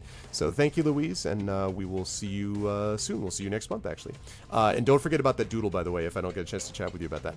Um, moving right along, Johnny, always a pleasure. it was enjoyable to see you getting to do more of the the playing side instead of just the DMing side, which is what I'm used to seeing you as doing. So, but I hope you had a good time with it and where can the fine people find you but maybe it's better to ask when they where they can't find you because now you're all over twitch but no where can they find you uh, out here on the internet uh, so uh, they can find me uh, on Twitter at uh, VidStore Cowboy because of the 15 character limits. Uh, everywhere else, it's Video Store Cowboy. So on Twitch, it's twitch.tv slash Video Store Cowboy. Uh, you know, you'll, you'll see me next Tuesday uh, on my channel running the first of the three episodes or the three shows that we do for 6 and 20 Metropolis, uh, which is our City of Mist uh, sort of collaborative world thing. Um, and uh, yeah, so, you know, Tuesdays through Thursdays, uh, that's what I do typically. So very very cool. And uh, it really is a good you know he does a really good job of that stuff. I really enjoy watching them sort of put things together. So uh, it's awesome to have you as a player on this johnny. Thank you. And um, thank you very much for giving me the opportunity. It's yeah, awesome. I'm looking forward to seeing uh, how these things come together. I want to see more from the melder. Um, and last but certainly not least again Cat uh, thank you so so much uh, a great pleasure i hope you enjoyed yourself and uh, i'm looking forward to seeing how things come forward for you i know you mentioned emerald city comedy comic con but maybe you can talk more about that and where people can find you here there and everywhere everywhere? I'm coming, let's see, uh, stuff that's coming up is Emerald City Comic Con and the International Conference for the Fantastic and the Arts in Florida next month. Mm-hmm. Uh, if you're coming to the Norwescon, I'll be there. You can always find me on Twitter as Cat Rambo. And if you're interested in just sort of knowing what I'm doing in my classes and that sort of thing, the best way is to go to the Twitter thing and find out how to sign up for the newsletter, which comes out once or twice a month yeah, um, good stuff. And I'm thank you again, Ken. I'm, I'm looking forward to seeing how this all uh, plays out uh, over the over the course of the next month. So, um, but yeah, Cat said her first experience on Twitch, so it, it came out. You've I'm now a Twitch pro. You're a Twitch pro. You're now you've now arrived. um, you, have now arrived. But thank you so much. Uh, great job tonight, guys, and I, I, look forward to seeing how the party uh, deepens and develops over the course of the months to come. So uh, I will let you guys go and finish up on the other side. So chat, can we get some love for Cat, Johnny, Zach, and Louise? Great job, folks, and I will speak to you all uh, very soon. Bye bye. Bye bye. All right. Okay, so there we go, folks. Um, well, that was good times. Uh, this was a there was a lot going into this, and I, I do want to say um, that we had there was a lot of work uh, that went into sort of making this ready and, and, and putting this in a position where we'd be ready to go with it. Um, and so I want to thank uh, everyone who made that possible. And I'm going to do that in just a minute as soon as I can get the thing working like this. There we go. Lovely and I am going to close that out and I'm going to exit out of Roll24 now although I was actually having fun listening to the to the spacey music so yeah I want to thank everybody who made this um, a really, really cool uh, experience because of the work that they did beforehand prepping for it. Um, in particular, I'm going to talk more about these team members, but I do want to thank a couple of people. Um, I do want to thank uh, JRAB, um, who did a lot of work on the uh, sort of social media marketing side of things, and there'll be more discussion about that, which I will talk more about um, later on. I don't want to get into too much detail, but suffice to say, there will be more coming from that corner and from other quarters. Um, so thank you so much to JRAB for excellent work with that. I want to thank um, Chaotix for his wonderful work with the overlay that you saw um, and many other things I can't talk about yet, but um, thank you so much uh, for the work that you did with that. The overlay was great. I want to thank Kilobyte for his awesome video, which was really, really cool. Um, again, as everyone said, high production values, you know, the stuff came out really well, and I was really happy to see all of that stuff um, coming out the way that it did. So thank you very much to Kilobyte um, for the work that he was able to do because he did a great job. Um, and I also, while we're on the subject of thanking people, want to thank Matt uh, Chrono Wolf who did the music for this because the um, music uh, Comic Con experience in Brazil in December. Oh, well, you'd have to uh, you'd have to let me know, Genly. Do you know? Are you like associ- affiliated with uh, the Comic Con there, or are you just are you affiliated, or are you or not? I'm I, anyway, let me know, Jenny. I'm that's that's that sounds cool. I hear Brazil. I'm like, ooh. Um, but uh, yeah, the, drop me a line. I, that's that sounds kind of cool. Um, but yes, Kilobyte who did a wonderful job with the video, and Chrono Wolf who did the music. I also want to thank Trendane who did that opening sequence. You'll hear it again because I'm going to play the video at the end of this because it's awesome. So why wouldn't I? Um, just a participant. That's cool. Well, I'll take a look at it. Uh, the map and tokens was Roll20, um, and uh, Roll20 is generally what I use. I have a lot of work. I have a lot of tokens I have to get together though for science-oriented tokens. I didn't do that because I didn't know there's so many race class combinations that I didn't know what we were going to get, and I wasn't 100% sure if we'd get any play in. As it turns out, we got actually about an hour of play, which is more than I expected we would. Um, so which is cool, but I didn't expect that that would happen. So um, that meant that I, you know, have more stuff that I've got to that I got to work on in for terms of getting things together. But we will, you know, we'll make that happen. I, I have, I have no doubt we'll be able to, uh, we'll be able to make that occur and get the right sort of tokens in place. But yeah, I used Roll20, um, which is really cool. Yeah, I mean, listen, the reason I asked Genly is because I need to have, they'll, my university will help defray the costs sometimes of these things if I'm on official programming. But if I'm not on programming, they won't, and then it becomes hard for me to swing the cost. So, but I appreciate the thought. I mean, certainly if you know the organizers, you could ask them. Uh, that'll be cool. Um, but this was really great uh, with all of you folks as well. And in fact, I think that um, it is appropriate to do possibly a giveaway.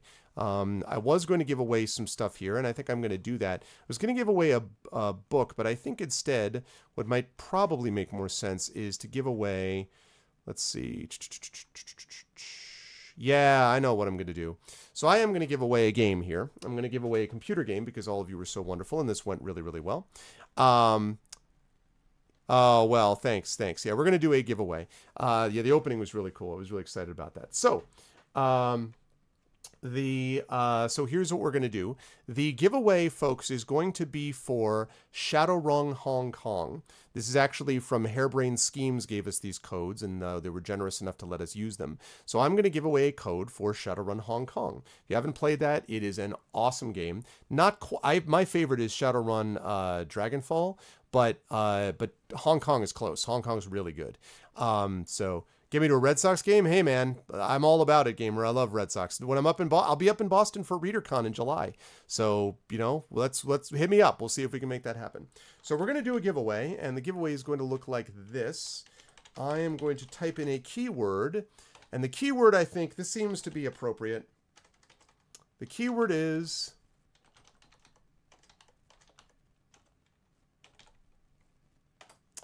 Espergenesis. So if you want to win a copy of Shadowrun Hong Kong, please type in the word Espergenesis if you want to win a copy of this. It is a Steam code, by the way. So if you want to win a copy of it, please type in the word Espergenesis, all one word. July will be good. Cool. What's up, Optic? So yes, please type in Espergenesis, folks, if you are interested. Man, my Discord is just like filled with stuff.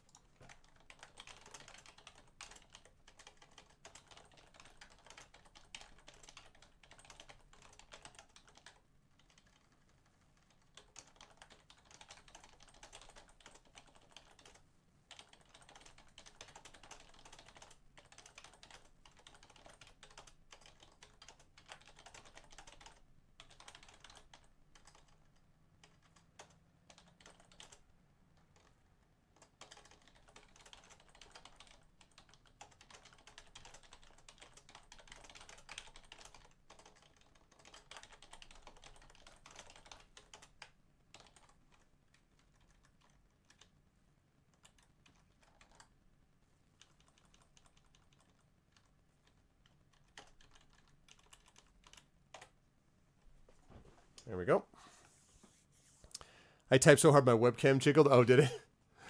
I didn't realize. Yeah, the Shadowrun games are great. Yeah, they're also they're they are great devs, and for sure, it's the power of NYC. Yeah, we're having a we're having a quake here. No, no, no, we're not. Um, that was literally just me like typing away uh, as I was trying to. I was basically typing to say to my players like, "Thank you guys, you're awesome," uh, before I went back to you folks. So it's got to be jelly. All right. So last call, folks. Last call here. 10% chance. All right. So we got a 10% chance of winning this code of Shadowrun Hong Kong.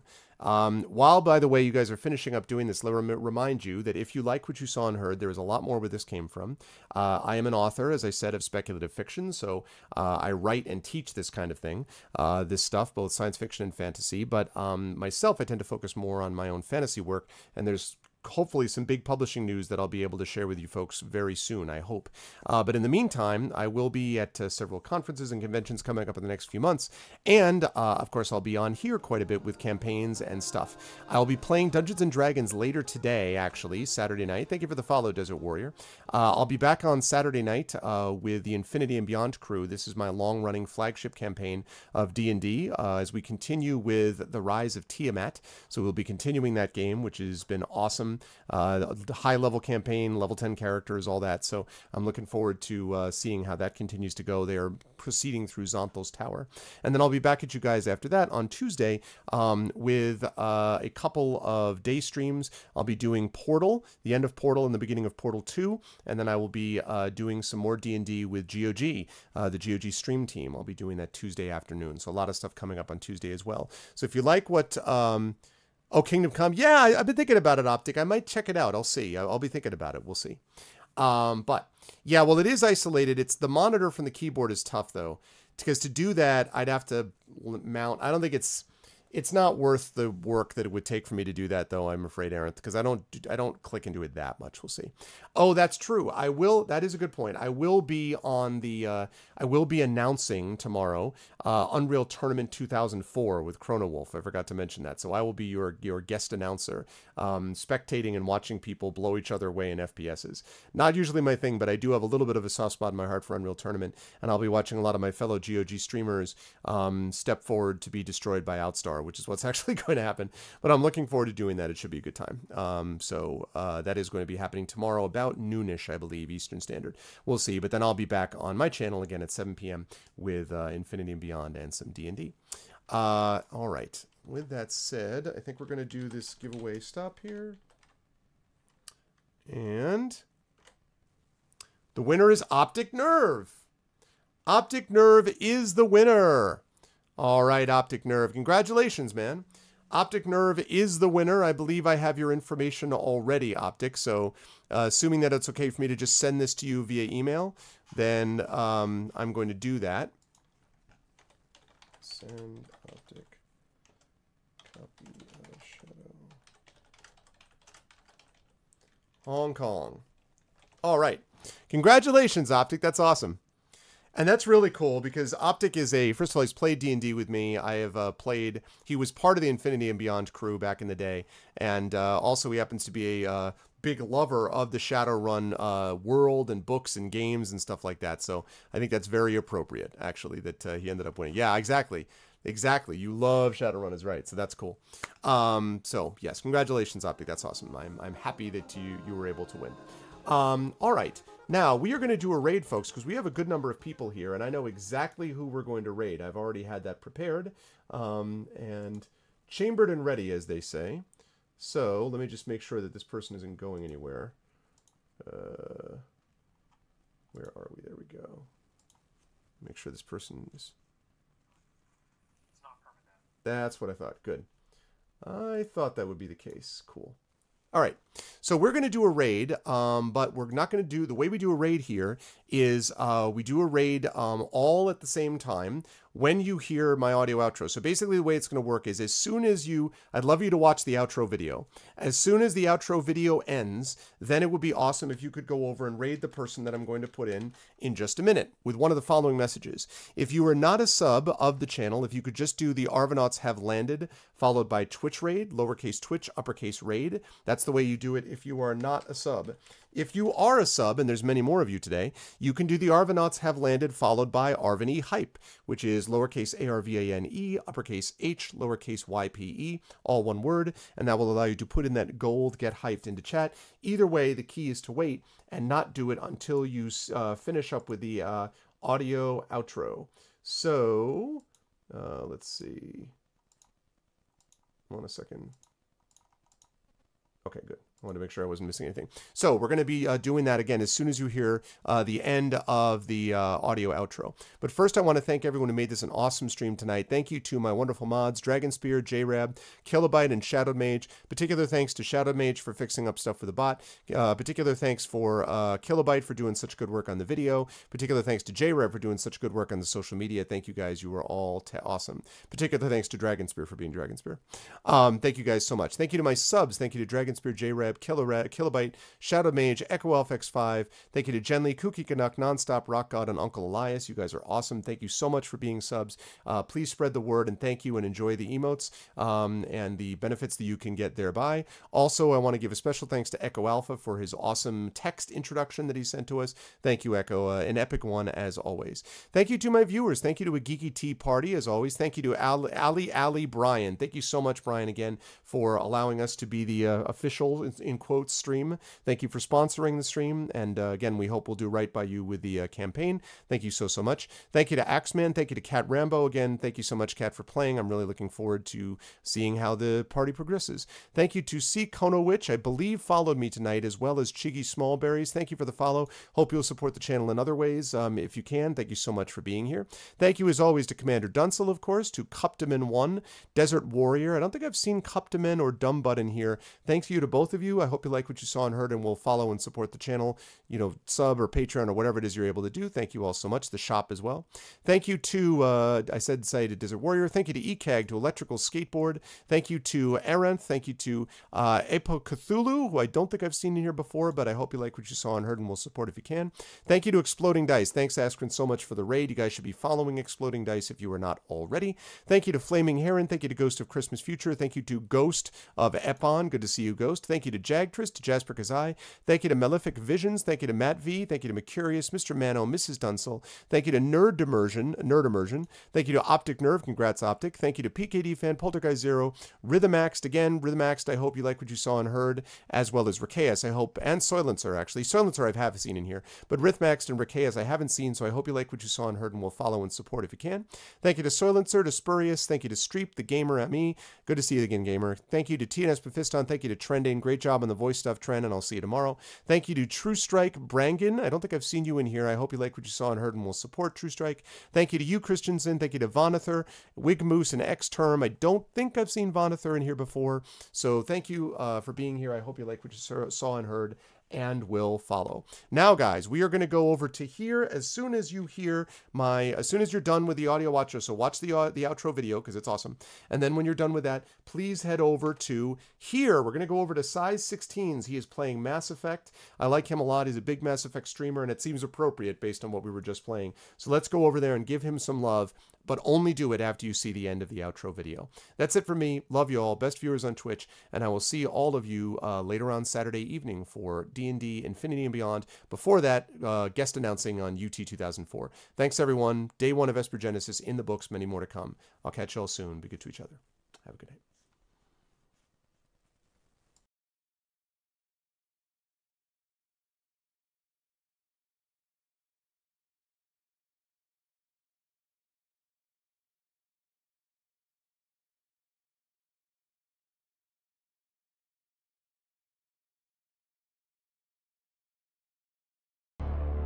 Reasoned like a child.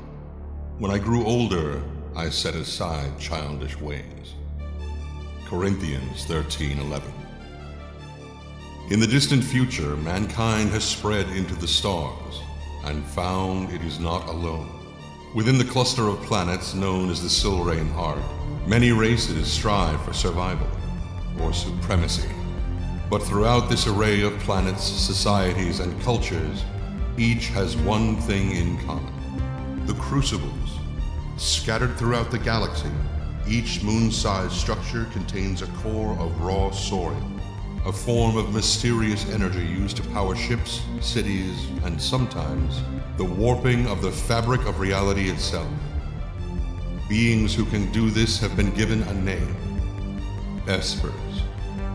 The power of God has been granted to God's children.